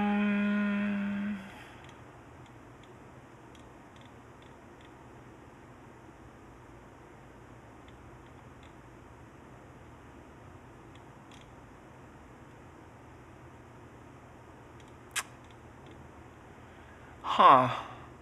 Heated solvent. And what is this solvent? MG4140.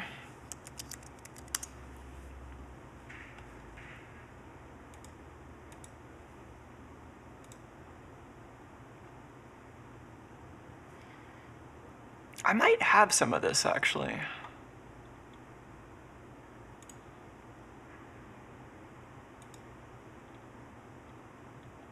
Ethyl alcohol, isopropanol, and ethyl acetate. I have, do I have any of this?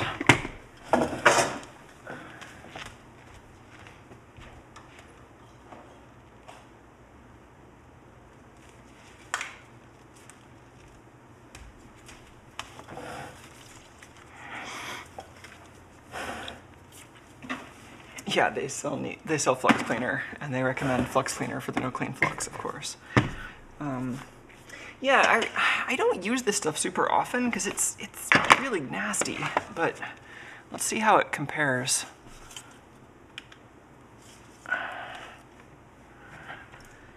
So what is this specifically? This is 4140, which is what we were just looking at. So it should be isopropanol, ethyl alcohol, and ethyl acetate with a little straw.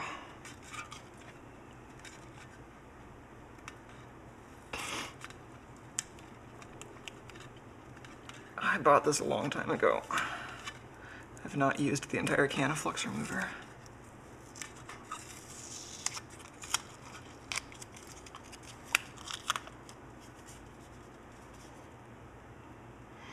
Yeah, again, like no clean just means you don't have to clean it for like your circuit not to be corroded away. It doesn't mean that you wouldn't necessarily want to clean it.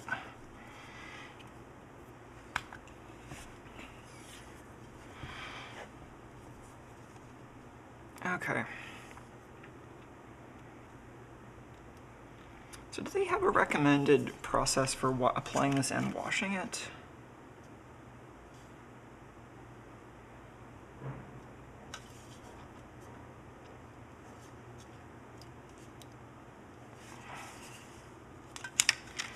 Let's just try using this like I would use any other solvent to wash this stuff away. Maybe put down a Kim wipe to catch the residue.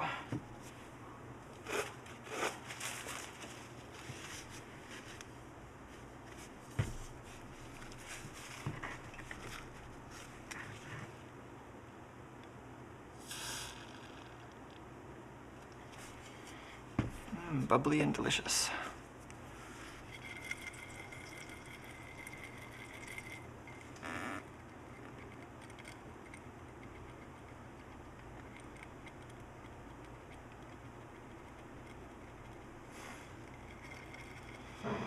I seem to remember this flux remover being really bad for some of the flux I had. Um, but I think that was probably the isopropyl alcohol in it. I think I just had some flux which like turned into some kind of awful precipitate when you added isopropanol to it.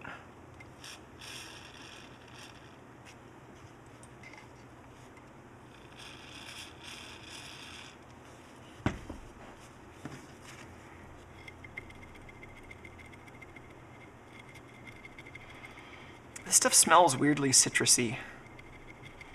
It's probably the ethyl.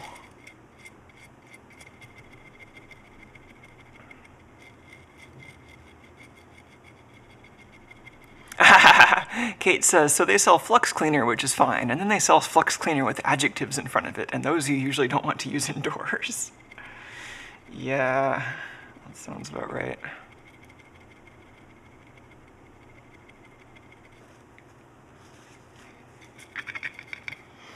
Kate adds that they keep the regular and heavy duty around, and the latter scorches her nostrils. Yeah. That, I think this is the only kind I have around. Let's see if that worked any better. Uh.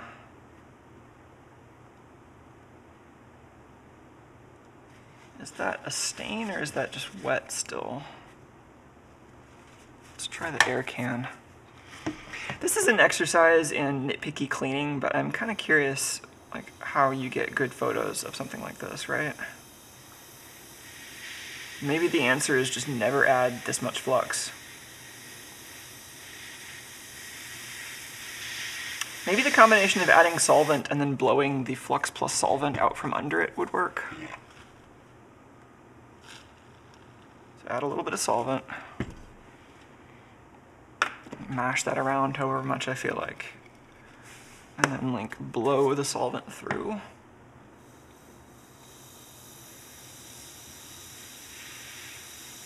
Oh, now we're getting some precipitate. See that white stuff? That's interesting.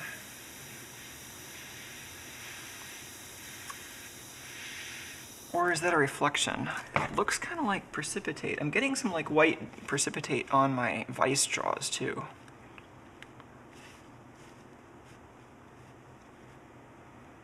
Just, this is not great. See, now I've got all this. I'm gonna have to open a window. The fumes are already annoying.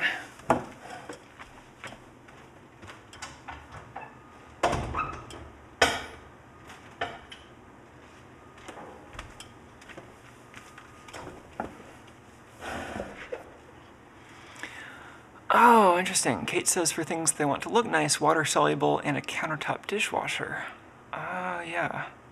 Yes, and um, Robbie STK brings up a great point. Applied Science did a wonderful video on cleaning things, which everyone should check out.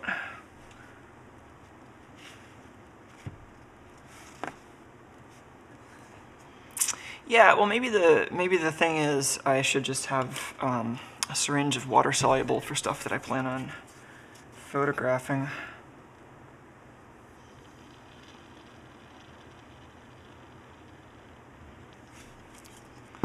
I, feel like just making going through enough cycles of this, I could eventually get it clean, but it's certainly annoying.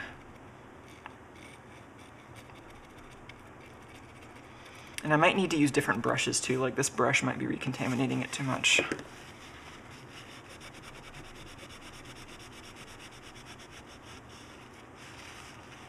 Oh, and let's see, a couple of good suggestions from YouTube chat. Um, Taupe Design says that they use 50% acetone and 50% 96% alcohol. Um, and David suggests 80 grit sandpaper. Thanks.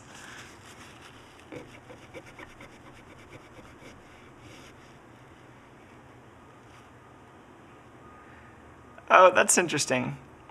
Um, Illusis also advises just going the other way and just painting a thin layer of flux on the board using a solvent to protect it.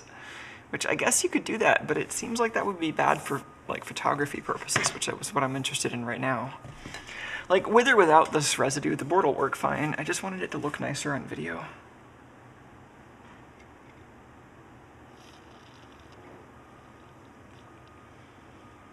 Can I try a fresh brush?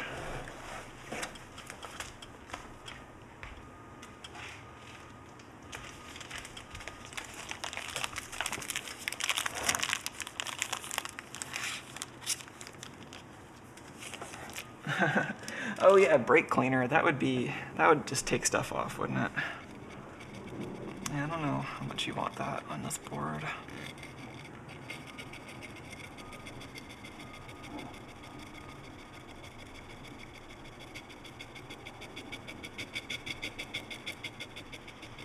I can still see fibers stuck to bits of sticky flux under that chip.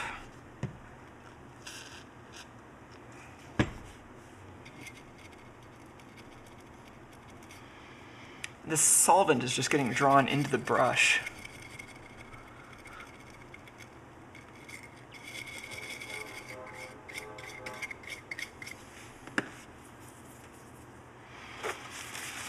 I'm about ready to be done with this side quest. I think maybe this, the answer is don't use this particular flux if you want it to look good on video.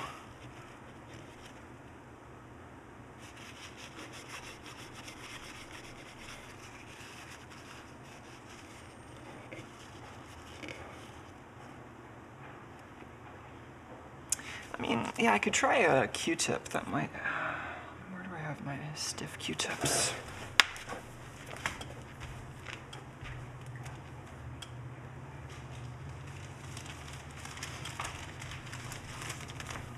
I mean, this might get enough of it from in between the pads to make me happy.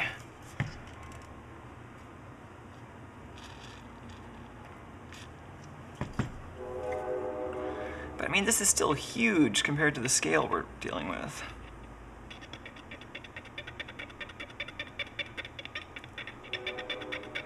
I've tried cutting these Q-tips in half before. I kind of just want tiny Q-tips sometimes. Like a Q-tip with a half millimeter diameter head or something.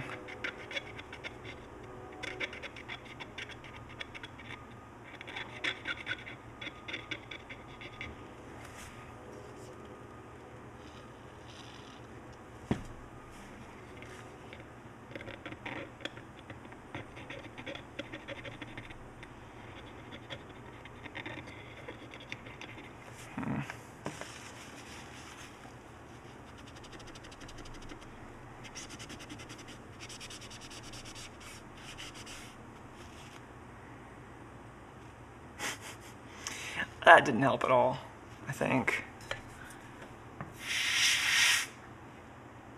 Uh, I'm like worried about blowing anything out from under this chip now.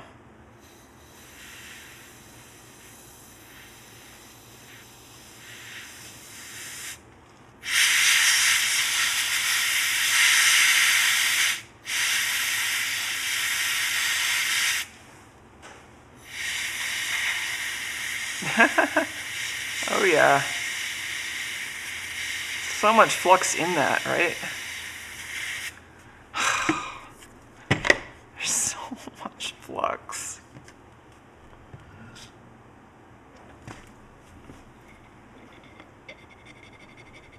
Yeah, I don't think I have any water-soluble flux. That sounds super useful now. I wonder how they make water-soluble flux.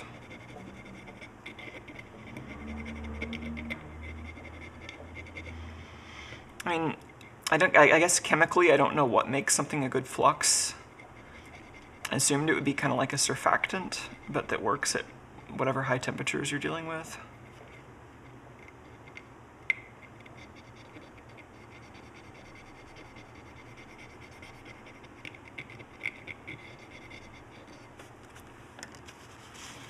So I'm used to fluxes being like sticky.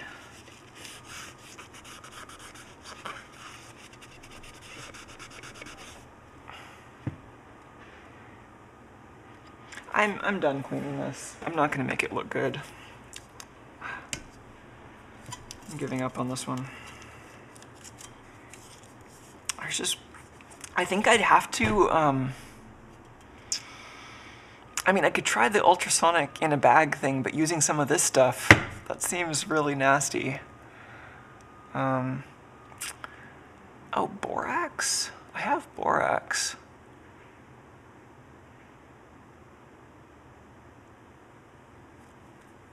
Oh, and did Kate have a suggestion for flux? Let me go back a little and see what I missed.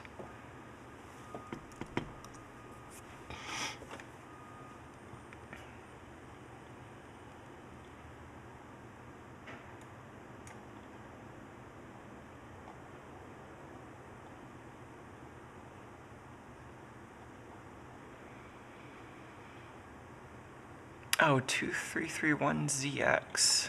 Is that the flux?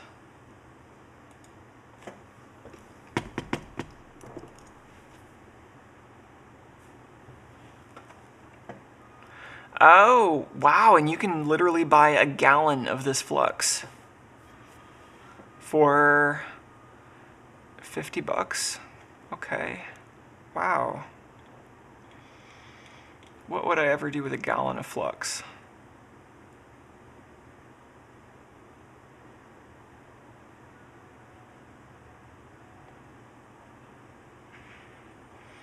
This is interesting.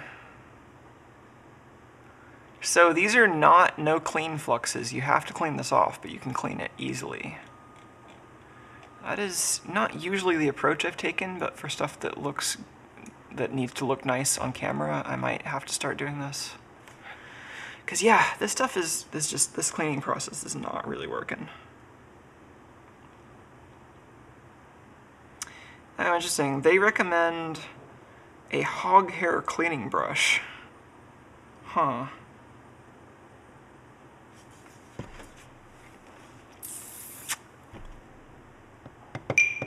Whoa. Oh my gosh. This website that's trying to sell me Flux is also making IM notification messages at me. Go away.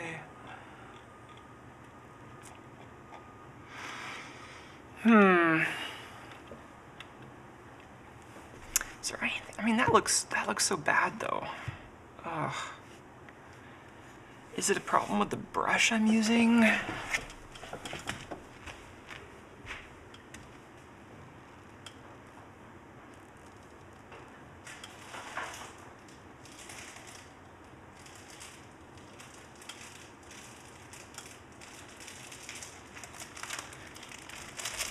have some brushes here that are not anti-static, but might have thinner bristles.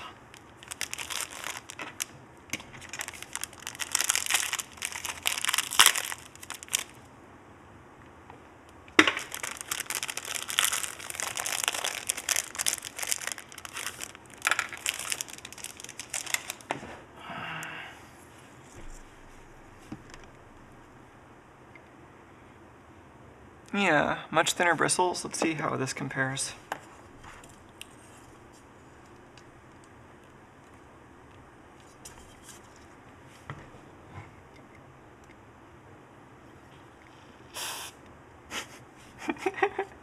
yep.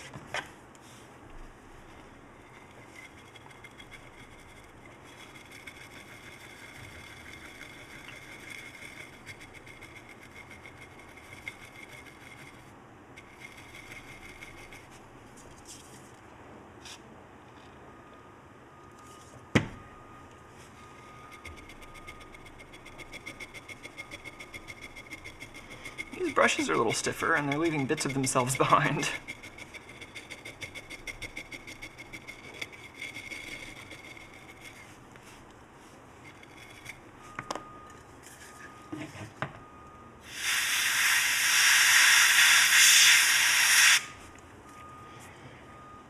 That definitely just spread the flux around on the board. Look at that.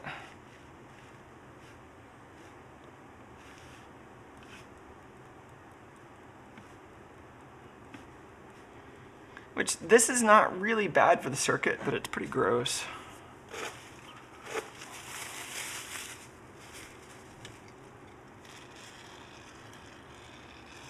So I'm just gonna use a wipe.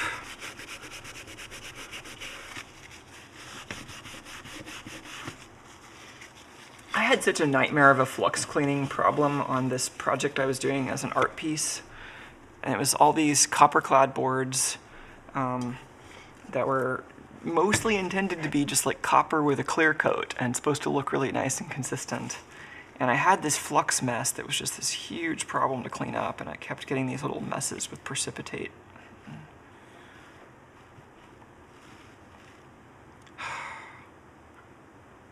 I still got that's that's not gonna just evaporate, right?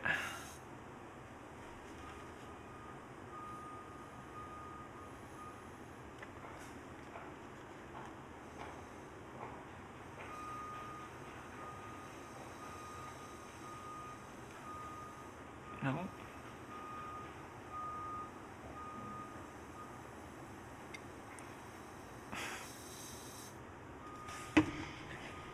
I could just very slowly help this evaporate with all the flux only under the chip and not blow any of it out from underneath it.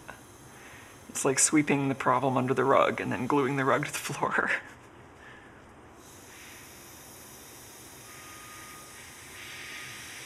or maybe gluing the rug to the floor and then sweeping the problem under the rug. Oh.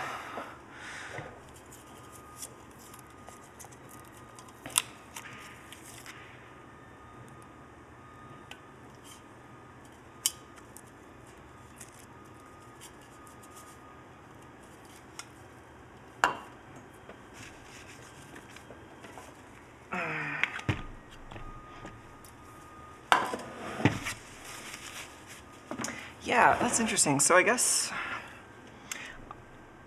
I would I would be really curious to know if people have more tips for this. This actually looks fine in person. It's only under the microscope that it looks frustrating. Um, in person, I can't see any of the flux residue actually.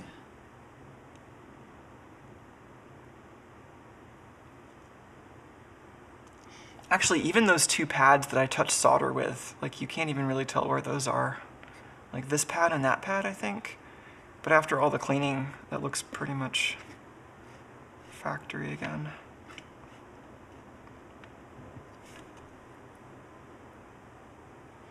And if I focus on the top of the chip again, you can't see as much of the dirt to the right of the chip. Ah, it just feels like it's almost something I can get rid of. Like just a little bit more Q-tip maybe. It's really close.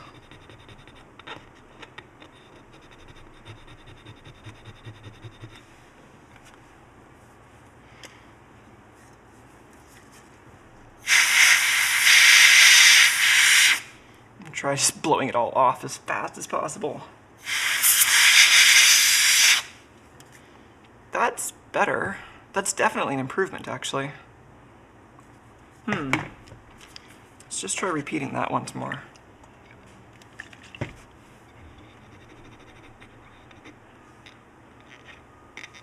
You know, if I stopped anytime something seemed like it was not leading anywhere, then I I would have wasted a lot less time in my life making things that I didn't need to make. But I would have also learned a lot less about how far I can take things.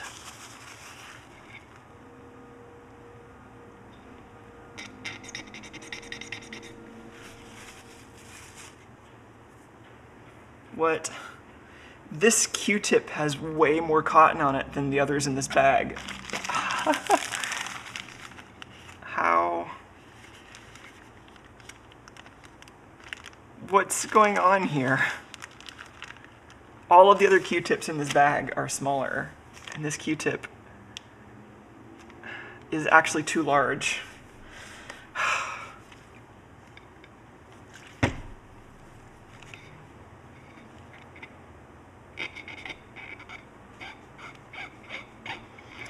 Got to make sure to send the little fragments of cotton out instead of pushing them in so that I can actually get them out with the compressed air.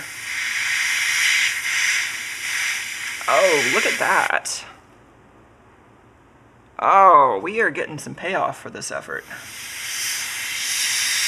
So a couple of cleaning cycles with the flux remover, then isopropanol and compressed air. And that is looking presentable actually. Like this is starting to be a microscope photograph I would actually put in a video. Yeah. Okay. I know, I know a bunch of you are like, what the fuck is she doing? But I'm satisfied.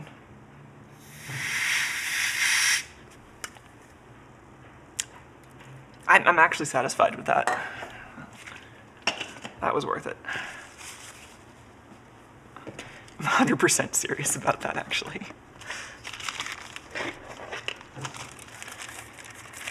Okay.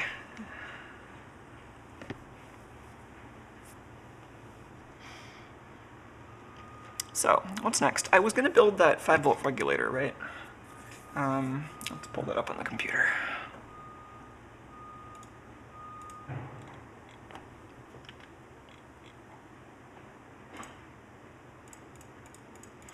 Oh, I think I wanted that data sheet still. Oh,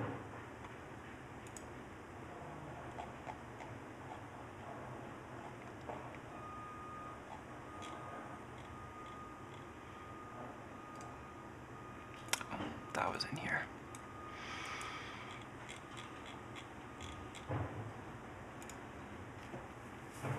So yeah, let's just try building this. So 5 volts seems like a good place to start. Um, we'll have, this is the current limiting resistor, RSC, 10 ohms. So I think R3, that, we, we were here right before and then got distracted. Um, I was saying that I thought R3 and this capacitor were together setting the bandwidth of the amplifier. Um,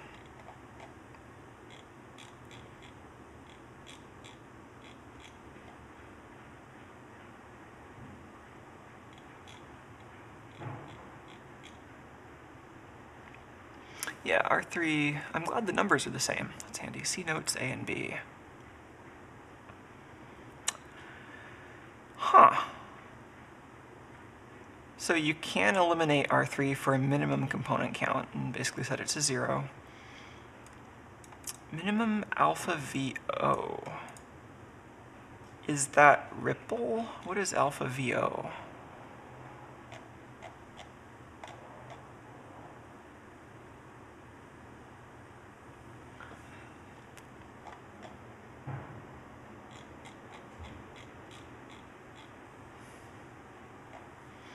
VO is the output voltage, but I don't know what the, they mean by alpha VO right here.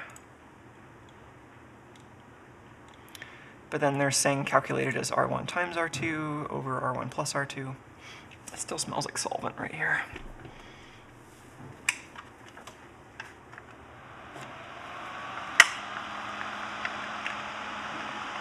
Actually, I should just use the big fan to bring some fresh air in.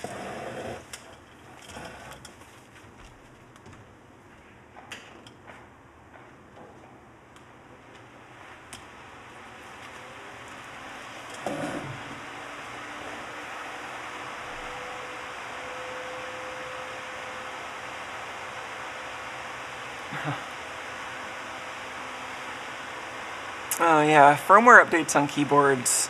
Um, I I remember thinking it was so scary when we were first building um, like USB virtualization support for devices that had firmware updates, and it's like if you attach a keyboard to your VM, I mean that's kind of a weird thing to do to begin with, but if you did that, there's really nothing stopping something inside the VM from overwriting the firmware on your keyboard.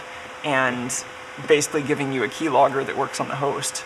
And it's it's like we're gonna see some of that same stuff with Web USB in the near future probably. Um, right now things are set up so that you can't just like Web USB connect to any device. There's kind of a whitelist, but uh, like as soon as that becomes a feature that more devices start relying on, there's probably it's like probably going to be harder to secure the firmware update process. I'm not saying there's definitely a problem there, but I'm saying based on what I know about USB and the USB security kind of problems that are inherent in the design in the past, like I, I certainly have my concerns about future Web USB compatible devices, and that would be something I would look closely at for security flaws. Right, Kate says USB security model is kind of an oxymoron. Yeah, I mean, the whole point of USB is that it was designed to make communication between your computer and the peripheral devices easier and require fewer custom interfaces, and it was always assumed that both of those endpoints trust each other, which was kind of sensible in the late 90s and doesn't make any sense nowadays.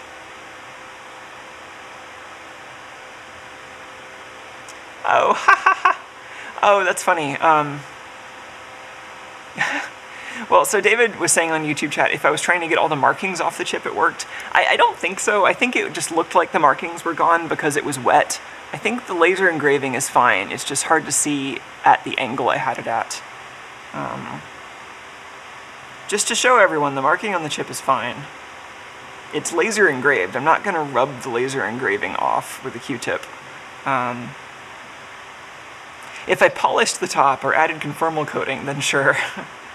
um, oh, Illusis System said that the cleaning channel idea wasn't too bad. Maybe let people send the most ridiculous messed up things and I could clean it for views. Yeah, that's...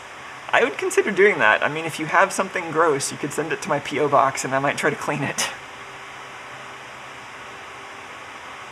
If you want a better idea of how likely I am to uh, you know, to do it, then we could talk. But I'll probably do it. Like, if you send me something, I'll at least make an attempt at it. You know, depending on how ridiculous it is, I might not spend, like, weeks working on it, but... Alright, I know that fan is loud.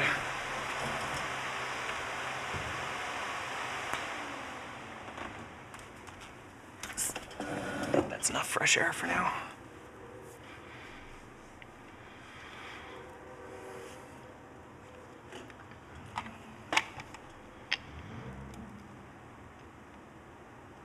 Well, it's interesting. Yeah, that's an interesting point. So Kate says it's sort of this mental outcropping of the model where you'd buy a device and then stick it in your system bus, and then it was trusted because it was sort of hard to produce hardware and takes effort to get it there, which I kind of buy.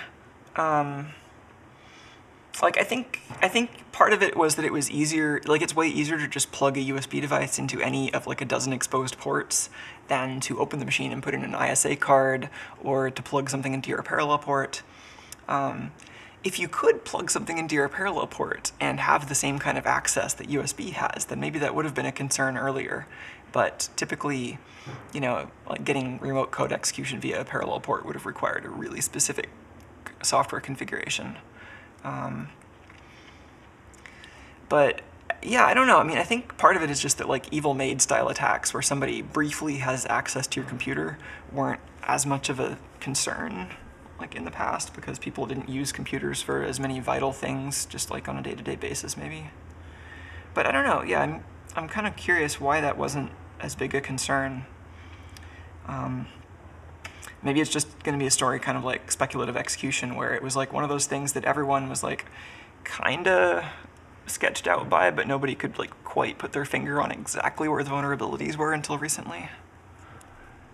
Hmm. DK wants some advice about programming. What, what kind of questions do you have?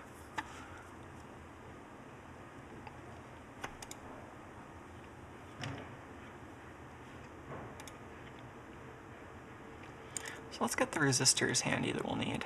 So I do want to try building this in 5 volt mode first, just to try the first example on this little build it kit we have here. So we need our 10 ohm sense resistor, which is the one that doesn't kind of look orange if you squint, which is the 3 ohm resistor. Um, oh, neat. And so you can use parallel combinations to make the resistances we need. So 4.3 ohms, or 4.3 k ohms in parallel with another 4.3 k gives us the 2.15 k.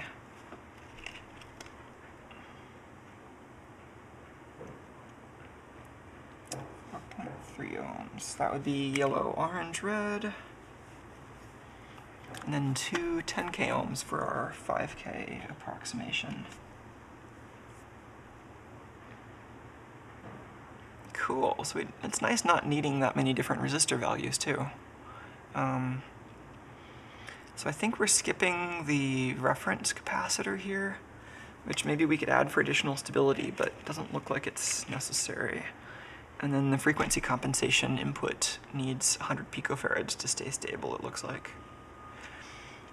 Be interesting, I don't know, looking at this on the scope and see if we can see if we can intentionally make it unstable.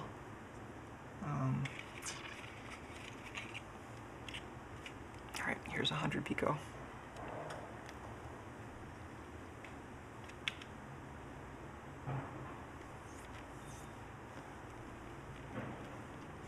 All right, I'm gonna do this in the kind of flywire style where we're just like tacking the parts down. So this is 10K.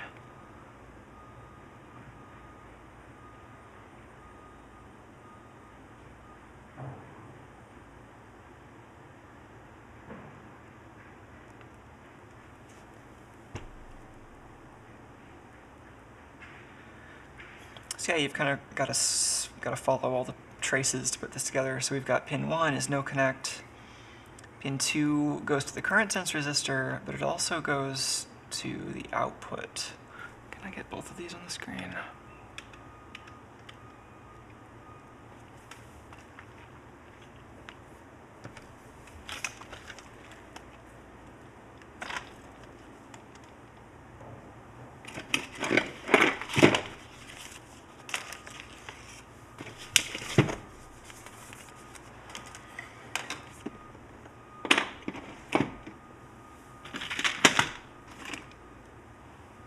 That's a little better.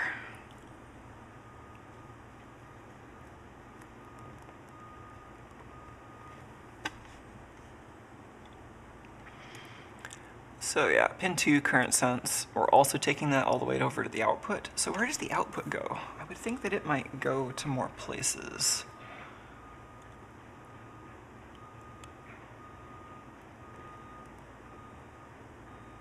And that pin fifth from the right?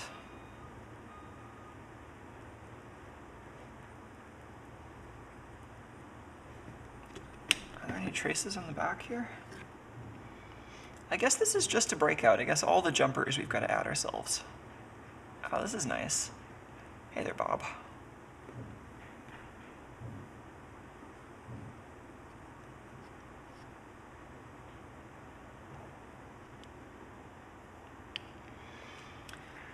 Yeah, so there are actually no traces at all on the back. All of these are just individual pads. All of these. Got a couple of thermal reliefs. Um, I think the idea is um, these would be for external wires, maybe.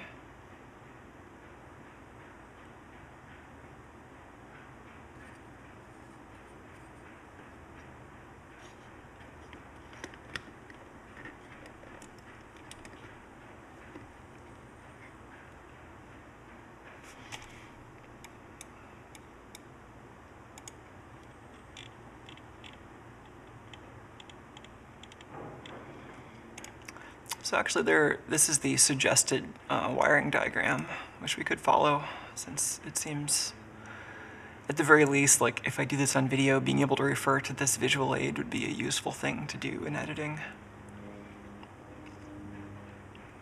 So we have those two pairs of resistors. I kind of want the schematic up here too.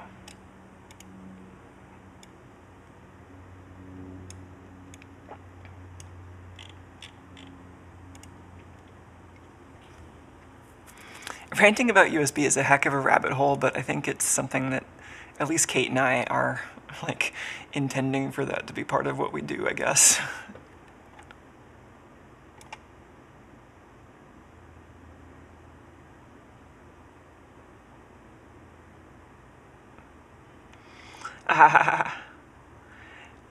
Uh, Jan says Louis Rossmann has an endless supply of filthy MacBook motherboards if cleaning's my thing. Yeah, yeah, I think he gets a lot of use out of the ultrasonic cleaner.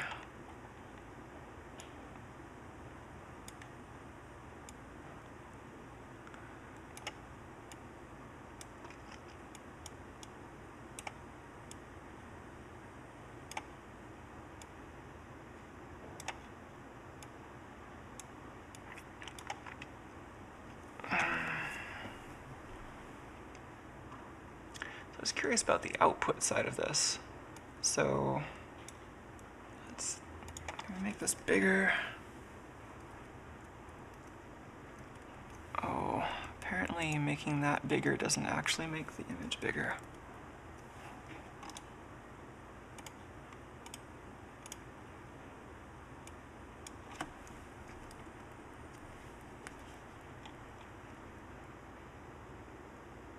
Oh, okay. So they're using like one of these jumpers to take that up to pin 2.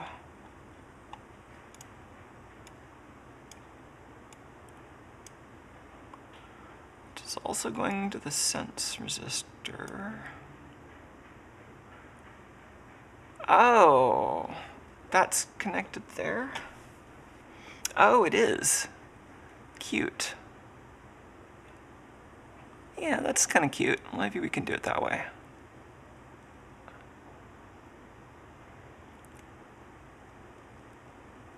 Also need some little bits of wire too.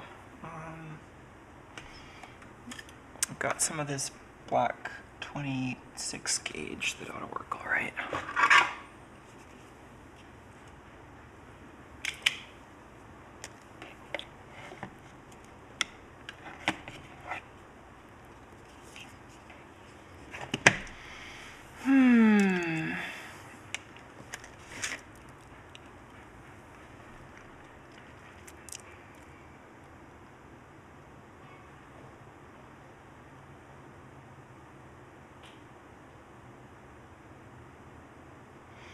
So that has that has us going from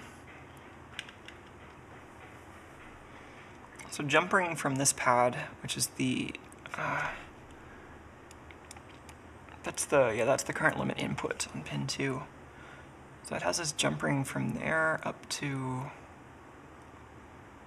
like this one, I guess, or this one, and then sticking the resistor somewhere in here.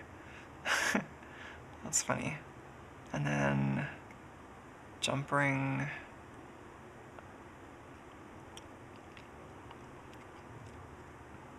I'm torn about whether I want to try to follow this diagram or whether I just want to do something kind of random.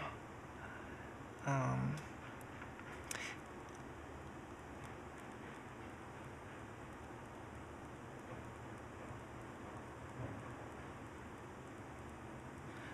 Want like this diagram is showing you how to do it with the resistors kind of fully inserted. I think I just want to tack something together for this first experiment. Oops. This channel.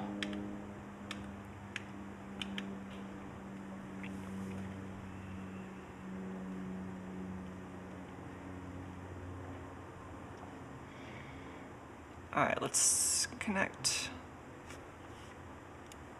Let's connect pin 2 and the output at pin 11.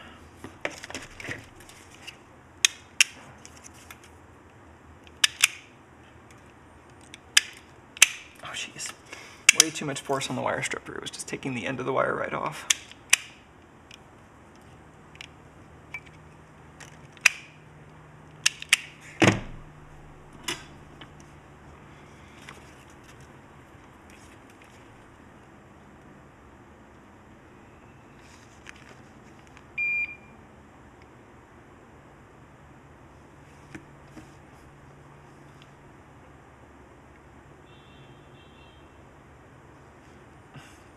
Really need to tin this wire before that's going to work, even in the slightest.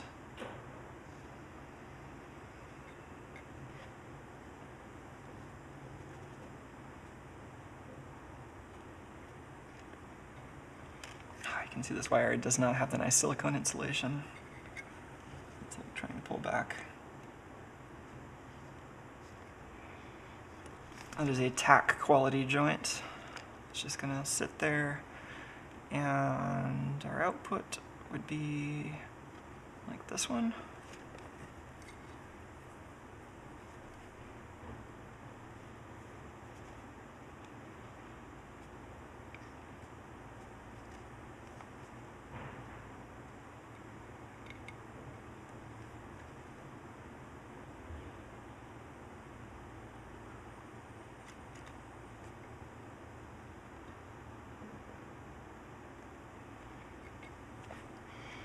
All right, so that's connecting the current limit pin to the output, and then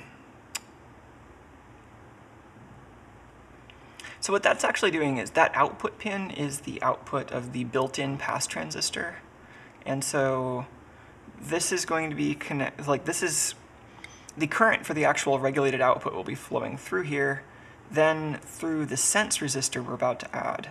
And the voltage drop across the sense resistor is what divert some current into the base of the uh, current limit transistor, which is what's on this pin 2.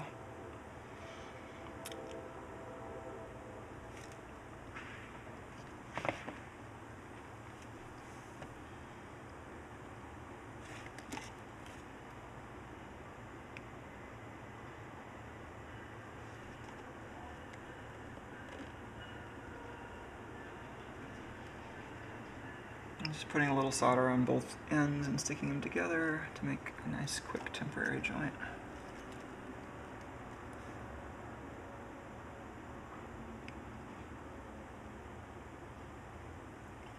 Very quick, very temporary. Um, the other end of this will go to the regulated output pin, which is also connected to current sense on pin 3. Could run it directly there, but it might be nice to use one of these pads as an output. So for example, this left one is listed as ground, the middle one is regulated, and the third one as VN. So we could try actually following that. Um,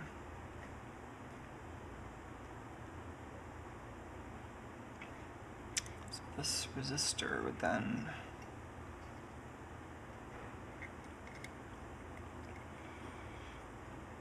I could go to any of these.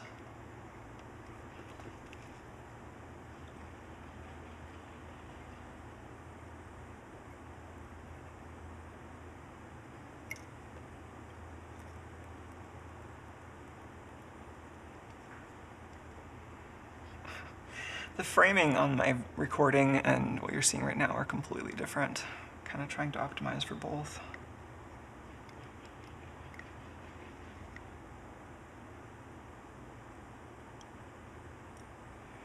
Okay, just a quick little dead bug tack joint there. The resistor. Get another little fragment of wire for pin 3.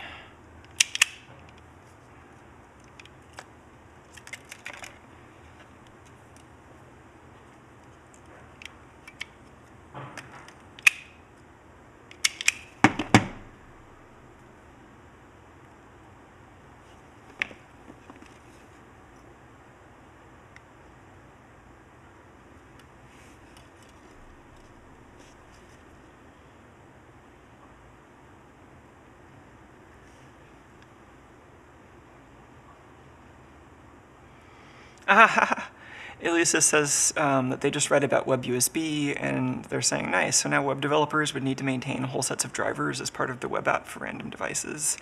I mean, I don't think that's how it's intended to be used. I don't think we're like ditching the whole idea of operating systems and drivers. I think this is intended for very application specific things like like one of the one of the use cases I think a lot of people are excited about is you plug in your like Arduino kind of thing and then you have a web-based IDE for your Arduino kind of thing. And like right now, that's pretty hard to do. You you can get kind of part of the way there um, using like I think Chibitronics uses audio and MicroPython uses the file system, um, but there's kind of a limited amount of integration you can do. So like I think that's part of why people are excited about WebUSB is the ability to have like really custom stuff with its own application, not require native code.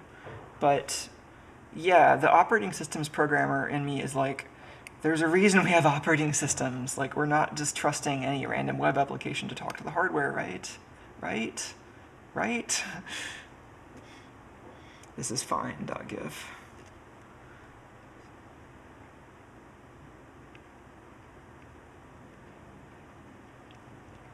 I mean, I guess the corollary here is that native code isn't really that much better. People write a lot of really bad user space USB code, but there's still a much bigger barrier to running code that has native access to USB.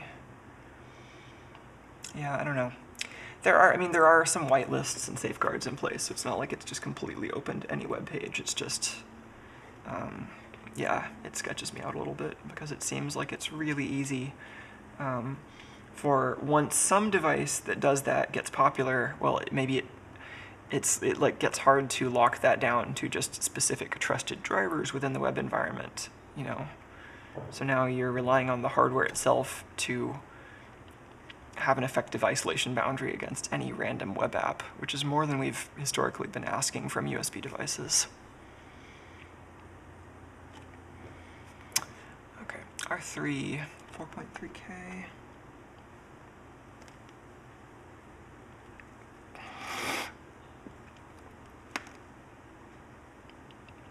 Oh, yeah, yeah. Kate says it'd be lovely for diagnosing hardware issues across the internet. Um, like releasing, um, like having a web tool that gathers version information. Yeah, that could be nice.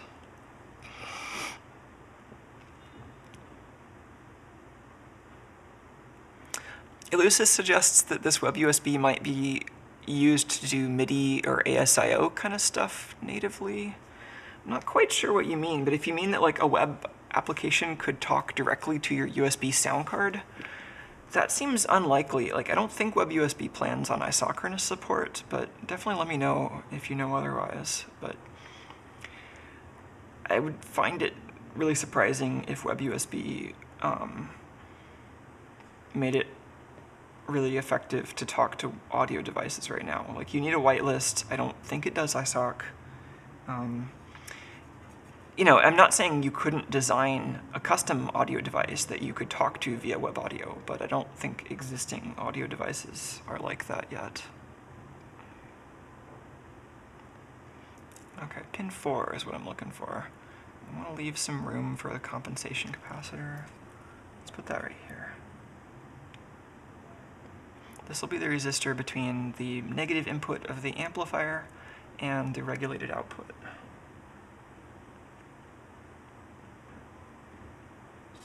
That down.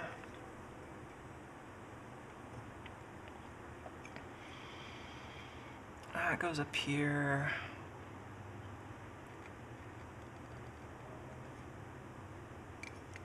I guess I'll just put that on this edge here.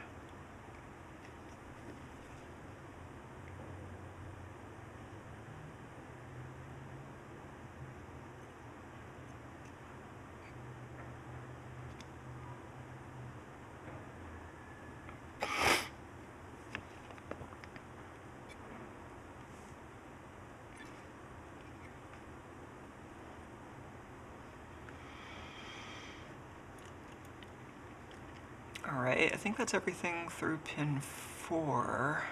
Let's also put the capacitor on here while we're doing this. That goes between pin 4 and pin 15.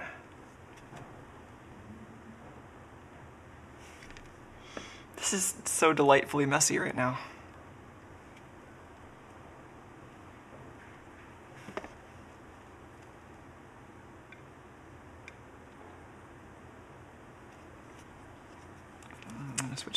Microscope. Well, not quite full screen, but more screen.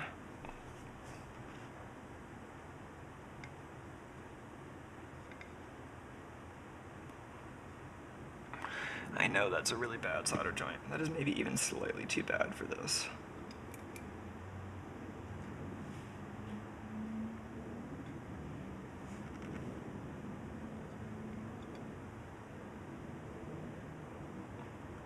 That is just barely good enough.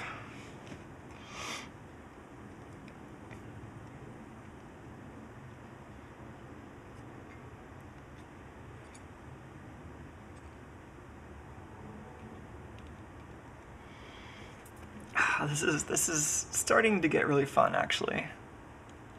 Kind of like playing Twister or something. Like it seems really boring. And then not that this seemed boring, but like it seemed like it would be straightforward, and then like the geometry of the situation starts getting more interesting.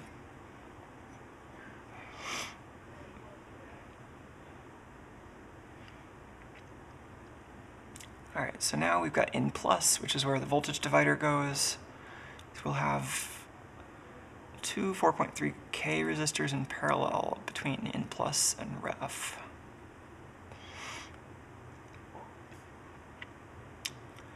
I'm gonna start start connecting things to ground in a sec too. Maybe I want to do a ground. That left one seemed like ground. Hmm.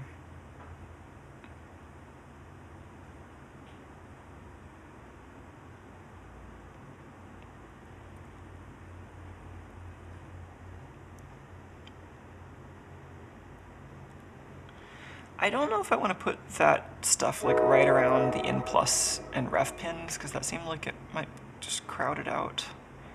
Um,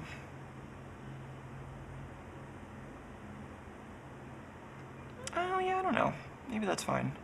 Maybe I'll start with R1. Maybe between like one of these pads. And oh, maybe between these two. That's a little close together, but I think that'll work. Um, I need to put two resistors there though in parallel.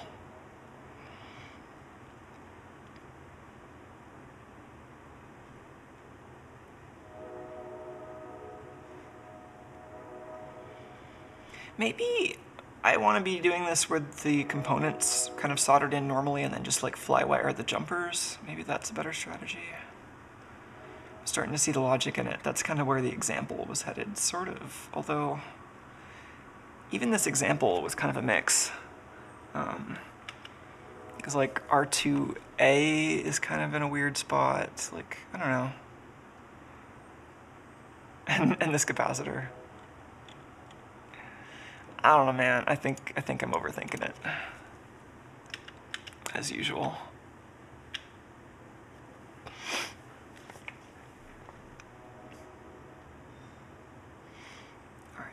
Two 4.3K.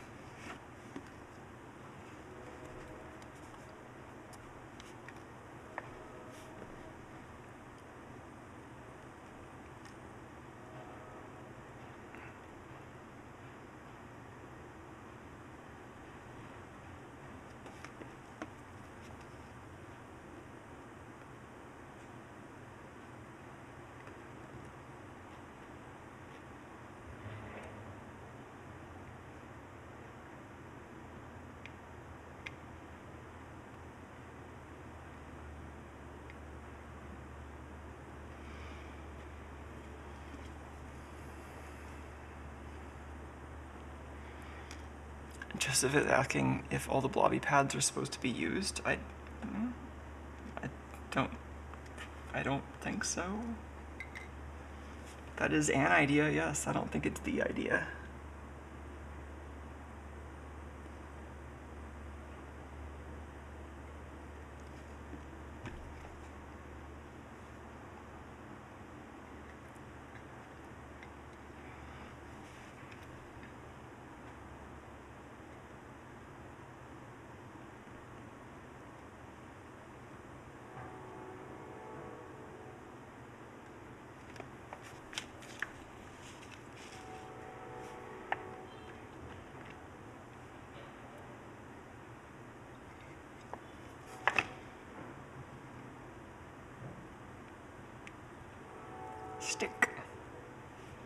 Do it quickly enough, you won't burn yourself.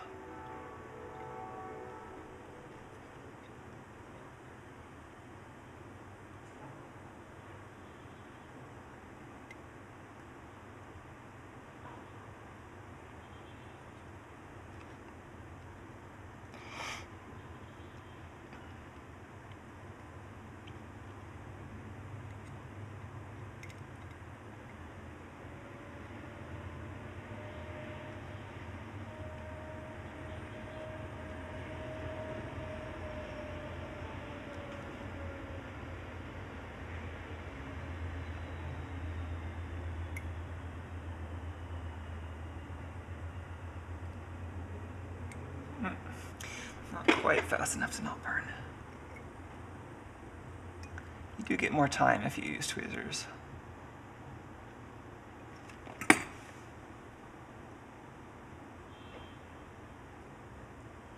Alright, so there's one leg of the voltage divider, two resistors in parallel. That's between ref and N plus. Um, now we're doing two 10k resistors will be R2 between the same node and ground.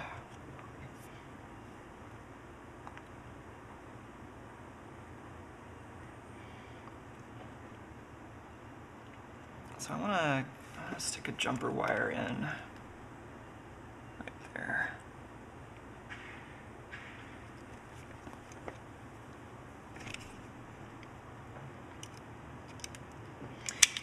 anybody missed what we're building, it's a 5 volt regulator based on the uh, UA723 voltage regulator building block chip.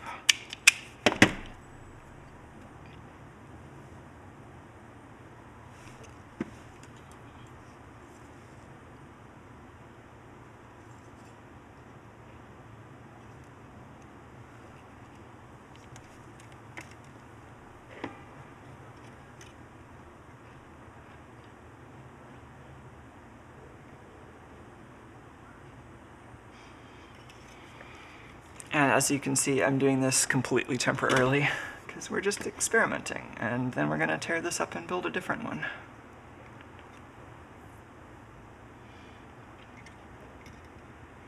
So this will go to the, um, the other half of the voltage divider.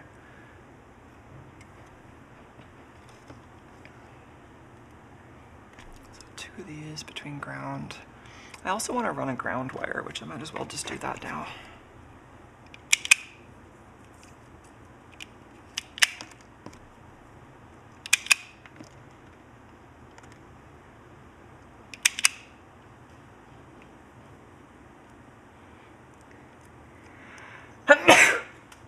Excuse me.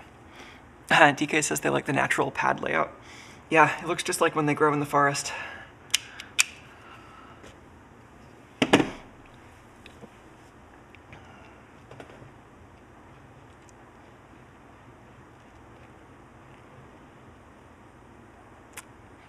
Oh, geez. Yeah, Eleusis was saying that um, they were assuming that there would be something about compiling JavaScript code and then loading it into the kernel. No. No, I mean, this is just an extension of the existing ways that people do USB in user space, right? Like, it's already really common to do to like access arbitrary USB devices from like Python code or from like user space Node.js code. Um, so it's just that in the web browser, but it involves this extra level of trust because now you're talking to hardware devices directly. And there are provisions in WebUSB to try to manage that extra trust, but color me skeptical because that's just who I am when it comes to hardware security on computers. Which isn't to say that we shouldn't do it. It's just something that I would like be wary of security bugs in in the future but it's probably worthwhile just because otherwise the options you have as someone making a custom piece of hardware are not so great. Like the thing that I did in the past for Fadecandy was to write um, kind of a small cross-platform daemon which uses libusb or whatever cross-platform equivalents I want to use, but then um, serves a web interface up to actually give you a, a UI. Be right back.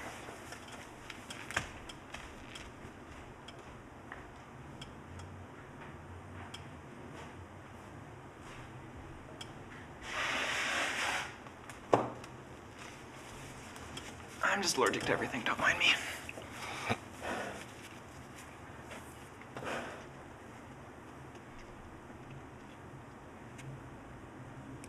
Alright, I just tinned a pad for ground. That would be the blobby one staring right at me. Let's put a ground wire in.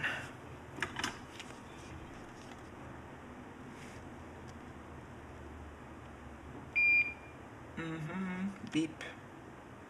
Tuco is still upstairs. I could be a jerk and go bother him and he'd probably want to come down and play. But that seems mean. Like I should just let him sleep and we'll play with him when he's ready.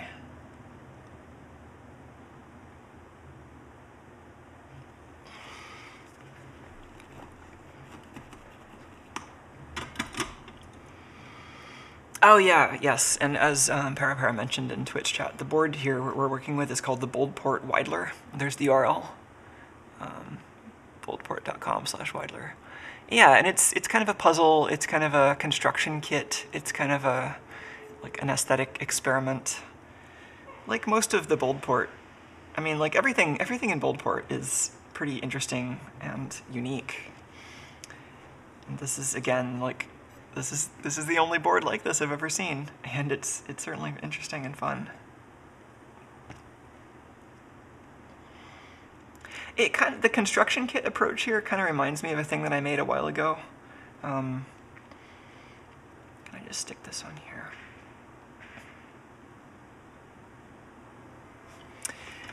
I was making a single board Linux machine, and this was the first time I'd done anything like that, and so I was really unconfident in the design. So instead of just designing a thing and making a circuit board and then calling it done and like debugging the circuit board like you would do, um, I made basically a wire wrapping breakout adapter for all the chips I was using, and then wire wrapped the actual design. It was kind of a lot of work and not a super great idea, but it was it was interesting for experimenting. It was kind of the thing I was confident in doing at the time. It was like baby steps.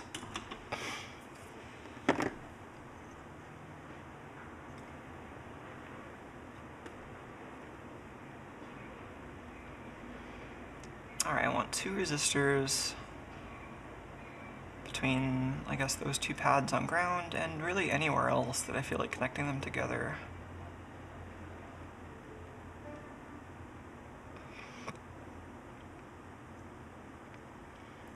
I don't see a lot of junctions.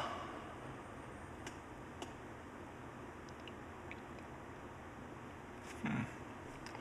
Well, let's just stick down one end of each of these resistors and then see where it would be convenient to join them.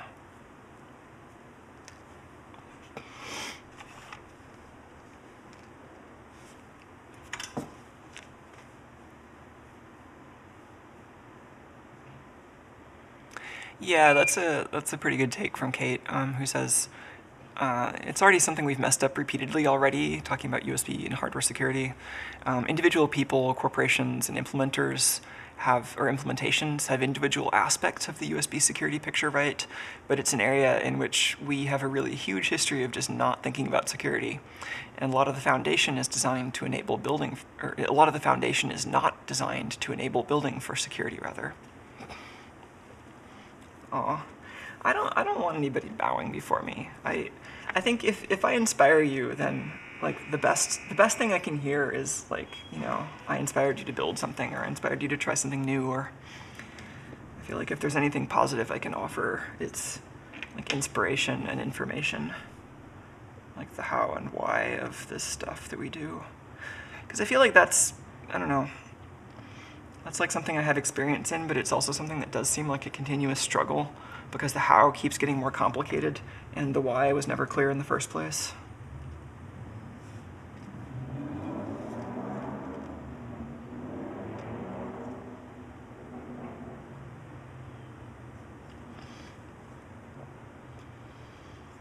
Mean, the why was always kind of this muddle of solving practical problems and just kind of amassing technical power and then like the abstract notion of solving problems that you think are there but that you haven't actually seen.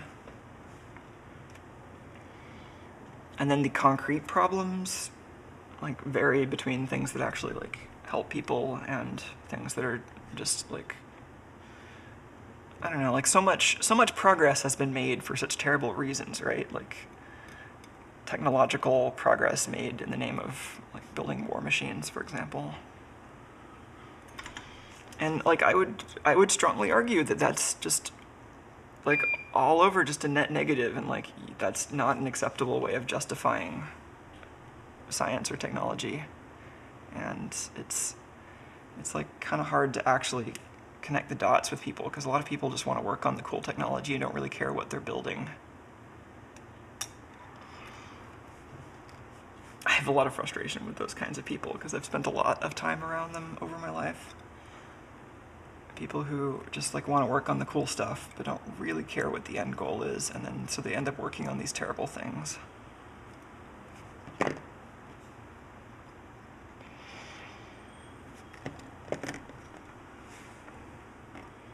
So these are both going to basically be the same resistor. This is two 10k resistors that I'm putting in parallel to make a 4.99k, you know, 5k for half of the voltage divider here.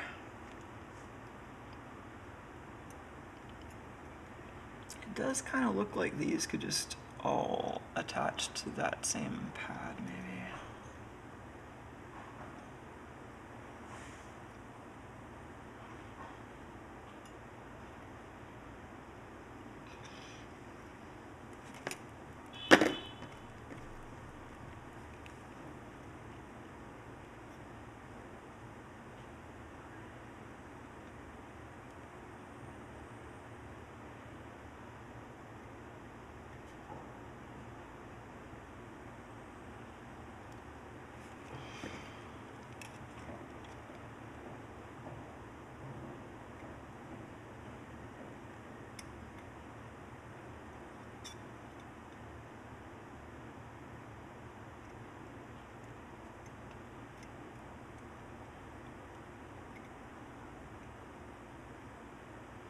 Can I get them all close enough that I can then chase this with a solder blob? Maybe not.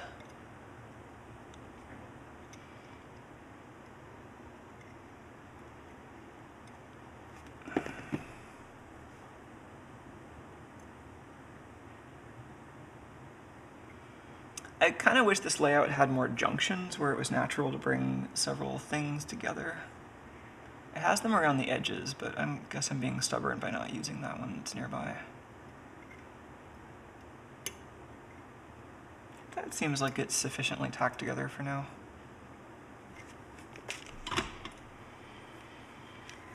Um, we are almost done. So that was, that's the reference voltage divider.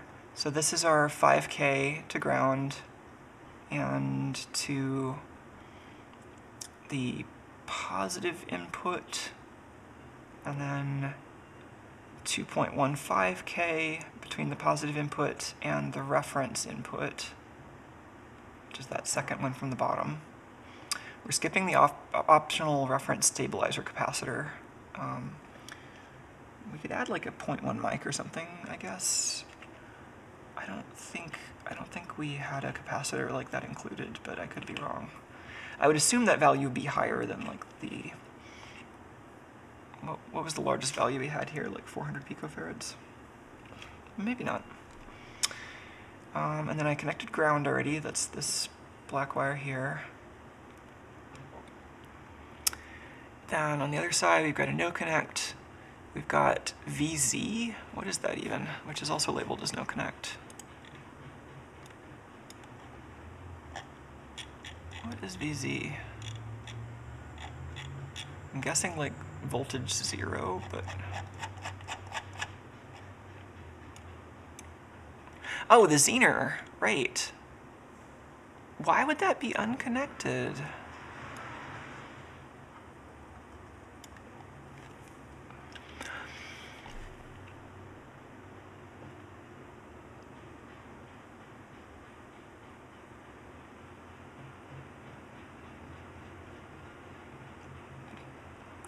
Oh, I'm sorry. I was getting a little confused because I was assuming this was their voltage reference, but no, that's way over here. What is this Zener diode? Is that just they had room for a separate Zener diode on...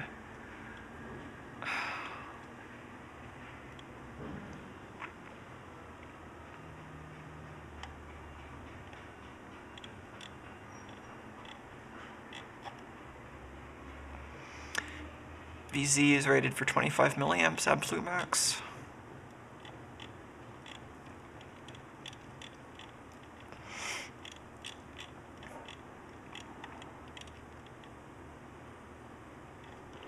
So you know, this circuit, they're just not using that Zener diode. Same with this circuit. Huh.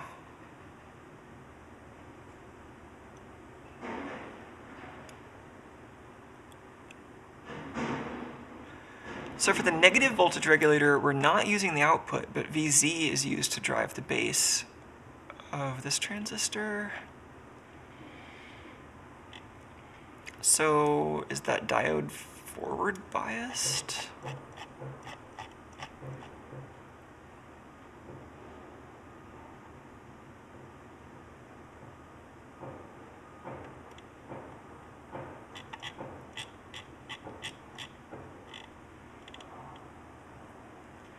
Is there something later on in the guide about negative voltages?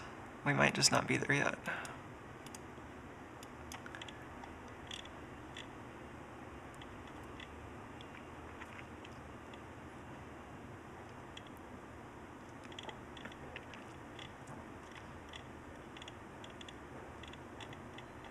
We're going to go through this now, the pass transistor. I don't think we have the right parts to build a negative regulator.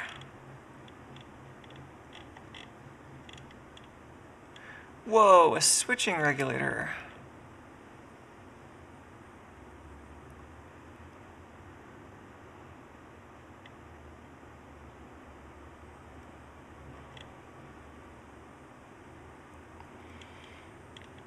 That is interesting. Yeah, so with a couple of extra parts, you could turn this into a switching regulator. Wow.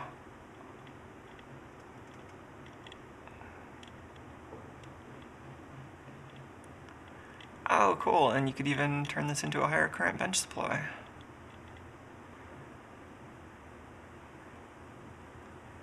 Oh, yeah, yeah. And this is a great book.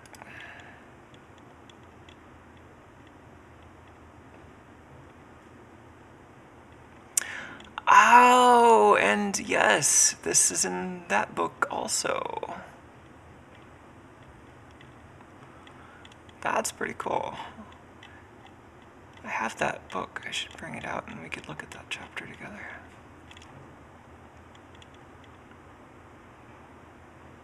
Wow, this is cool. History of the datasheet, too. Um, any reference to a datasheet in this document relates to the Texas Instruments SLV S057D document. But there are many 723 datasheets from multiple sources for the chip which contain similar information, and to seek them out is both to explore five decades of the semiconductor industry's corporate history and examine the way that dissemination of information to engineers has evolved over that time. Yeah. Yeah, these old old chip data sheets are really interesting. Color TV decoders. Yeah.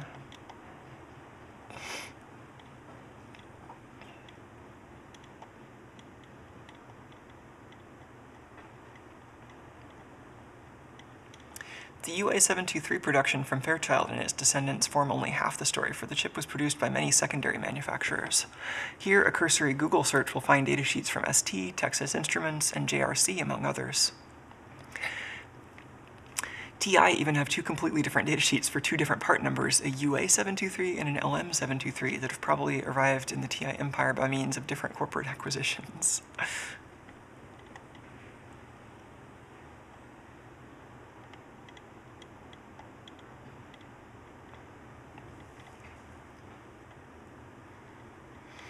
Reading the different versions of the datasheet from so many different sources over the years, it has been extremely interesting to spot the differences between them and uncover quite a few errata that have crept in as they have passed through many corporate publishing departments. It's perhaps unfair to single out the worst offenders, as their offerings are no longer currently manufactured, but we have found missing figures referenced from text, figures with the wrong labels, and schematics with glaring mistakes. Even the current Texas Instruments UA723 sheet that we've used as reference for this document has some minor mistakes in the schematic for the switching regulator. The collectors of the two transistors should be connected to each other. so take a while to lose yourself in the datasheet for the UA723, but be careful, some sheets are better than others.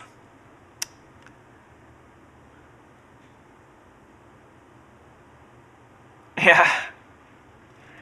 The picture of him that surfaces most often is of a bearded man smoking a cigarette, holding a beer, and giving the photographer the finger, with the caption expressing his contempt for digital electronics. Every idiot can count to one. right? Oh, but you just have to count to one so many times. The Widlar band gap and the Widlar current source. And also the wider idlerizer.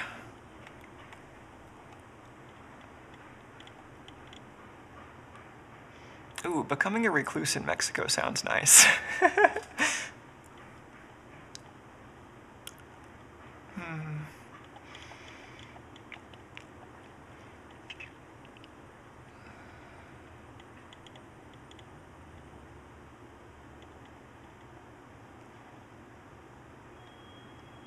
spent some time with linear technology in the early 1980s and finally passed away in 1991 of a heart attack aged 53 while jogging near his Mexican home. If Widlar's professional achievements tell us about his career, it's the larger than life legends that survive which tell us about the man himself. There's a famous episode in which he brought a sheep to the National Semiconductor offices and tethered it on the slightly unkempt lawn. There are tales of his wild drinking escapades and of his electronic devices designed to annoy noisy colleagues. That we're celebrating him with a kit so many decades later probably owes as much to his aspect to this aspect of his character as it does to his work. It's probable that only when a semiconductor industry was in its infancy could he have found such a place within it. Yeah. And then this is the same quote we just read off the board. This is great. This is a great article from Jenny. Um, so yeah, it looks like this takes us through a few cool circuits. Let's finish this one and try it out, and then maybe modify this to use the pass transistor and a variable current, or variable voltage, and that would be great. I'm also kind of curious what it would take to modify this into a current, um, like a like a current controlled power supply instead of a voltage controlled power supply. That should be possible. Ah, I think I'm going to close the window. It's getting cold again.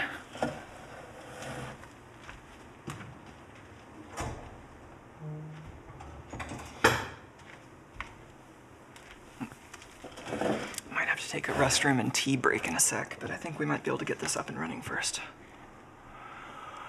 Wow, that was a that whole thing was a diversion to try to figure out what VZ was for, and it's still a little bit unclear to me why there's a Zener diode in here and why it's involved in the negative voltage regulator. Um,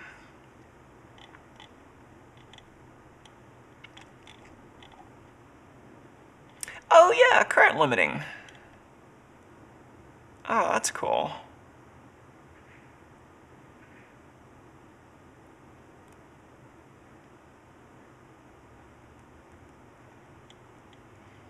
Yeah, actually, maybe maybe we don't even have to do anything different. Maybe the built-in um, this like transistor that just sucks current away from the main tra pass transistor. Maybe that's actually enough.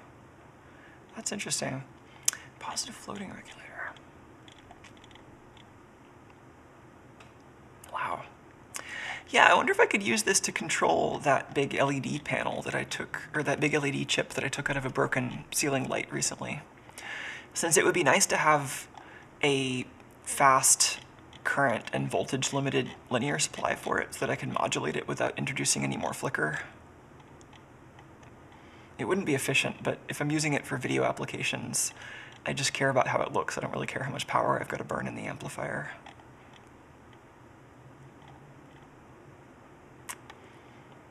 Negative switching regulator.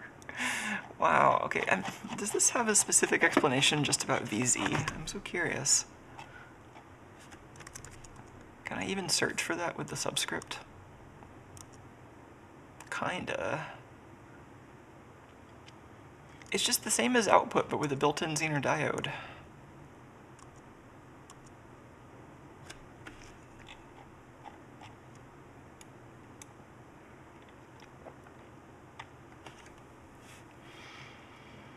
Uh, Elisa says in this case, only the only security WebUSB will get is the allow button and maybe some painful pairing. I mean, I guess that's one way to look at it. Um, yeah, I mean, the allow button is nice, but if you have reason to allow something, any communication, and that device supports firmware updates, you've just allowed a device to, like, so imagine, imagine you, you have like some widget that you buy, like let's say you, you buy like an internet connected toothbrush and you plug your internet connected toothbrush in and go to like itoothbrush.biz or whatever and there's your internet connected toothbrush website. You click allow to allow itoothbrush.biz to talk to your internet connected toothbrush and you can set up your like brushing profile or whatever. And, and that's all well and good. That's kind of what it's designed for. Now i think the sequence of things that has to happen is you've already allowed itoothbrush.biz to talk to your toothbrush, and now you have some untrusted code running on that site. So either they like have a security breach and someone installs untrusted code on the server, or it's not SSL secure and somebody man in the middle is your network connection, or you know they have a uh, cross-site scripting vulnerability. Any number of things could get foreign JavaScript code running in some context that has like that toothbrush site's security. So now that thing can, without you having to click anything or knowing that anything is happening, it can just start in the background talking to your toothbrush when it's connected from any website. It could just have an embedded iframe with a cross-site scripting vulnerability that gets the, you know, the site um, credentials that like allow that you've set if you've allowed the toothbrush site. Maybe there's something that prevents this, like maybe this isn't allowed in iframes, like that would be a good thing to do to know. Um, but the the scenario I'm imagining is that you have cross-site, cross-site scripting that allows some random website to use that connection that you've already established to then upload new firmware to your toothbrush just anytime it's connected. And then as soon as that happens, now you've got untrusted code installed. I mean, not untrusted code, malicious code installed in the firmware in this device, which now can then talk to any of your USB drivers. So if any of the other USB drivers installed on your system, not even the ones that are being used, but if any driver that's even available on your system has any kind of code execution bug or you know data um, breach sort of bug, like something that reveals information you don't want it to reveal, something that um, allows uh, you know like code execution on your desktop, something which then enables, like you could you could program firmware onto the toothbrush from the cross-site scripting whatever website, which then causes the toothbrush to turn into a network adapter, which is then trusted by like some other application on your machine. Like, um, you could have it uh, be a storage device, which the machine tries to boot off of next time you reboot. Um, you know, you could have it impersonate some other device that you've already trusted. Um, you could have it be a network adapter that tries to get preference to your real network adapter. Um, that's a little hard to do on a toothbrush because it would probably need a way to get the packets back out, but maybe see where I'm going with this. Um,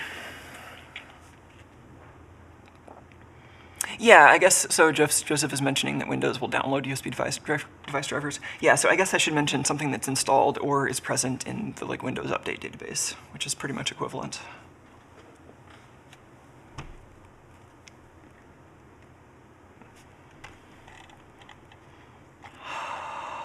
Is there a section that describes the negative voltage topologies? Because that might also talk about what VZ is, or what that Zener diode is for.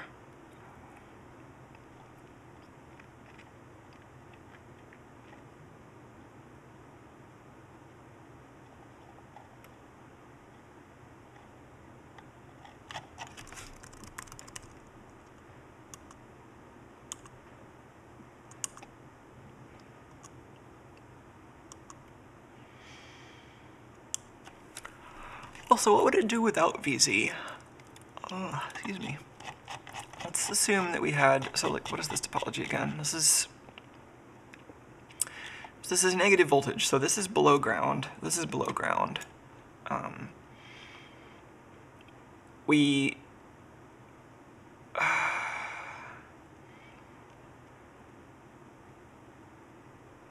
and then this is wired up with VCC plus connected to ground, VCC minus connected to the regulated output.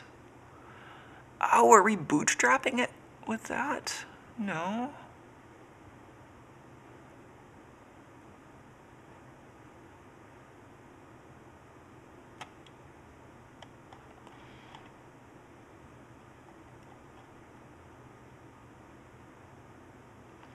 This is also interesting. Like this high voltage regulator here, this chip sees the whole voltage we're talking about, so whatever the absolute maximum limit on like the voltage between VCC plus and minus would be a thing. This negative voltage regulator though, it's only seeing the regulated output voltage. Like it's interesting that this topology VI could theoretically be pretty high. It's limited only by this transistor. Is that true? I mean, VZ still sees that voltage. I, I mean, I don't really know what's going on here, obviously, but my, my intuition right now is that this might have something to do with bootstrapping a power supply for the regulator, but I don't, I don't really know.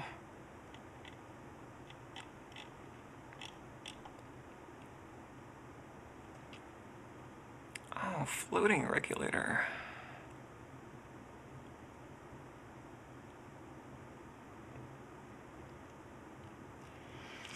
What is it relative to?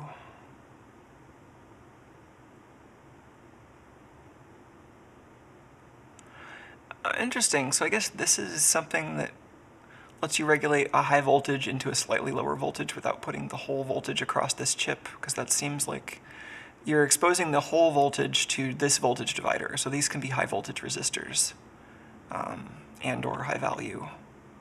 But then that's that's kind of neat. So you could use this to build like what is what is the range we're allowed between VCC plus and minus 37 volts or is that 40?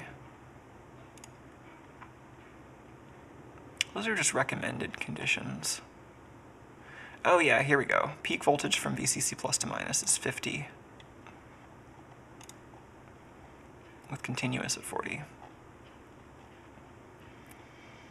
Wow, that's pretty cool.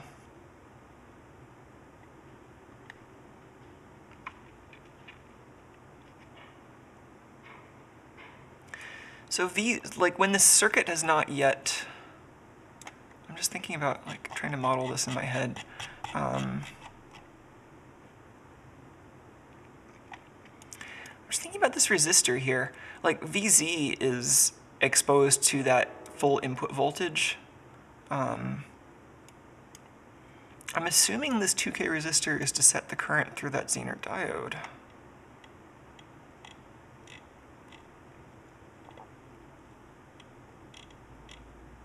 Hmm. Anyway, let's keep chewing on that and just get the circuit working. Not gonna solve all the problems all the time. So I think we've already got output connected.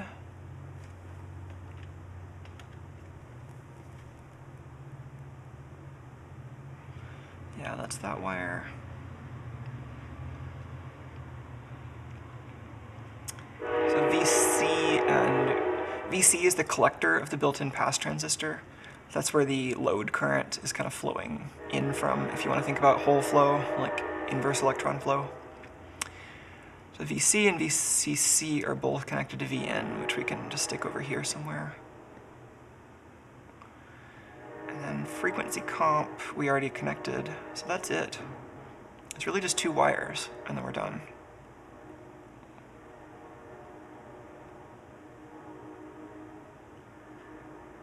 And we do actually have two pads here, so we could have a little jumper and then connect this over there.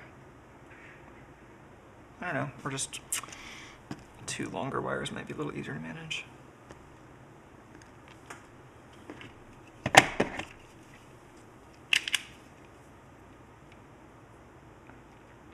Oh, great. Yes, Samy Kamkar has a reference attack there that Kate is linking to that uses an emulated USB network card. That's cool. I think I might have seen that before, but I don't remember how that one works. Is that is that like having Windows connect to some open network service? Um, there's so many routes that can work. There's like the Windows, um, the proxy auto configuration. Like if you attach a network device, Windows will try to go run some JavaScript in a sandbox to try to figure out what proxies are available in the network interface. And as you can imagine, the sandbox is not actually perfect.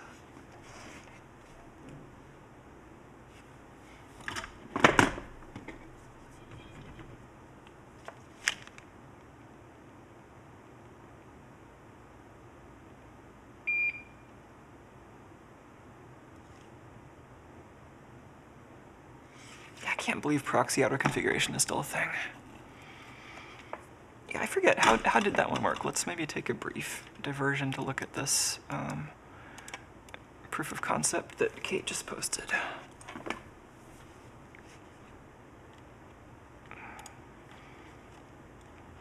USB drive-by. Yeah, so like you could just program this firmware into any device, right?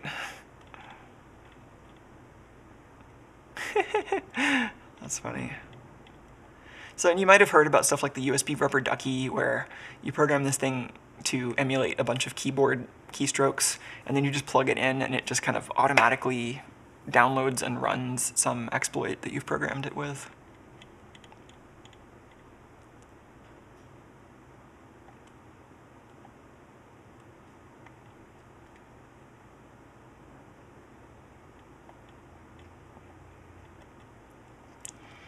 Oh, that's interesting. So I guess OS X has some built-in security to avoid like auto-typing keyboards, but if you move the mouse a little bit, then you can avoid that. That's funny.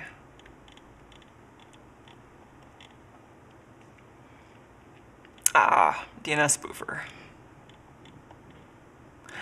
Oh, because like when you do when you ask the OS for DNS resolution, you're not like asking it to resolve it on a particular network interface. It's just this global thing. And so any USB device could be a name resolver if you can just beat the system to it. I think that's what's going on here.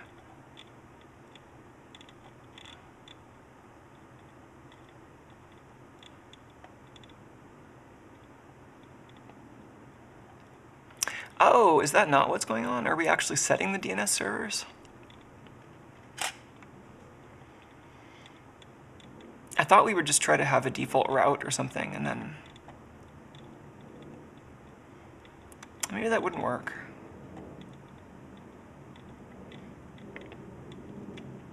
That's interesting.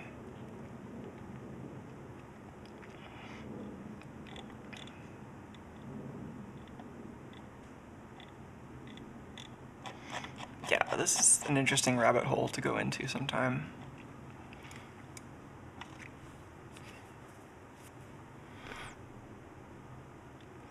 Oh, Poison Tap. Let's take a look at that one too.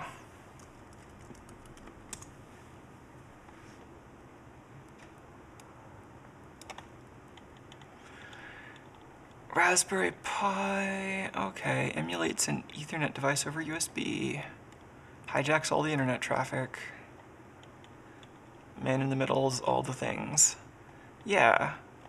So like, this would require like I think for this to work well, you would still need the USB device to act like your entire internet connection. You'd need the man in the middle of the internet connection through the USB device. Um, I'm wondering if there's some way you can create a USB network device which then has a custom route, but that seems harder. Like, so with the Raspberry Pi, you're routing it elsewhere. Like, over Wi-Fi or something? How does this work?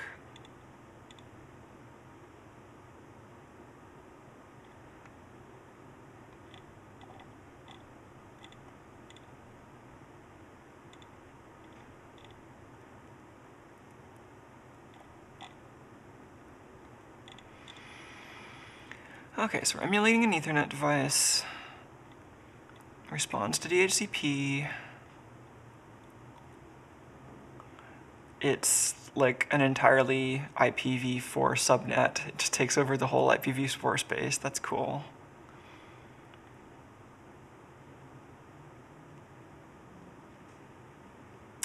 Oh. LAN traffic versus internet traffic.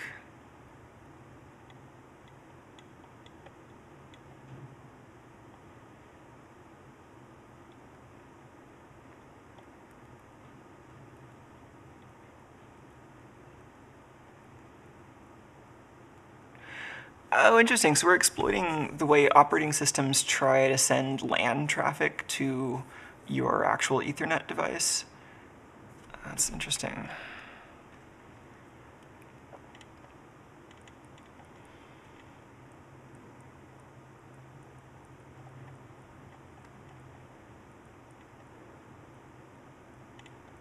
I assume this device needs its own internet connection to actually man in the middle, though. I was thinking like, well, how would you do this with a device that doesn't have its own internet connection, like a keyboard? Um, could you have a device which emulates both a USB Ethernet device and some arbitrary vendor specific thing, and then it uses the arbitrary vendor specific thing as the backend, which then actually talks to the internet? Um,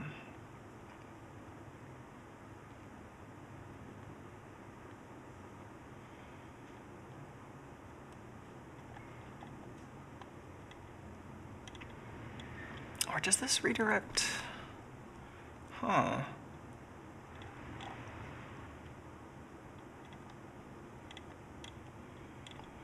Or maybe it doesn't actually need a real internet connection? Does it just return these iframe shells?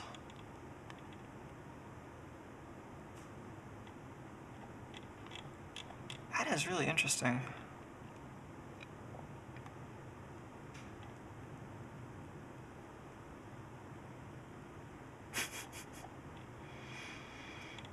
Wow, and then we poison the browser cache. That's great.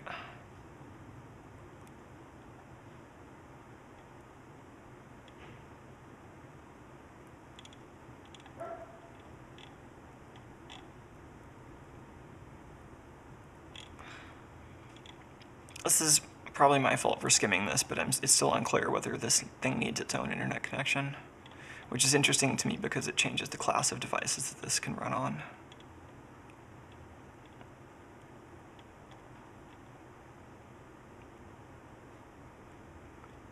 But this doesn't, like, this is a Raspberry Pi Zero. This doesn't have Wi Fi.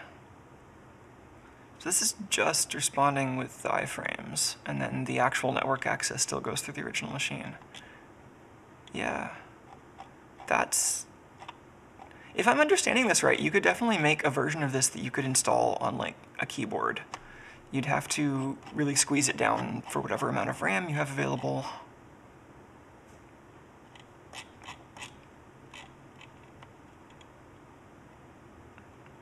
Cement.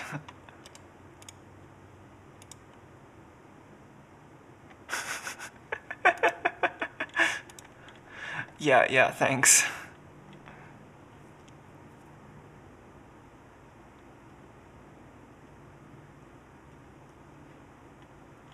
Encrypted sleep mode.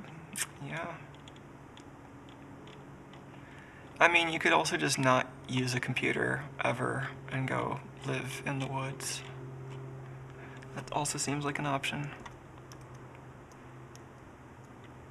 Oh, was that a Pi Zero W with Wi-Fi?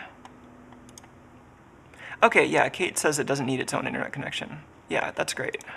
That's what I was trying to grasp by skimming it, but yeah, if you're confirming that it doesn't need an internet connection, then yeah, it seems like you could basically port that attack to any device with USB.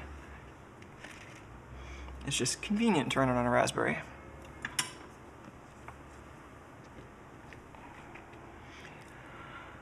Okay, output. We will eventually get this thing assembled.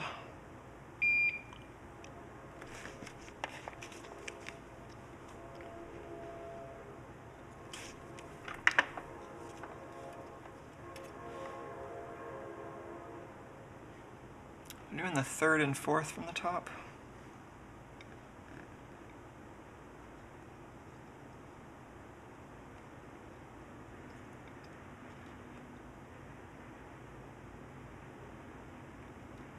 Oh, I'm sorry. That was the view I meant to be giving you. I was just tinning these two pads.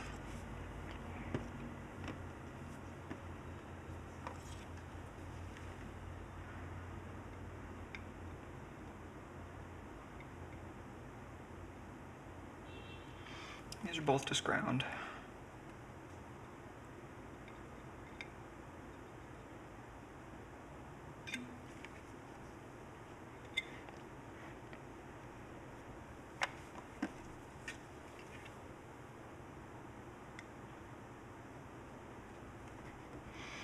So we now have a three terminal regulator basically. We can uh, hook this up to a power supply and a voltmeter, or maybe even an O-scope.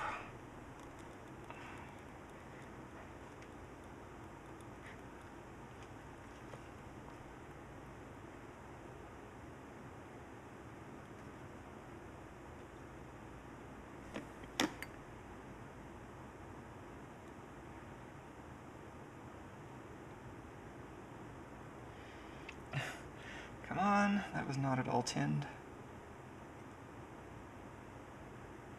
It looked kind of tinned.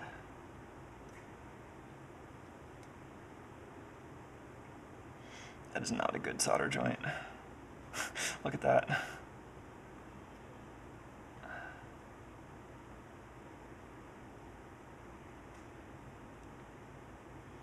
There we go. Some joints are too bad even for temporary work, but uh, most of these are luckily just barely good enough.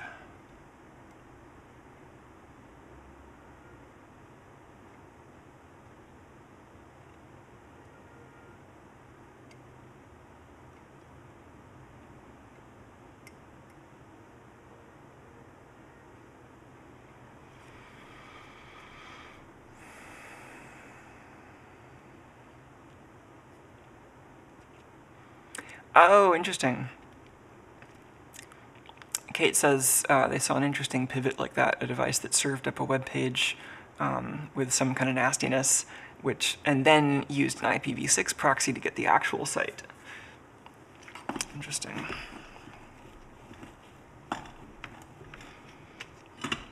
Yeah, definitely don't surf the web and browse like at all if you have your USB ports full of untrusted network devices.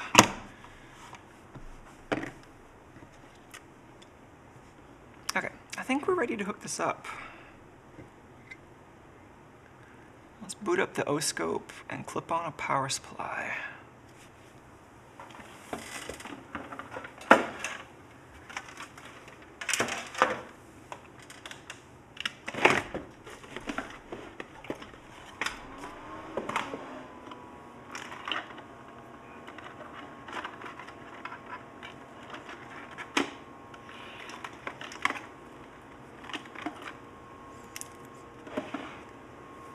Let's get input and output channels going.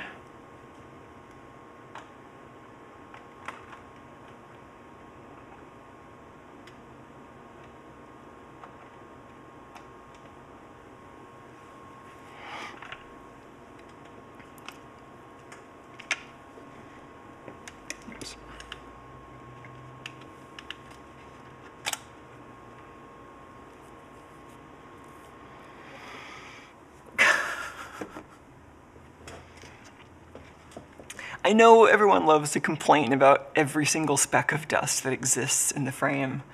Um, it's uh, it's not actually always a problem. It's it's it's actually the problem. Like I could tell with that one that the problem was oxidation on the wire, not on the iron. Um, like I I clean the iron pretty frequently, but it's like not always the problem that the most obvious like dirt is the issue. It seemed like there was oxidation on the tip of the wire that I needed to rub a little bit. And that seemed to take care of it.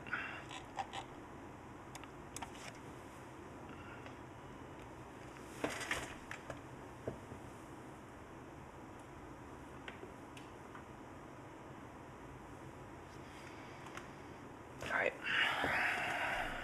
Let's try that.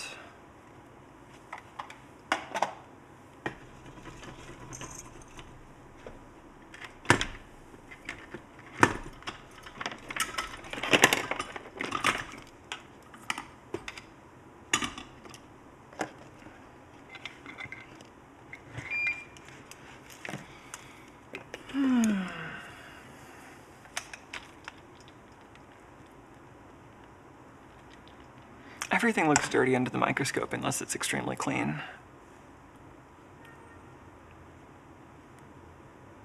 We've already established that. Like I spent so long scrubbing the area around this chip and it was already long past the point where it looked clean to the naked eye. It was only under the microscope that I could see all the grime. I just wanted it to look good under the microscope. But I'm not gonna like obsess over how the soldering iron tip looks in every single joint.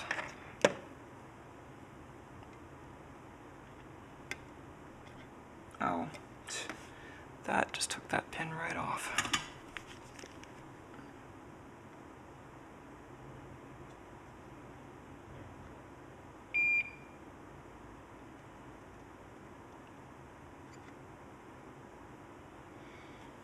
The plating on this wire is not amazing.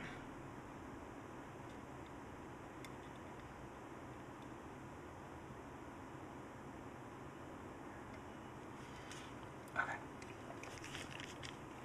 I was going to just clip this on. I don't if the top and bottom layers of this board are connected to each other, actually. Which Might be a problem if I just clip a, um, like an alligator on it. Not an alligator, but like one of these.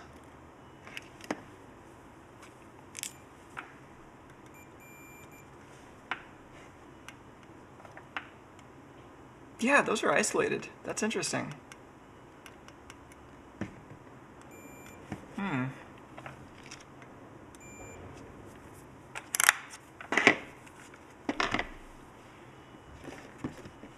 It might be nice to give myself a couple of little pins just to make it easier to clip onto those um, inputs and outputs.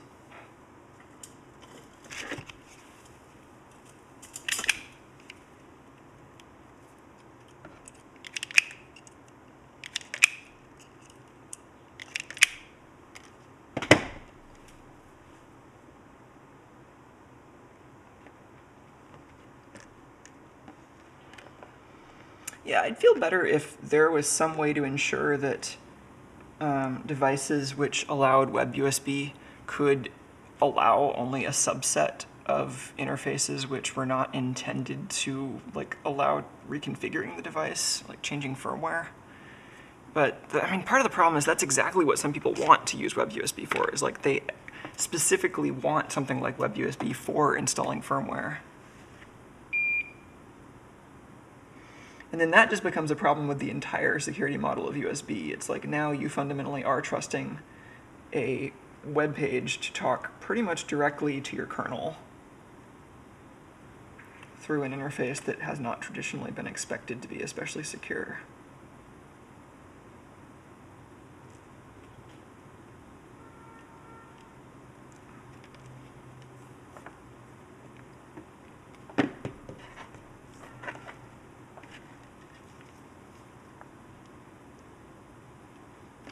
Ouch. That was still hot enough to stick to my skin. Oops.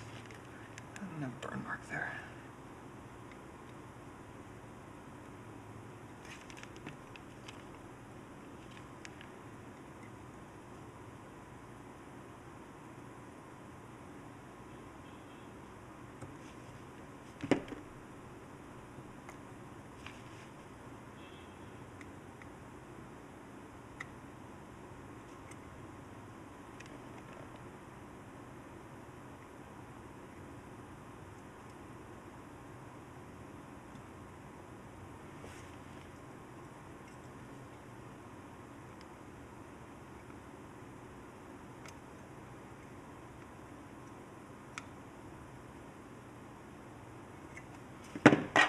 Solder. I might have found another solder joint that's like slightly too bad.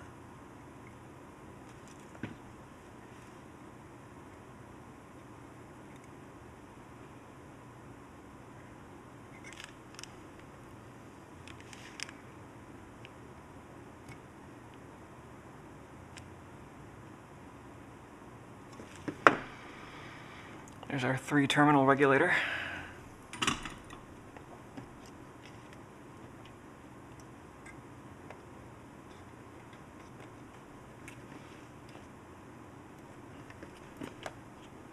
grounds, inputs. Where's our inputs?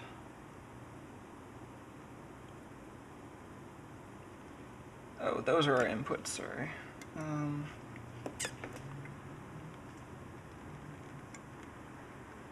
ground is this one. This goes to pin 8 and R2. Gotcha.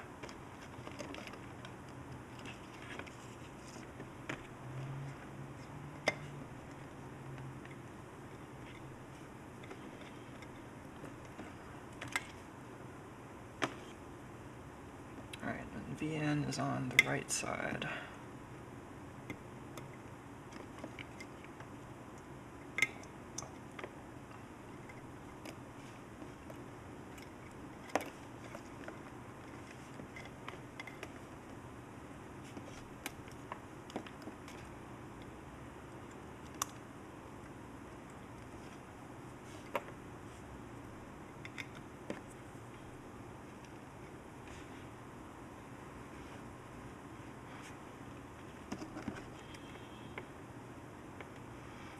Power supply is off. I'm gonna start with actually the same low current 9 volt supply we were using earlier on the stream.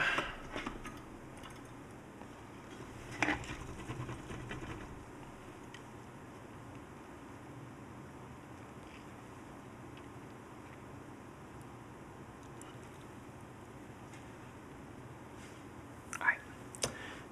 Contact. 9 volts.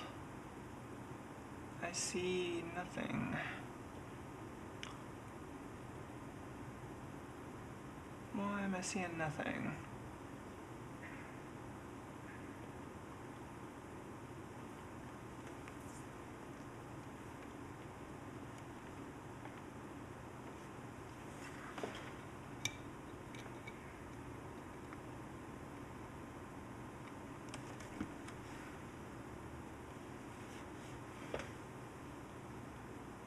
There we go. I think I just had a loose clip.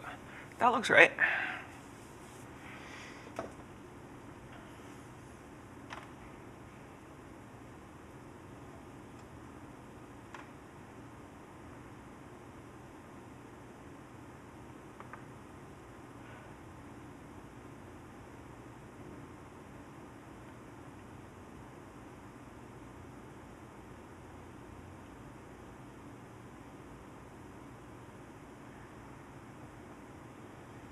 Cool. Just got average voltages on the screen there.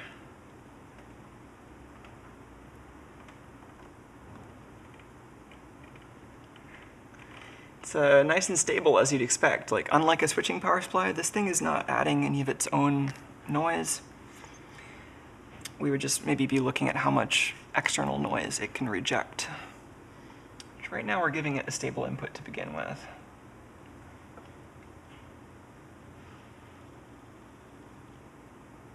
Oh yeah, so we're starting to get a drop as soon as I head below eight and a half volts or so. Because this is not a modern low dropout regulator for sure. And here's 12, which is about where they recommended this to be used. And I should be able to go up to like 30 volts.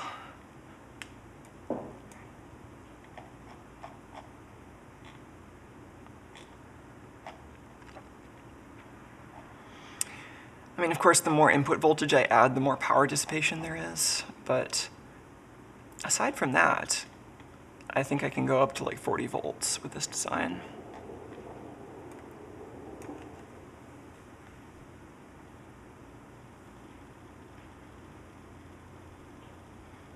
Cool.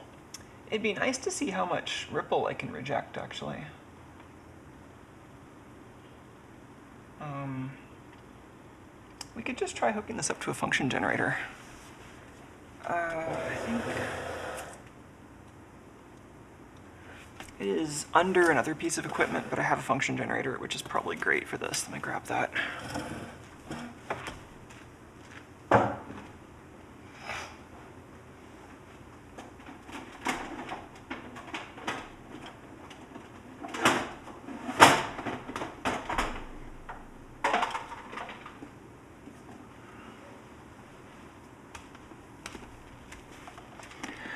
You may have seen this in an earlier Scanlime video.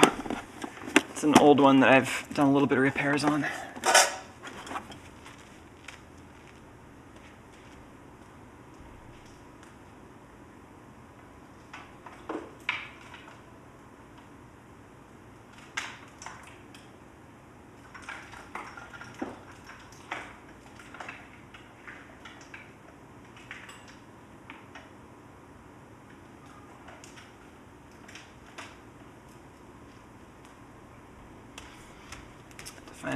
A to alligator do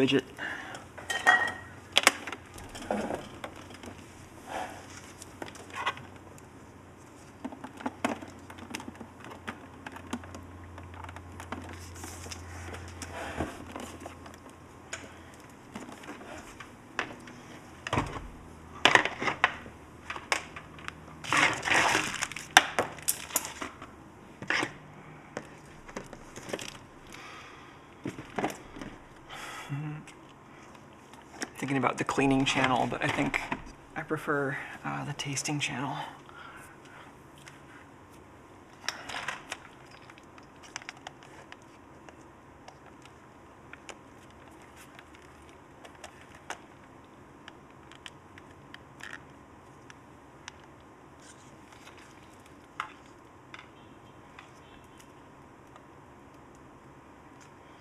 Oh, this thing is such a yellowed front panel now.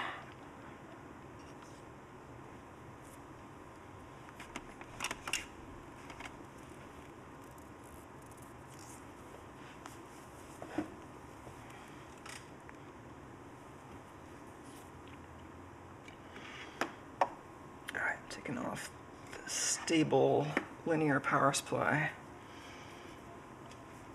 So I want to make sure this is not giving me negative voltages first of all. So let's change the DC offset to 100% before I plug anything in. And let's turn the frequency down. 100 hertz seems fine to start with.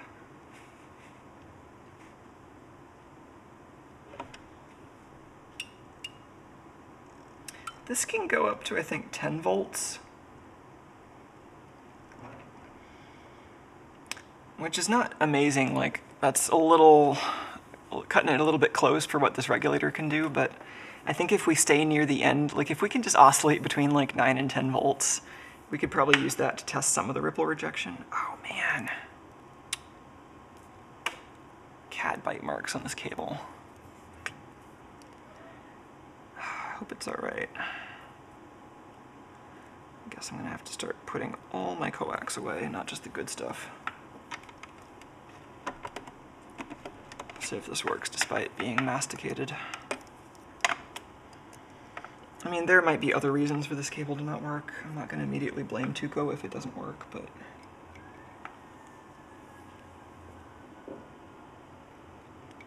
Uh, looks like we've got a cable.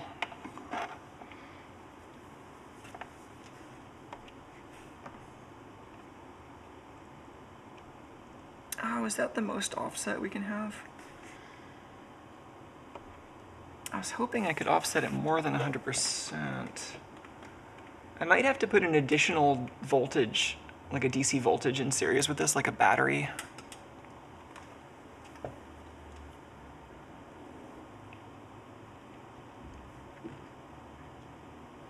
Yeah, let's put a 9 volt battery in series with this.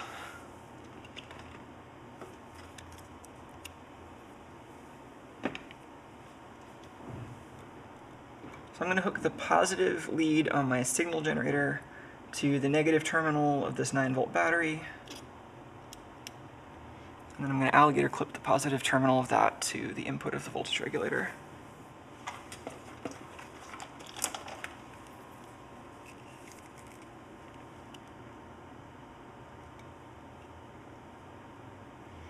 And let's turn this down a little bit.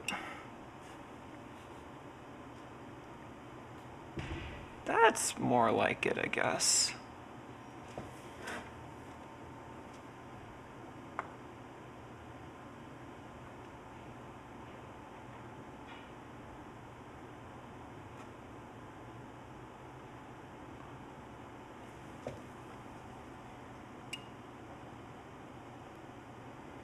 You can see I'm dipping below.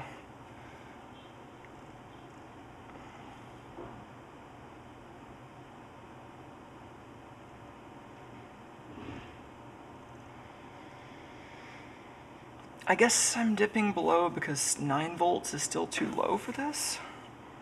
Just slightly.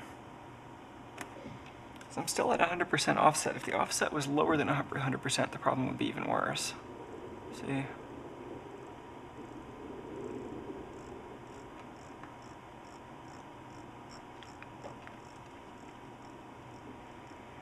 This is a decent illustration of the voltage regulator doing its thing.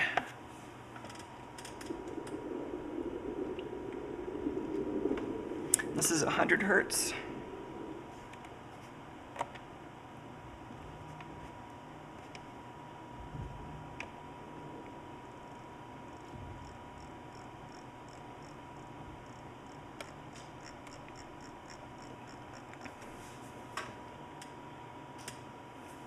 It's pretty good up into, you know, kilohertz.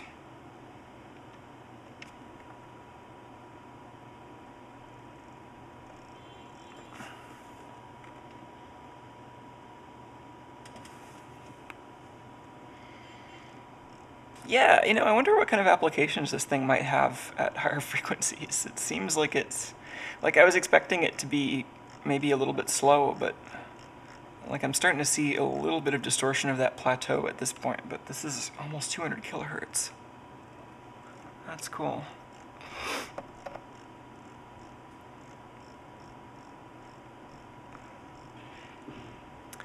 A cap in parallel to V in? Do you mean V in or V out?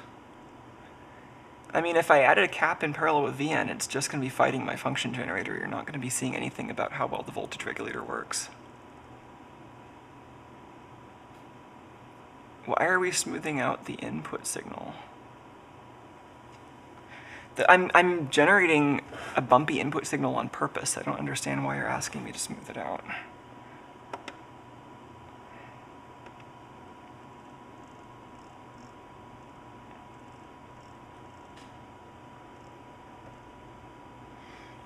That's the max we got.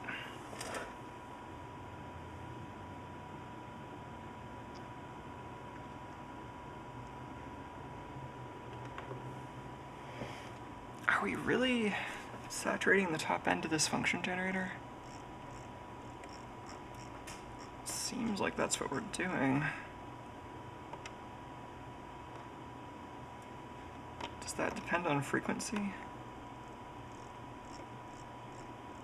No.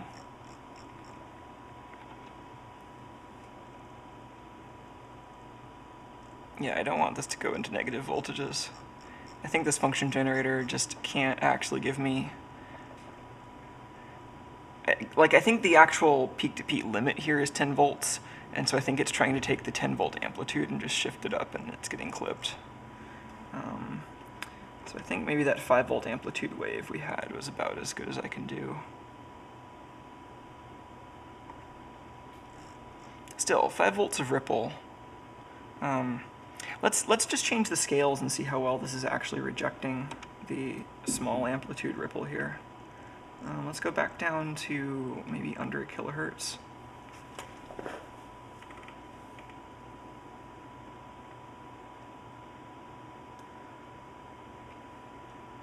And let's AC couple everything.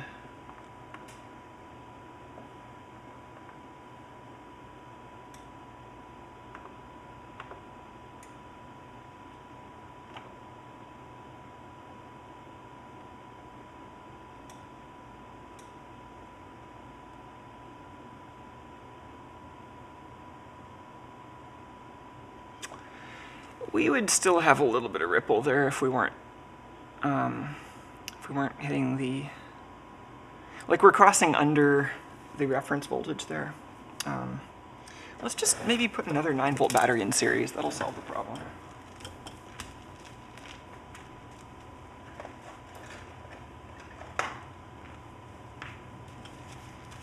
I mean, problem here, I should be using in air quotes, but I really just wanted to get a, better a better ripple measurement test set up here.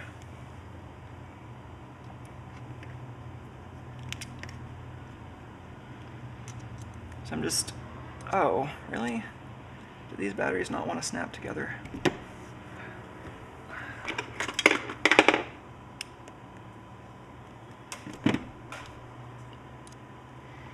Oh, they fit together one way, but not the other way. I guess one of these snaps is a little bit bent out. That's fine.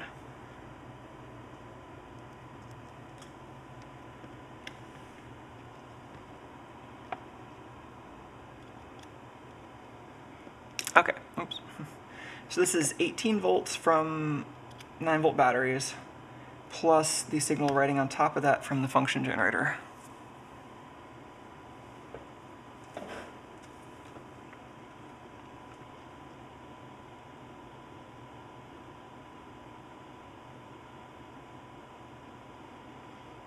That's pretty rejected, right? Not a lot of ripple. There's a little bit, but it's pretty dwarfed by the rest of the noise in the system.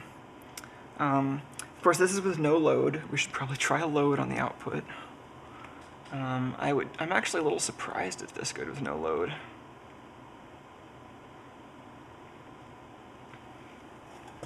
Um, let's maybe just have like an LED and a resistor, or even just a resistor.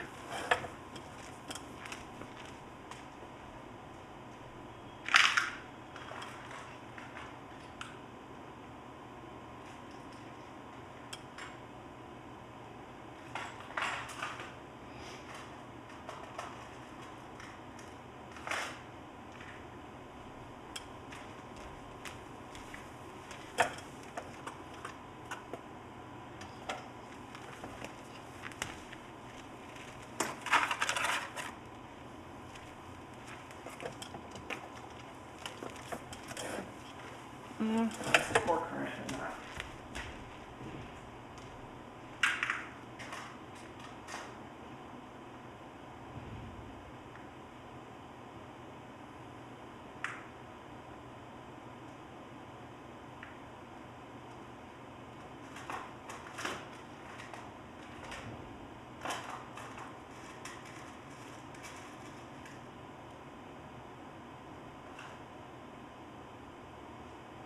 Yeah.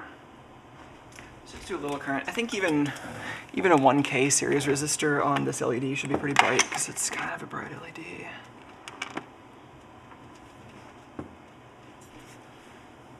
I'm gonna put this resistor in with this probe.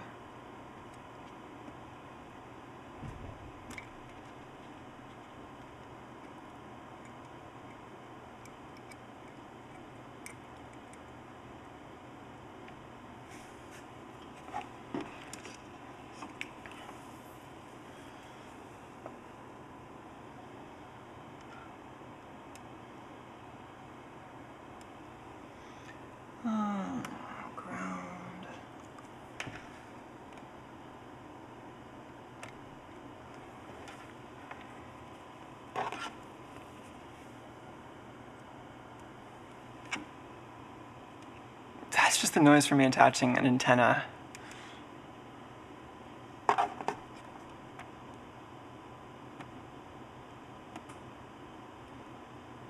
So here I am attaching an LED to the output with a 1K series resistor. Not much of a load, but I didn't want to put a lot on this.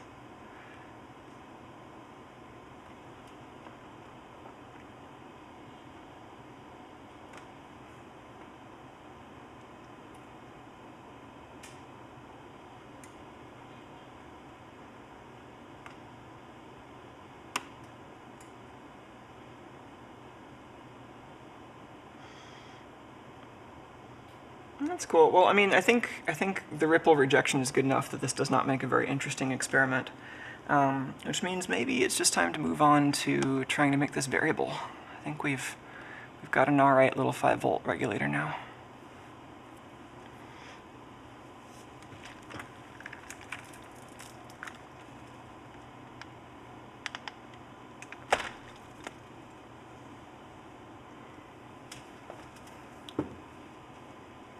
All right. Done with a sec.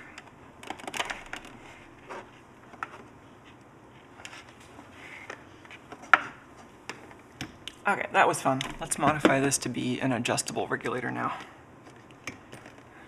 I might unconnect these things and then take another close-up video, but I'm mostly done with the setup.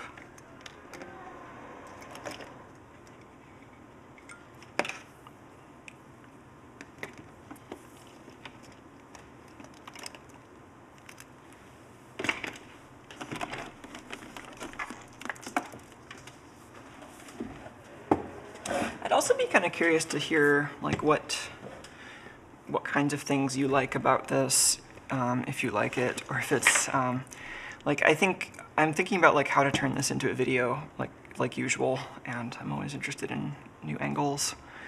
Like with these um, with these kit builds, um, you know, it's like I can always just like cut it together with music and try to make it visually interesting, but it's also nice if there's some kind of electrical story I can tell, and this seems to have potential in that direction.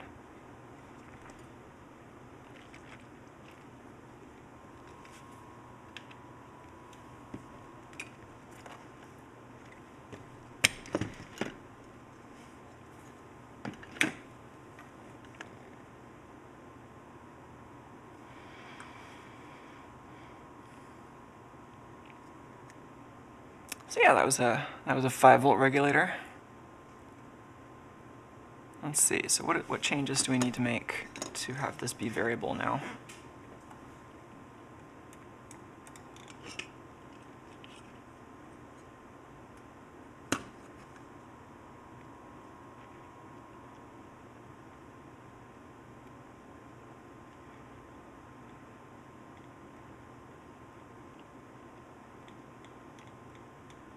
So, um, I mean, we could make, I guess one choice to make is whether to make it kind of a high voltage or low voltage version.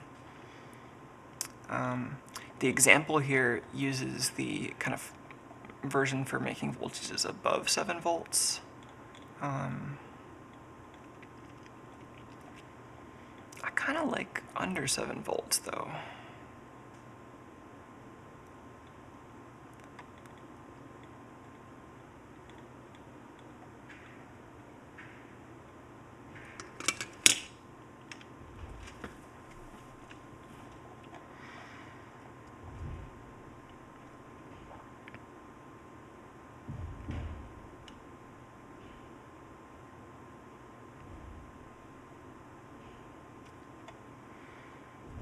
Oh, a pair of 470k at its ends, just so that you can't adjust it to all the way 0 or all the way 10k. That makes sense.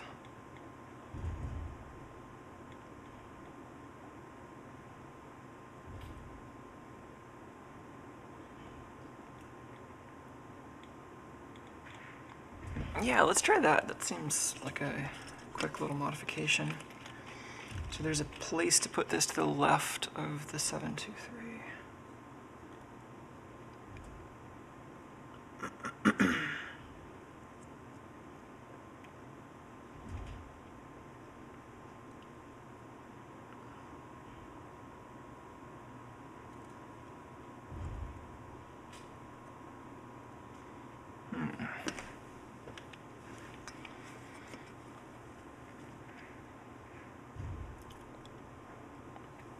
Let's see. So our two resistors right now are this pair and this pair.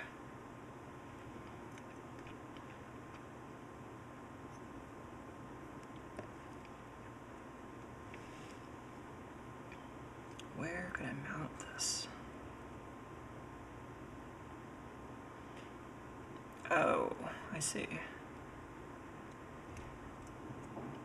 I think it's these three pads.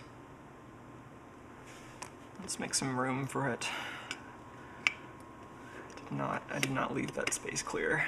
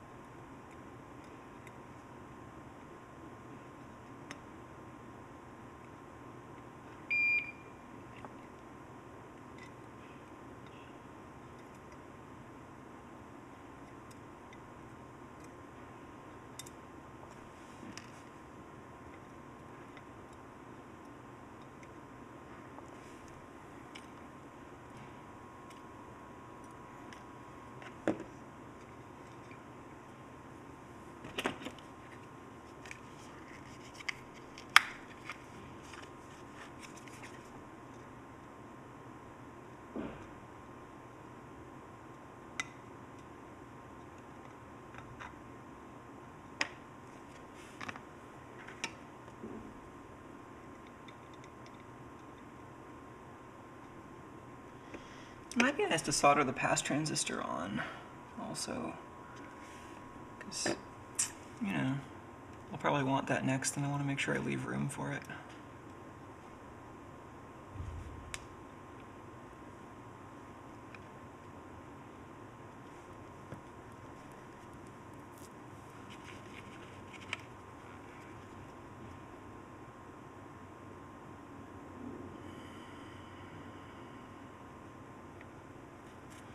Seems like there's room over here. Was there a recommended place?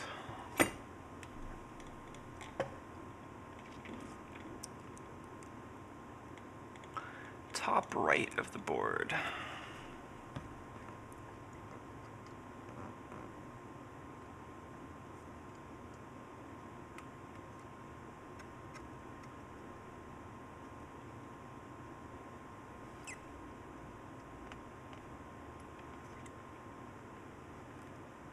Yeah, I don't know.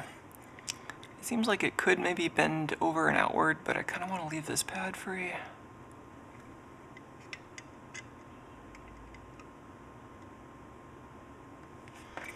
Let's just put them in like that.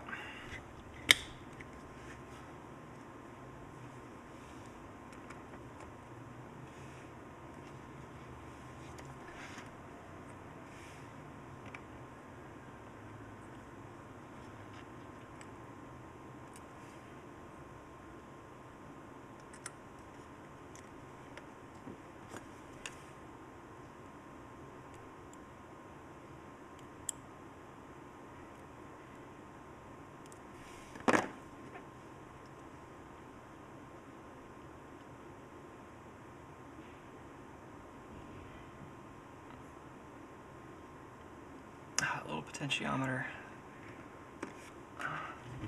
Three-legged potentiometers always feel like they're just like floating in air, perched above the circuit board.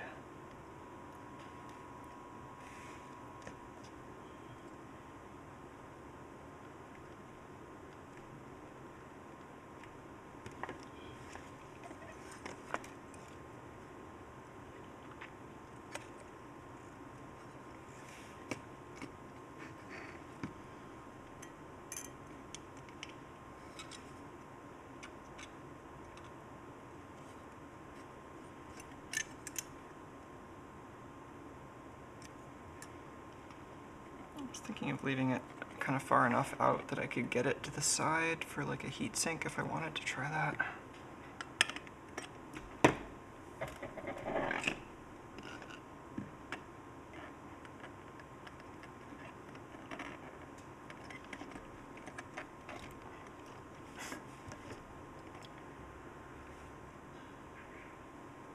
I usually have a piece of Blu Tack within arm's reach, but I think I moved all of that recently.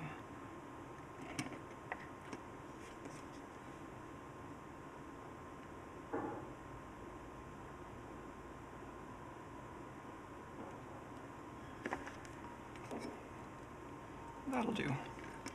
It's just like sticking out there, but so is everything else.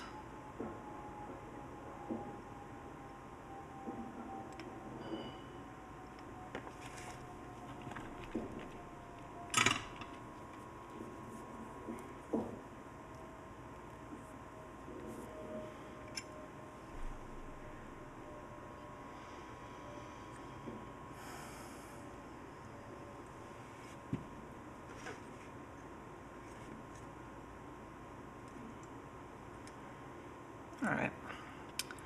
So then we need that of low value resistors. Oh yeah, 270. Or 470? Yeah, 470.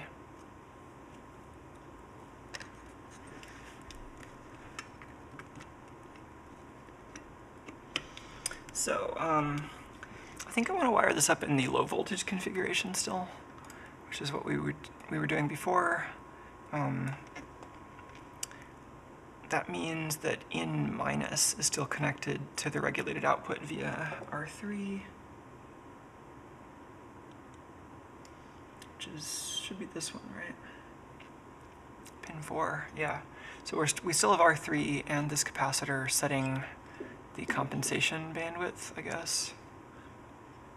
But I think we want to take out these resistors also, because that was the other leg of the voltage divider we were formerly using.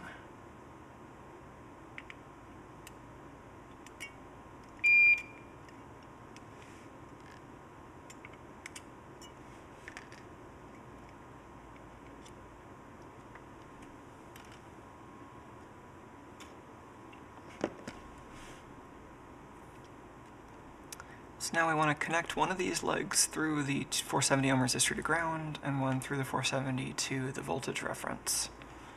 And then the, the wiper of the potentiometer goes to the positive input, which is this wire.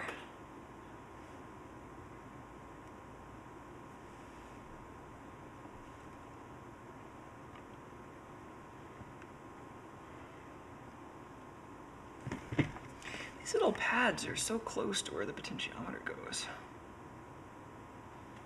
That one's just right in there.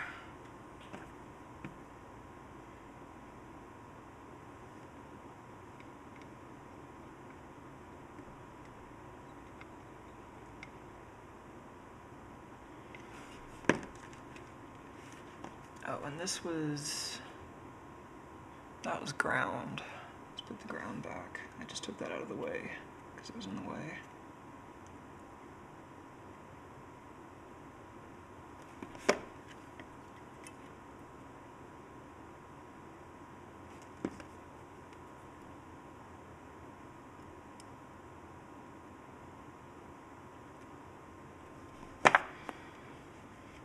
So that's ground. This is the amplifier. These two are now the edges of the potentiometer.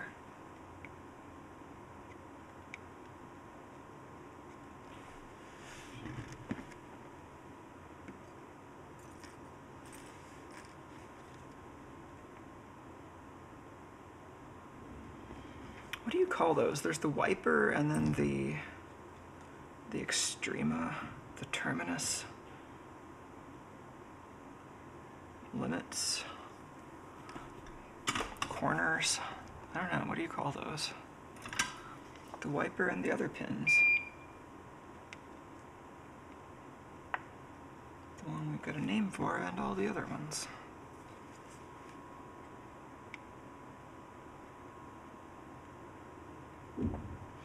Alright, and then one of these goes right back to ground, which is right over here.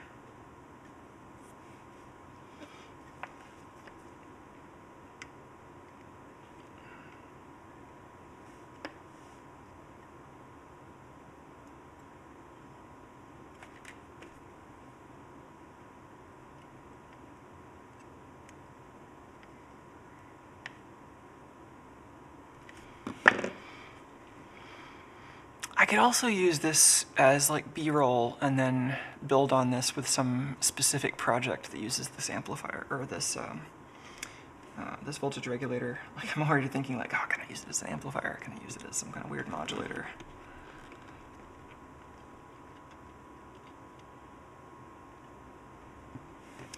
All right, and this goes to the reference, which is second to the bottom on this side.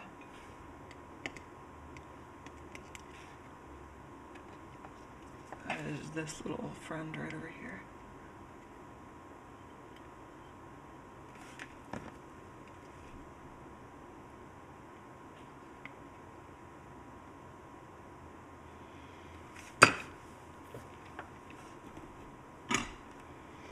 Alright, I think that's adjustable. We've mounted this pass transistor, but we're not using it yet.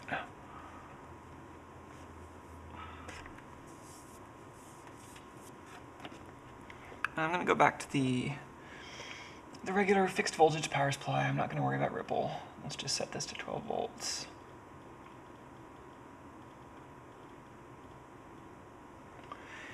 Now this won't let us reach all the way to 12 volts. In this configuration, we can go to anything that's lower than the reference.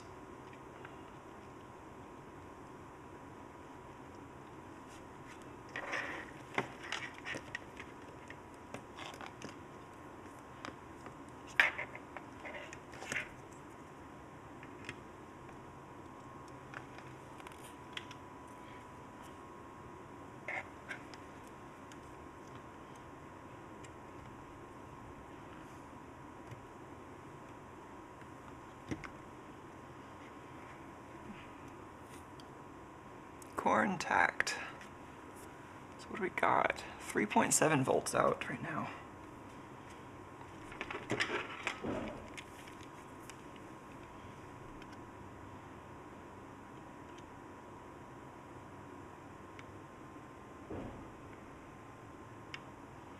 Cool, so that's our max at around 7 volts.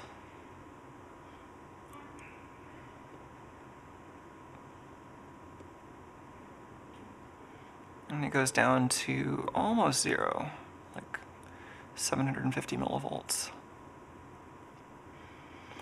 I think this could go all the way to zero if we had connected that side of the pot to ground instead of via the 470 ohm resistor. I don't know if there's a good reason to not let it go all the way down to zero.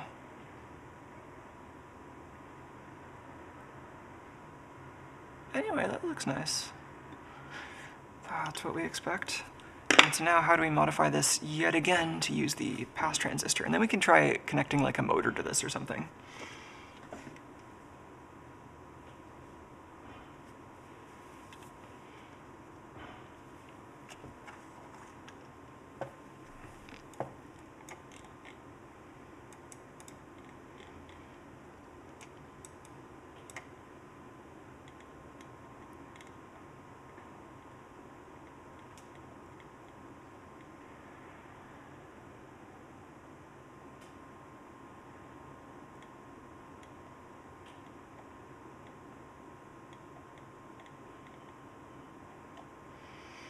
collector emitter.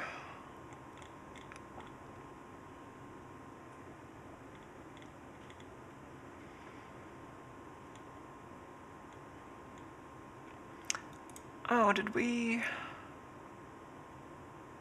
Yeah, we did set up the current limiting, right?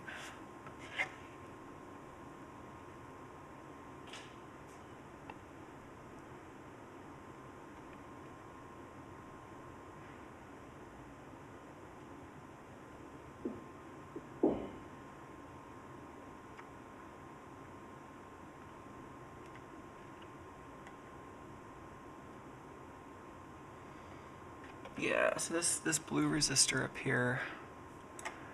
Um, we haven't tried the current limiting, have we?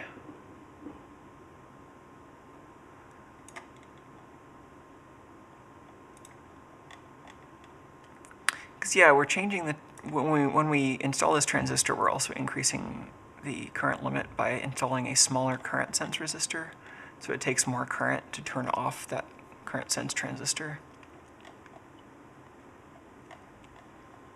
Yeah, maybe I should try hooking a variable load up to this output to see if I can max out the current with the limit before changing this. Um, yeah, let's switch back to here and get a variable load. My power supply is showing 12 volts at 0 amps, just like you'd expect.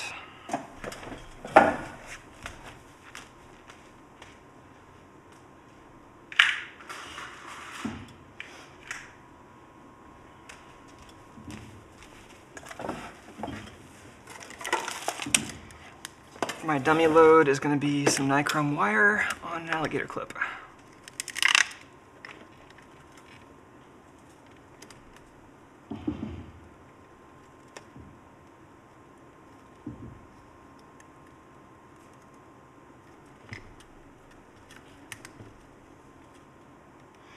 This is the same kind of wire you'd find in a toaster or a hair dryer. In this case, it was from an aquarium heater.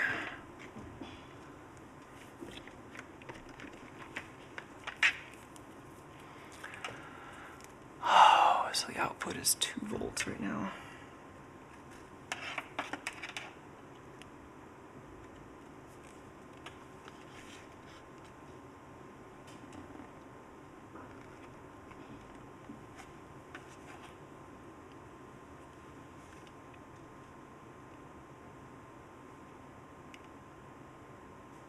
So you can see I'm hitting the current limit already. Um, let's give it more resistance.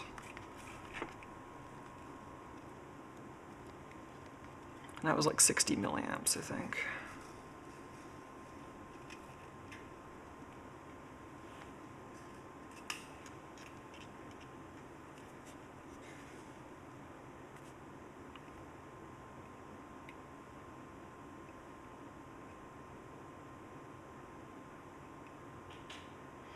That one's also giving me like 60 milliamps.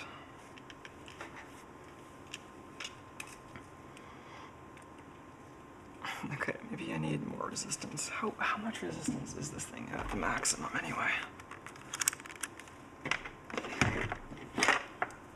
Maybe I should, maybe this is slightly higher power dissipation than I need right now.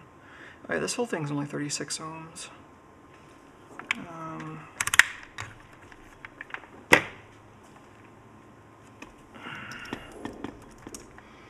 the limit was what? 10 ohms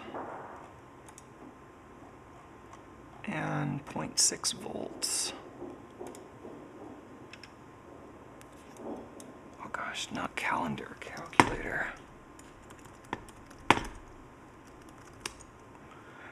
Alright, so.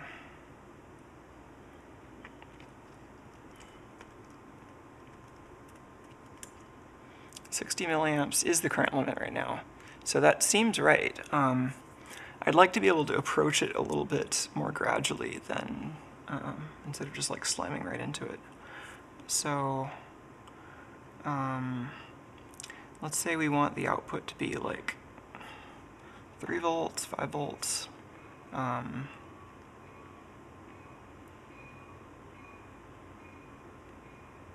yeah, let's say we let's say at 5 volts, we actually expect to hit the current limit. So then that's 83 ohms. Let's grab a 100 ohm resistor and then just try that for testing the small current limit.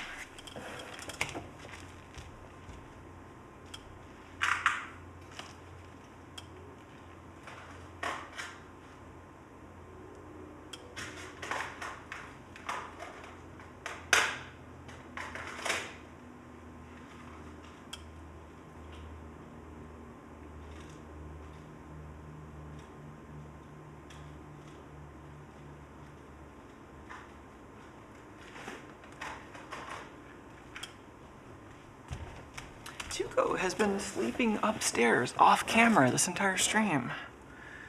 He's uh, not helping with, with our stream today.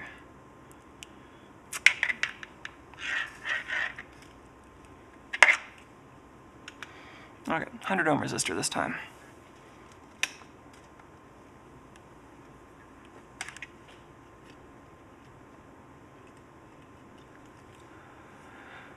Cool. So now we should start to hit the current limit as soon as we turn the voltage up to around 5 volts.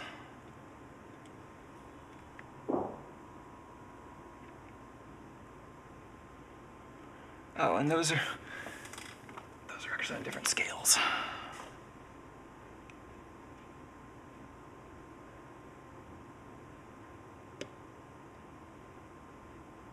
Okay, well we're getting up to 6 volts before we actually hit 60 milliamps, but that looks great. Got a good little current limit.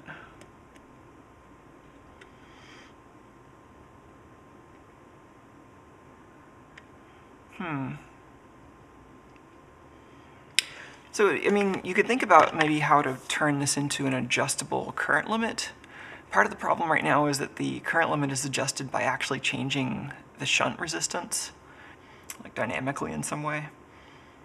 Um, another thing you can imagine doing is um, having like a voltage divider that divides down the shunt resistance, uh, the voltage across the shunt resistance. But then you need to start with kind of a high shunt resistance, um, which you don't necessarily want. It seems like making this thing into like a programmable current power supply, you'd probably want maybe a separate op amp to amplify the current signal. But the cool thing about having all the building blocks broken out like that is you could easily just stick one on. Okay, so that was that was a nice little demo of 60 milliamp current limiting. Let's try increasing the current capacity now. So we're adding a transistor and replacing the current limit resistor with a different value, in this case a smaller value, because we want it to develop less voltage at the same current so that it has a higher threshold um, where it'll actually turn off the transistor we're attaching to it. Excuse me. So I'm to replace that resistor first because it's kind of obvious. Um, this is the 3 ohm resistor, which has that weird kind of not quite orange, kind of brownish stripe first. That's actually an orange 3 ohm stripe.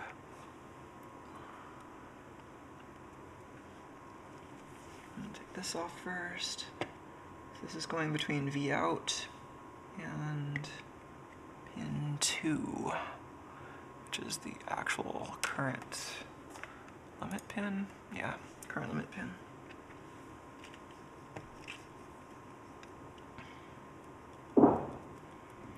And tin this lead and stuff it in the same location.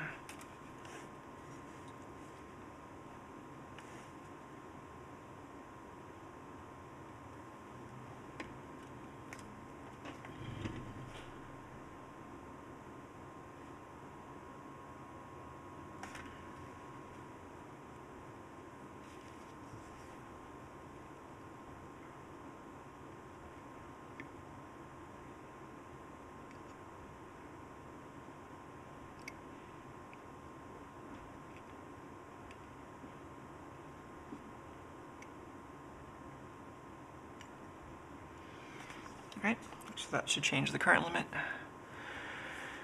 Triple the current limit, pretty much.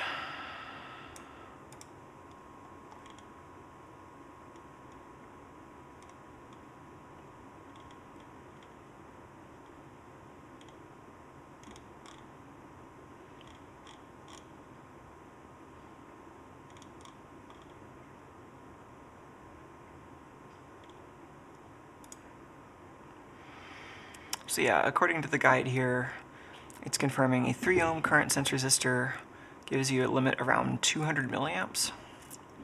So it's still not going to be the hugest regulator, but it'll it'll be enough to power some useful stuff for sure. Um, and I think we could increase the current limit if we had a heatsink, but just to look back at the uh, the section I'm reading here.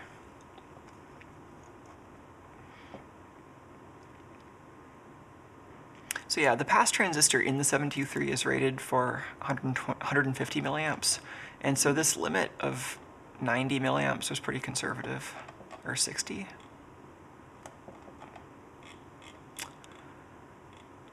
And this 200 milliamp limit also seems kind of conservative.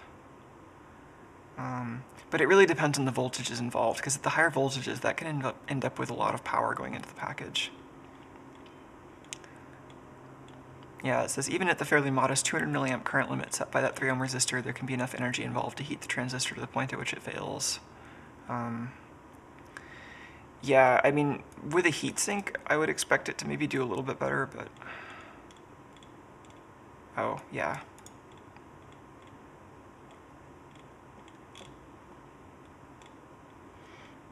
And then the guide even talks about heatsink in terms of thermal conductivity.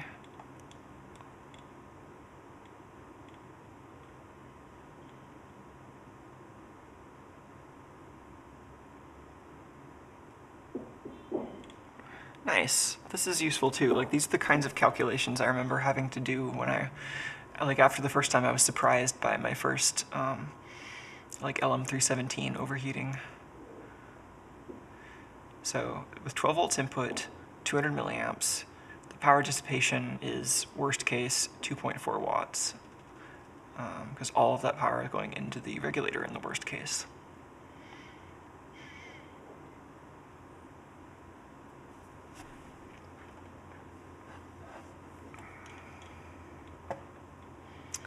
Think I have some plain old TO220 heat sinks we could try.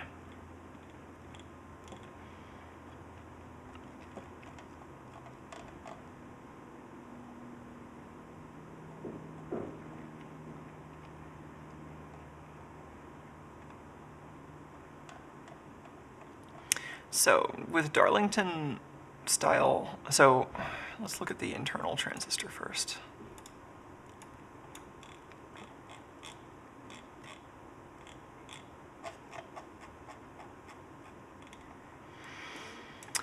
We're adding we're sort of cascading an additional transistor after this stage here. So the output, we want that to actually be driving the base of the new transistor we add. And then I think we want the collectors to be, um, well, we, oh, what is that? Collector. This is a PNP transistor, isn't it?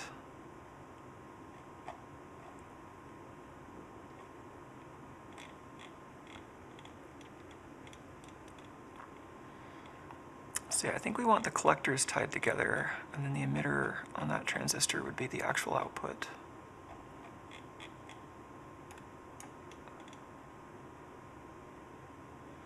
Oh no, that's NPN. Why is that NPN?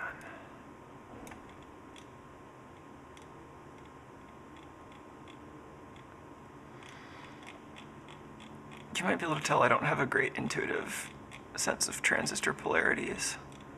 Like, I can work it out, but, um, like the, just like the, the combinations of like, oh, which way the arrow is, point, arrow is pointing and which one's the emitter and which one's the collector. Um, like that, I, I always have to look it up. I don't trust myself to get that stuff right most of the time.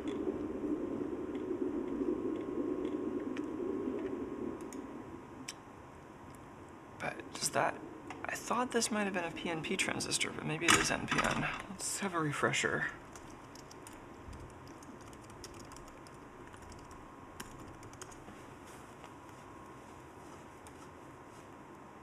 It is an NPN transistor, and why?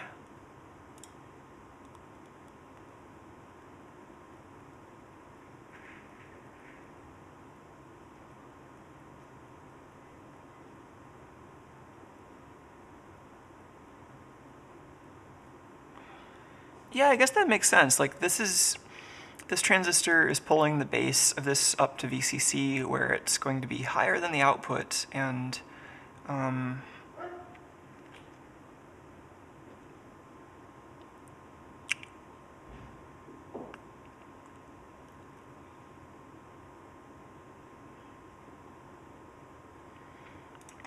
let's make sure I'm remembering this part correctly. NPN Darlington.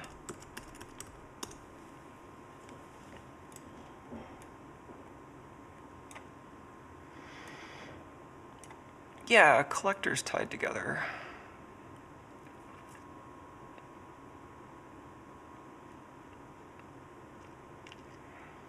Yeah, that makes sense. Like the first transistor, current flows between the base and the emitter, um, which also goes to turning on this transistor, which is useful. But then the current that flows through the base emitter junction also you know, multiplies by the transistor's gain and causes current to flow between the collector and emitter on that transistor. So both of those currents then add together and give you base current on the second transistor. So I think the intuitive thing is what we want, where we just connect output to the base on the other NPN, connect the collectors together, the emitter is the output, which I think is what I said earlier. I just started doubting myself and had to go look it up to make sure. So there's me showing my work, I guess.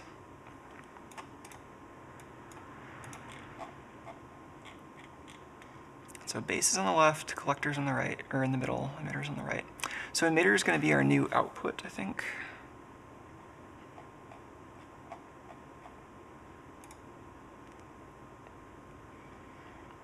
Yeah, collectors VN, emitter is the output. This pin labeled output is the emitter of the built-in pass transistor. So let's just do that. Base, collector, emitter.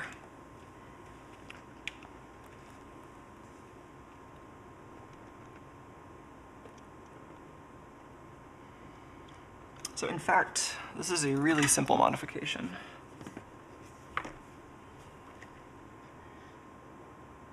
This was the output right over here. Is this on? No, it's off. Cool. Or no, this was the input. What am I looking at?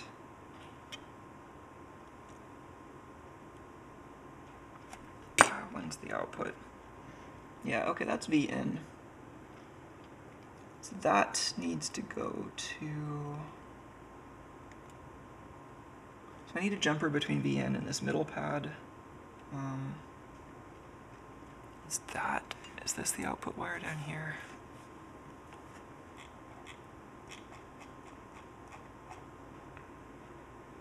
Third from the bottom, yeah. So this goes to the base.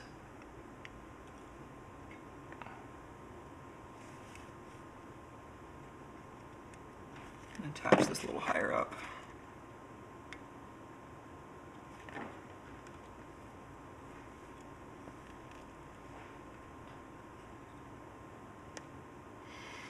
I had the weirdest little bit of momentary nostalgia. Do you ever get these like little brain feels where you're just momentarily nostalgic for something random? This one was the feeling of wandering into a gas station, completely sleep deprived, and looking for a bite to eat while you're on a road trip. Which is kind of a weird thing to feel right now.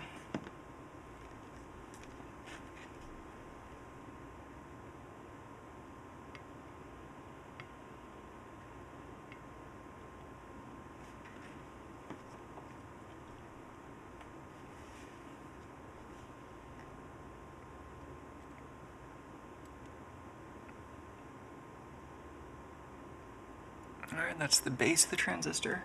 So this would normally be the output, but instead, um, instead that current is going into turning this transistor on. The actual output is also attached to pin 3, which is the feedback, which is cool. That's where we want it.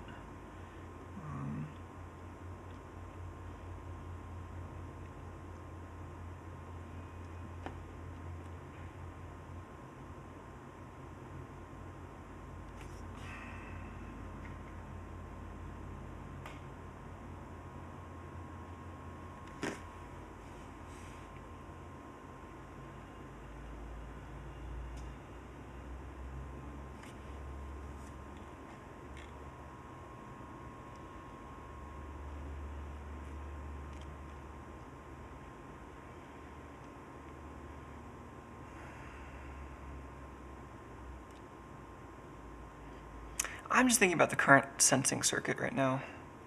Um,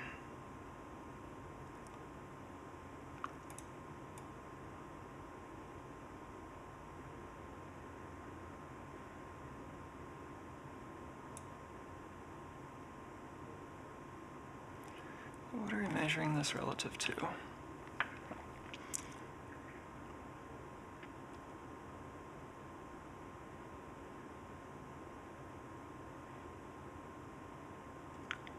So I was thinking about just changing the output, but now I'm thinking about um, thinking about the voltage across that current sense resistor.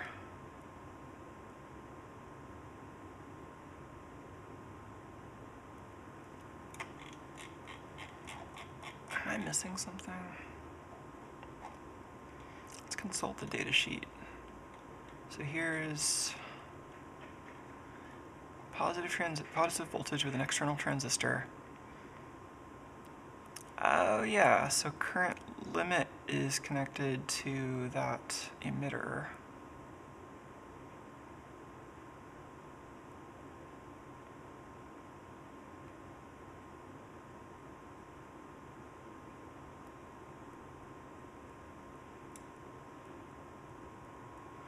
So I think pin 3 should be connected directly to the output. Pin 2 should be connected to the output via the sense resistor. Do we still have that? Yes. We also have the output connected via resistor to pin 4. Um, which is the, yeah, that's part of the frequency compensation and the feedback.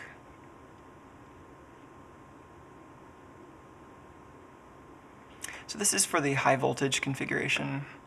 The reference is connected to the input and then we're dividing the output, but we're doing the opposite. This is the exact thing that they're suggesting building next, whereas I'm like changing it slightly to be the low voltage configuration still. Um,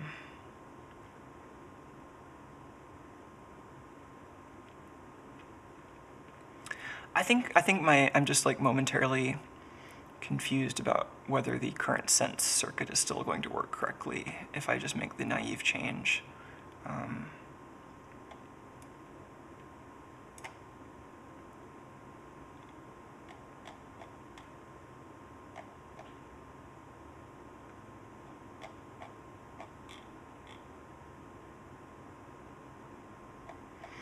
I think that's still right. Um,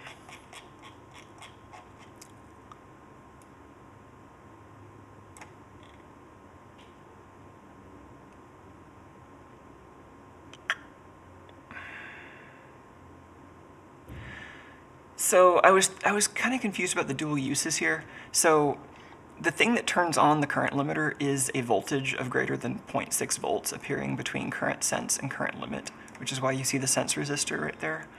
But current sense is also where, like we kind of use that as a current dump in order to turn off, um, what is it, the, these transistors. So to achieve current limiting, this shunts current from this path where it goes out through the bases of these transistors and into the output, diverts it from that path down into current sense, which means I think current sense can just be anything that's at least like 0.6 volts lower than VCC. Plus maybe some extra, I don't know how much that matters. So what do we have here? In this case, current sense is just the regulated output, which is definitely going to be 0.6 less than VCC. Okay, that's that's cool. So I was I was just like trying to verify that this same topology works, and I think it's kind of arbitrary where the current sense pin is connected to. It just needs to have that lower voltage, and it needs and and then the difference between current sense and current limit is what starts to matter. Cool. I'm satisfied with that.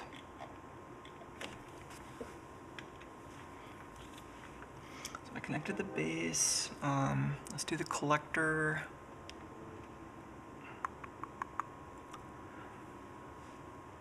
Um, collector, I need another little jumper wire.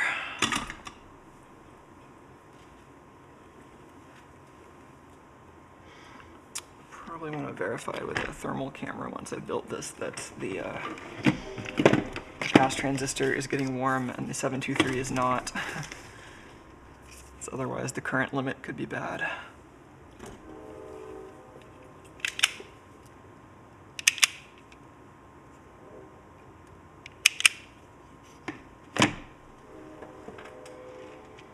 Uh, is asking um, if this is a kit I'm tinkering with.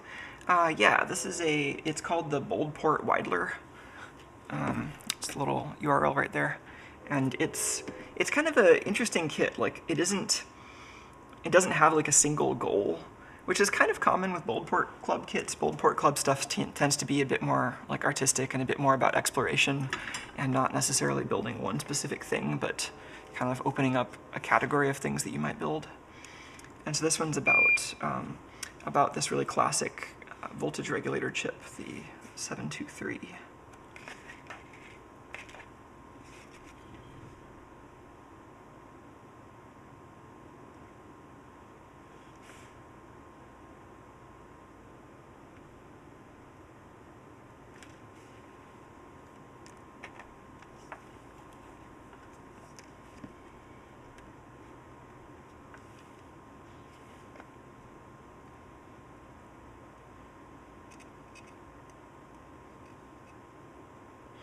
As you can see, I'm just like tacking stuff down because this is kind of a little breadboard experiment more than something that's designed to be permanent. It's it's like a way of experimenting with this chip, and you know you can use this as a plain vanilla breakout board if you want. You could just like take off all the wires and stuff and plug this into a breadboard. But it's also kind of fun just to do these little soldering haywire experiments because that's also kind of a, I think a tribute to um, to Widlar. I think I think this was something he was kind of known for too. Like analog electronics, it kind of makes sense just to stick stuff point to point because a lot of the time breadboards just get in the way. So that was the collector, which I ran to the input. I'm going to touch up this joint because I'm not super happy with this end. Oops, of course not. I was using the other end of that.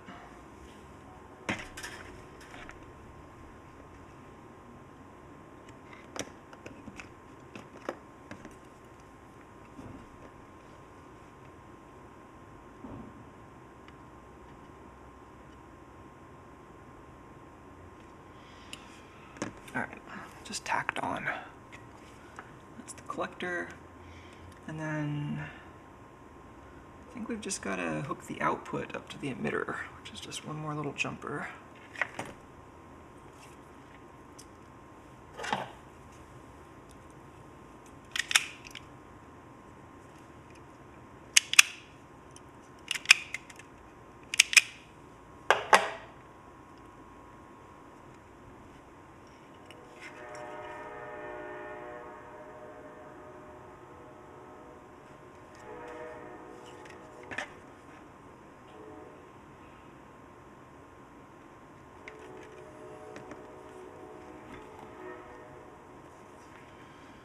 All right, just tacking this on the output bus here, wherever.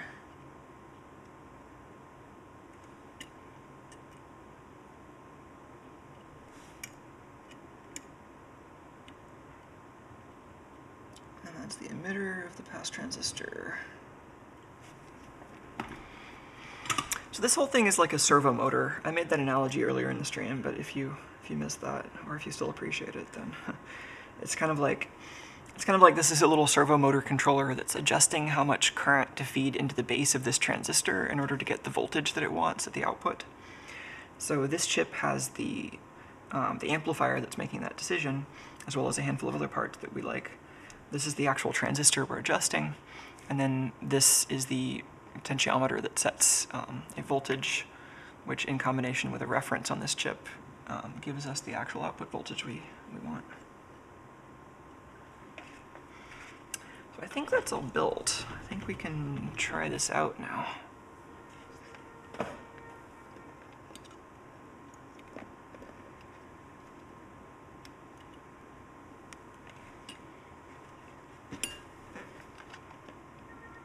So it has not much load on it. I'm just gonna leave it with not much load and turn the power supply on and see what it looks like on the scope. 12 volts. All right, that looks right. It's 5.7 volts. see if we can still adjust it.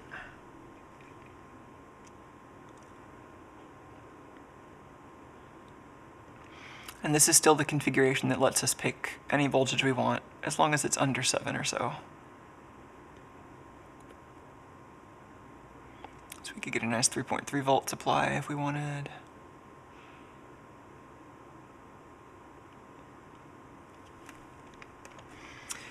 And we should now be seeing it current limit at 200 milliamps. So how much resistance at minimum do we need for that then? Let's say we want it to, again, current limit at around 5 volts. What would we use? 25 ohms? I think we can get that with this uh, bit of... Um, keep wanting to call it fish wire, because it was like for an aquarium heater. Um, yes, nichrome wire. Fish wire. That is a thing you do with wires.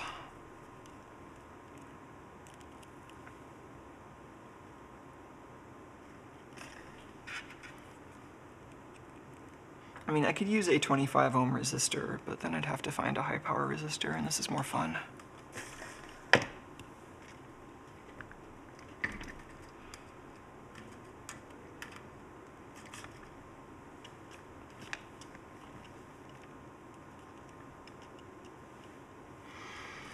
Eighteen ohms, twenty-three ohms, twenty-six ohms. That's getting close. 25 ohms. So I've got uh, a resistor, 25 ohm resistor, and a regulator.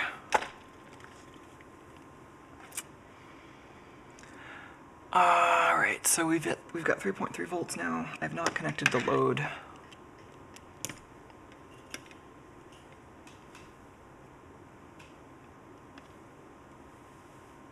So there's ground for the load. And I'm going to connect the output. Wow. What? Oh, nice. That is because my bench supply is limited to 100 milliamps, which we're hitting now. So let's increase that.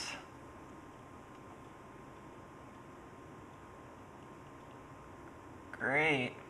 So I set my bench supply to 12 volts and 500 milliamps. It's now at 12 volts and 130 milliamps with the 3.3 volt output. Let's get a thermal camera. Oh, is this moving around by itself now?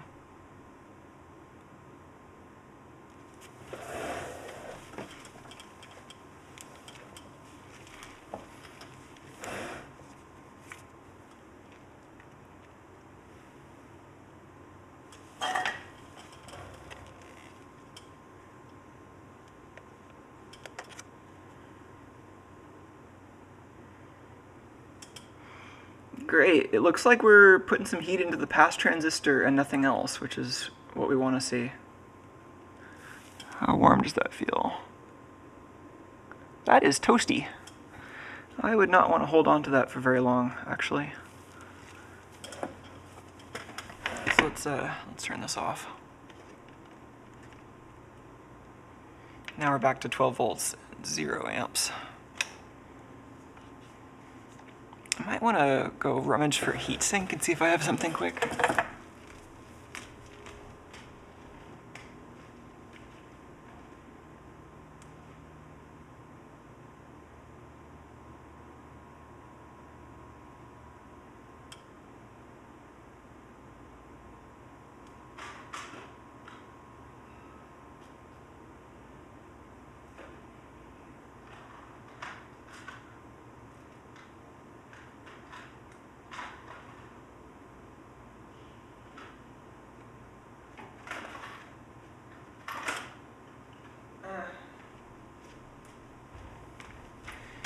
See one that's easy to find, so I think we'll just keep our experiments short for the moment. It's not too bad now. Um, so I'm just going to try um, turning the voltage up with this attached and see if it limits around 200 like we're expecting. Okay, so now the power supply is back to 130 milliamps.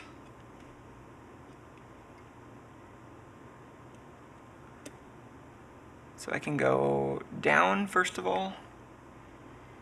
This is back down to like 30 milliamps, 0.3 watts.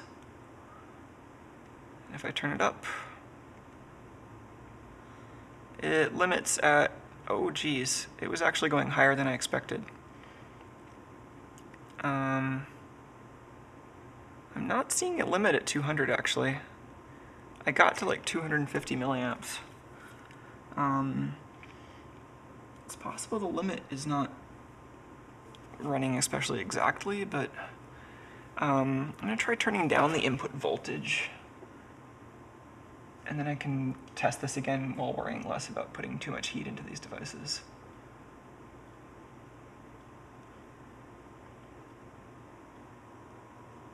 So 10 volts, maybe, or 9 volts.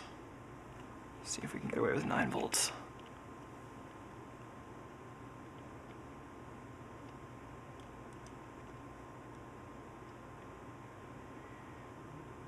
Now it's at 200 milliamps. Yeah, I'm not seeing a current limit. I got up to like 270 milliamps there. I don't know if I'm doing something wrong. Um, it's a little nerve-wracking to be testing stuff at the edge of its abilities without a heatsink. Um, why wouldn't we be current limiting?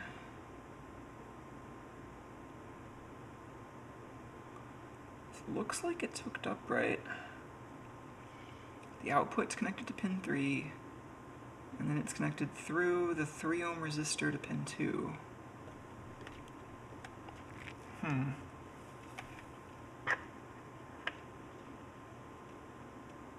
Do I have like a clip on anything?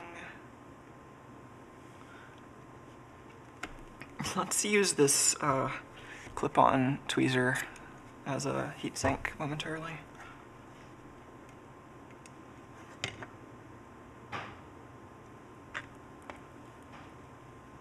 Oh, is that Tuco waking up?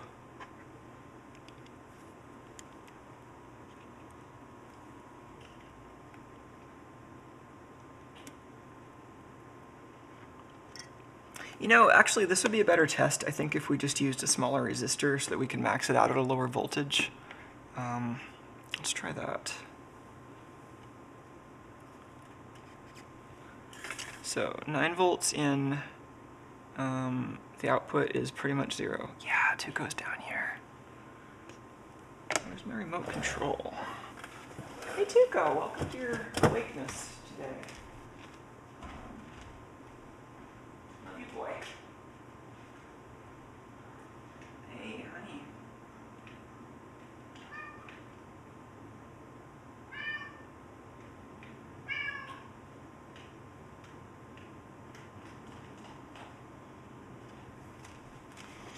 I would pet him, but my hands are kind of fluxy at the moment.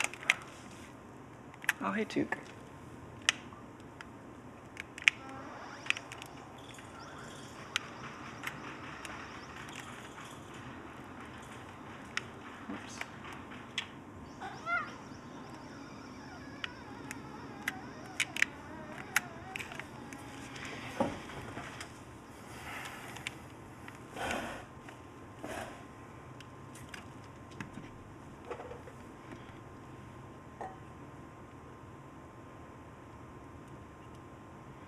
So that's 110 milliamps.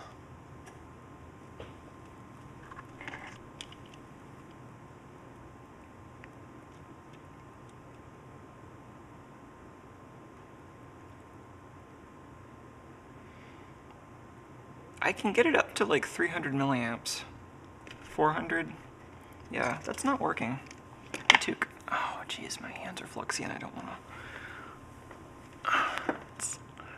Hey, Okay. Well, I think I might be about at the end of my rope for experiments on this particular board, but since Tuco's awake, maybe I'll wash my hands and take a minute to play with him, and if there's anything else you want to see before I end the stream, let me know.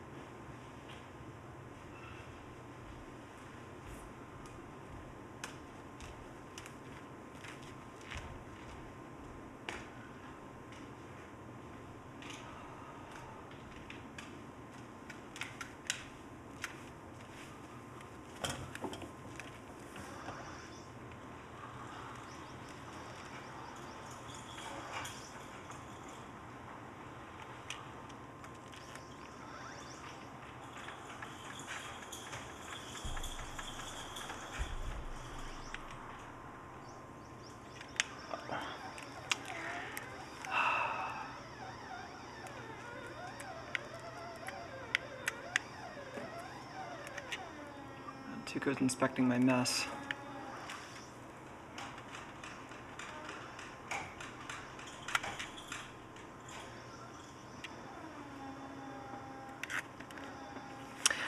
I think I've somehow my like occasional left-right confusion has extended to getting confused about which side of the end stop the gimbal is on. I really need to get the software doing more of that kind of stuff automatically. Oh geez. Tuco. There's a cord in there. It's like a pink extension cord that he has already chewed so much. He really should not be chewing on cords. All the ones that are plugged in are, I hope, suitably protected from him, but he, he seems to really like that particular one, and he'll so he'll find it when it's unplugged sometimes. And it's actually in a bin of like retired cables that have been like chewed up and are now just scrap wire, but he's still gonna find it.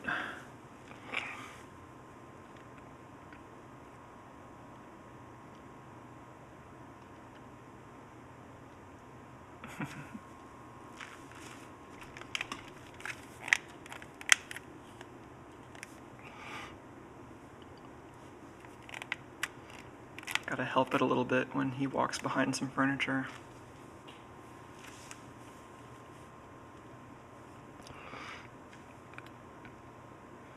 Well, thanks for hanging out. It was it's always nice to uh, you know do some electronics together, hang out in this virtual hackerspace, etc. Um, as usual, I'll be back to work editing videos, and I'll be streaming pretty regularly. Um, I am thinking about actually setting up a, regi- a real, like, legit streaming schedule. So if you have feedback on that, be sure to let me know. Um, Twitter or YouTube or um, or Twitch.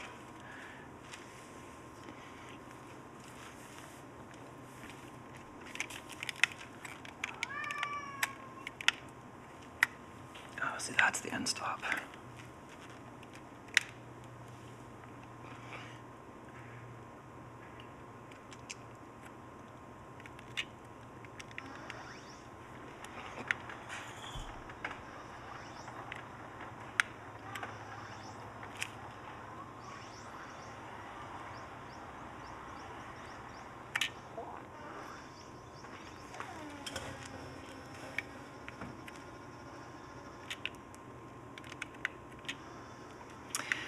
There's a lot more work to do in this project, but I think I'll save that for a different stream.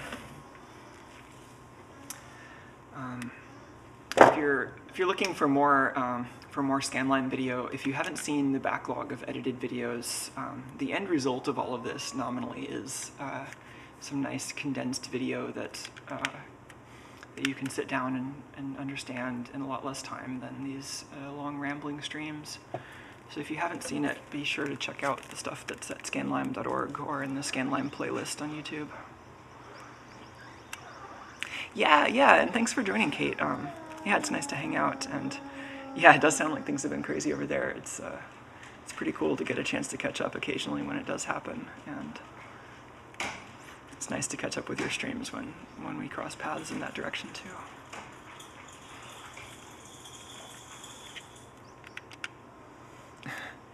There's still so much involved in actually driving this thing around. With you know, I, I feel like I have to keep it um, to keep keep it from bumping into things, and also keep the height under control, and also keep the wobble under control, which is kind of hard to do with the current software still.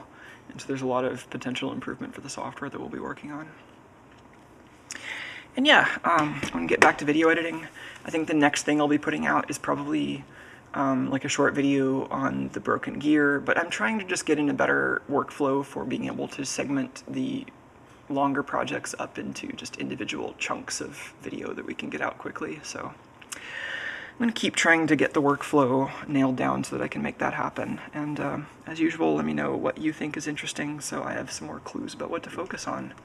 Um, I'll certainly focus on the stuff that I think is interesting, but it's also nice to know what you think is interesting so that I have some more input. And so I always appreciate hearing about that. And thanks so much for joining, and a special thanks to everyone who tells their friends about the stream, sends in stuff for me to hack, and uh, sends in a little bit of money every month to help me uh, keep doing this as often as I can. So it means a lot to me to have everyone on the internet who supports my channel and my efforts here doing so. And I, I really feel strongly about trying to hold up my end of that and produce something that's actually worthwhile to you. So that's why I keep asking, like, I mean, it's not just the insecurity, it's also actually wanting feedback. So, anyway, thanks so much, and I'll see you all next time. And if you're if we cross paths, um, if you're interested in just like seeing Tuco streams when they happen, I haven't been running it super often because it gets a little boring when there's no interactivity. But I've been doing more of the Tuco Flyer streams, and so if you're into hanging out with the experimental cat robot, if you follow twitch.tv slash Flyer, then you can get notifications when we do an experimental stream there. I think that's it. See you all later.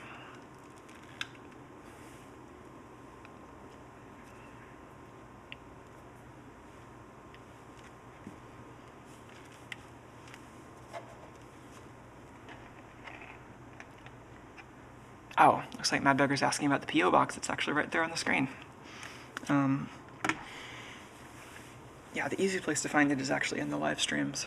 Uh, there's also a, a URL I can give out on GitHub, which is actually just the source file for the live stream configuration. But yeah, I'll see you next time.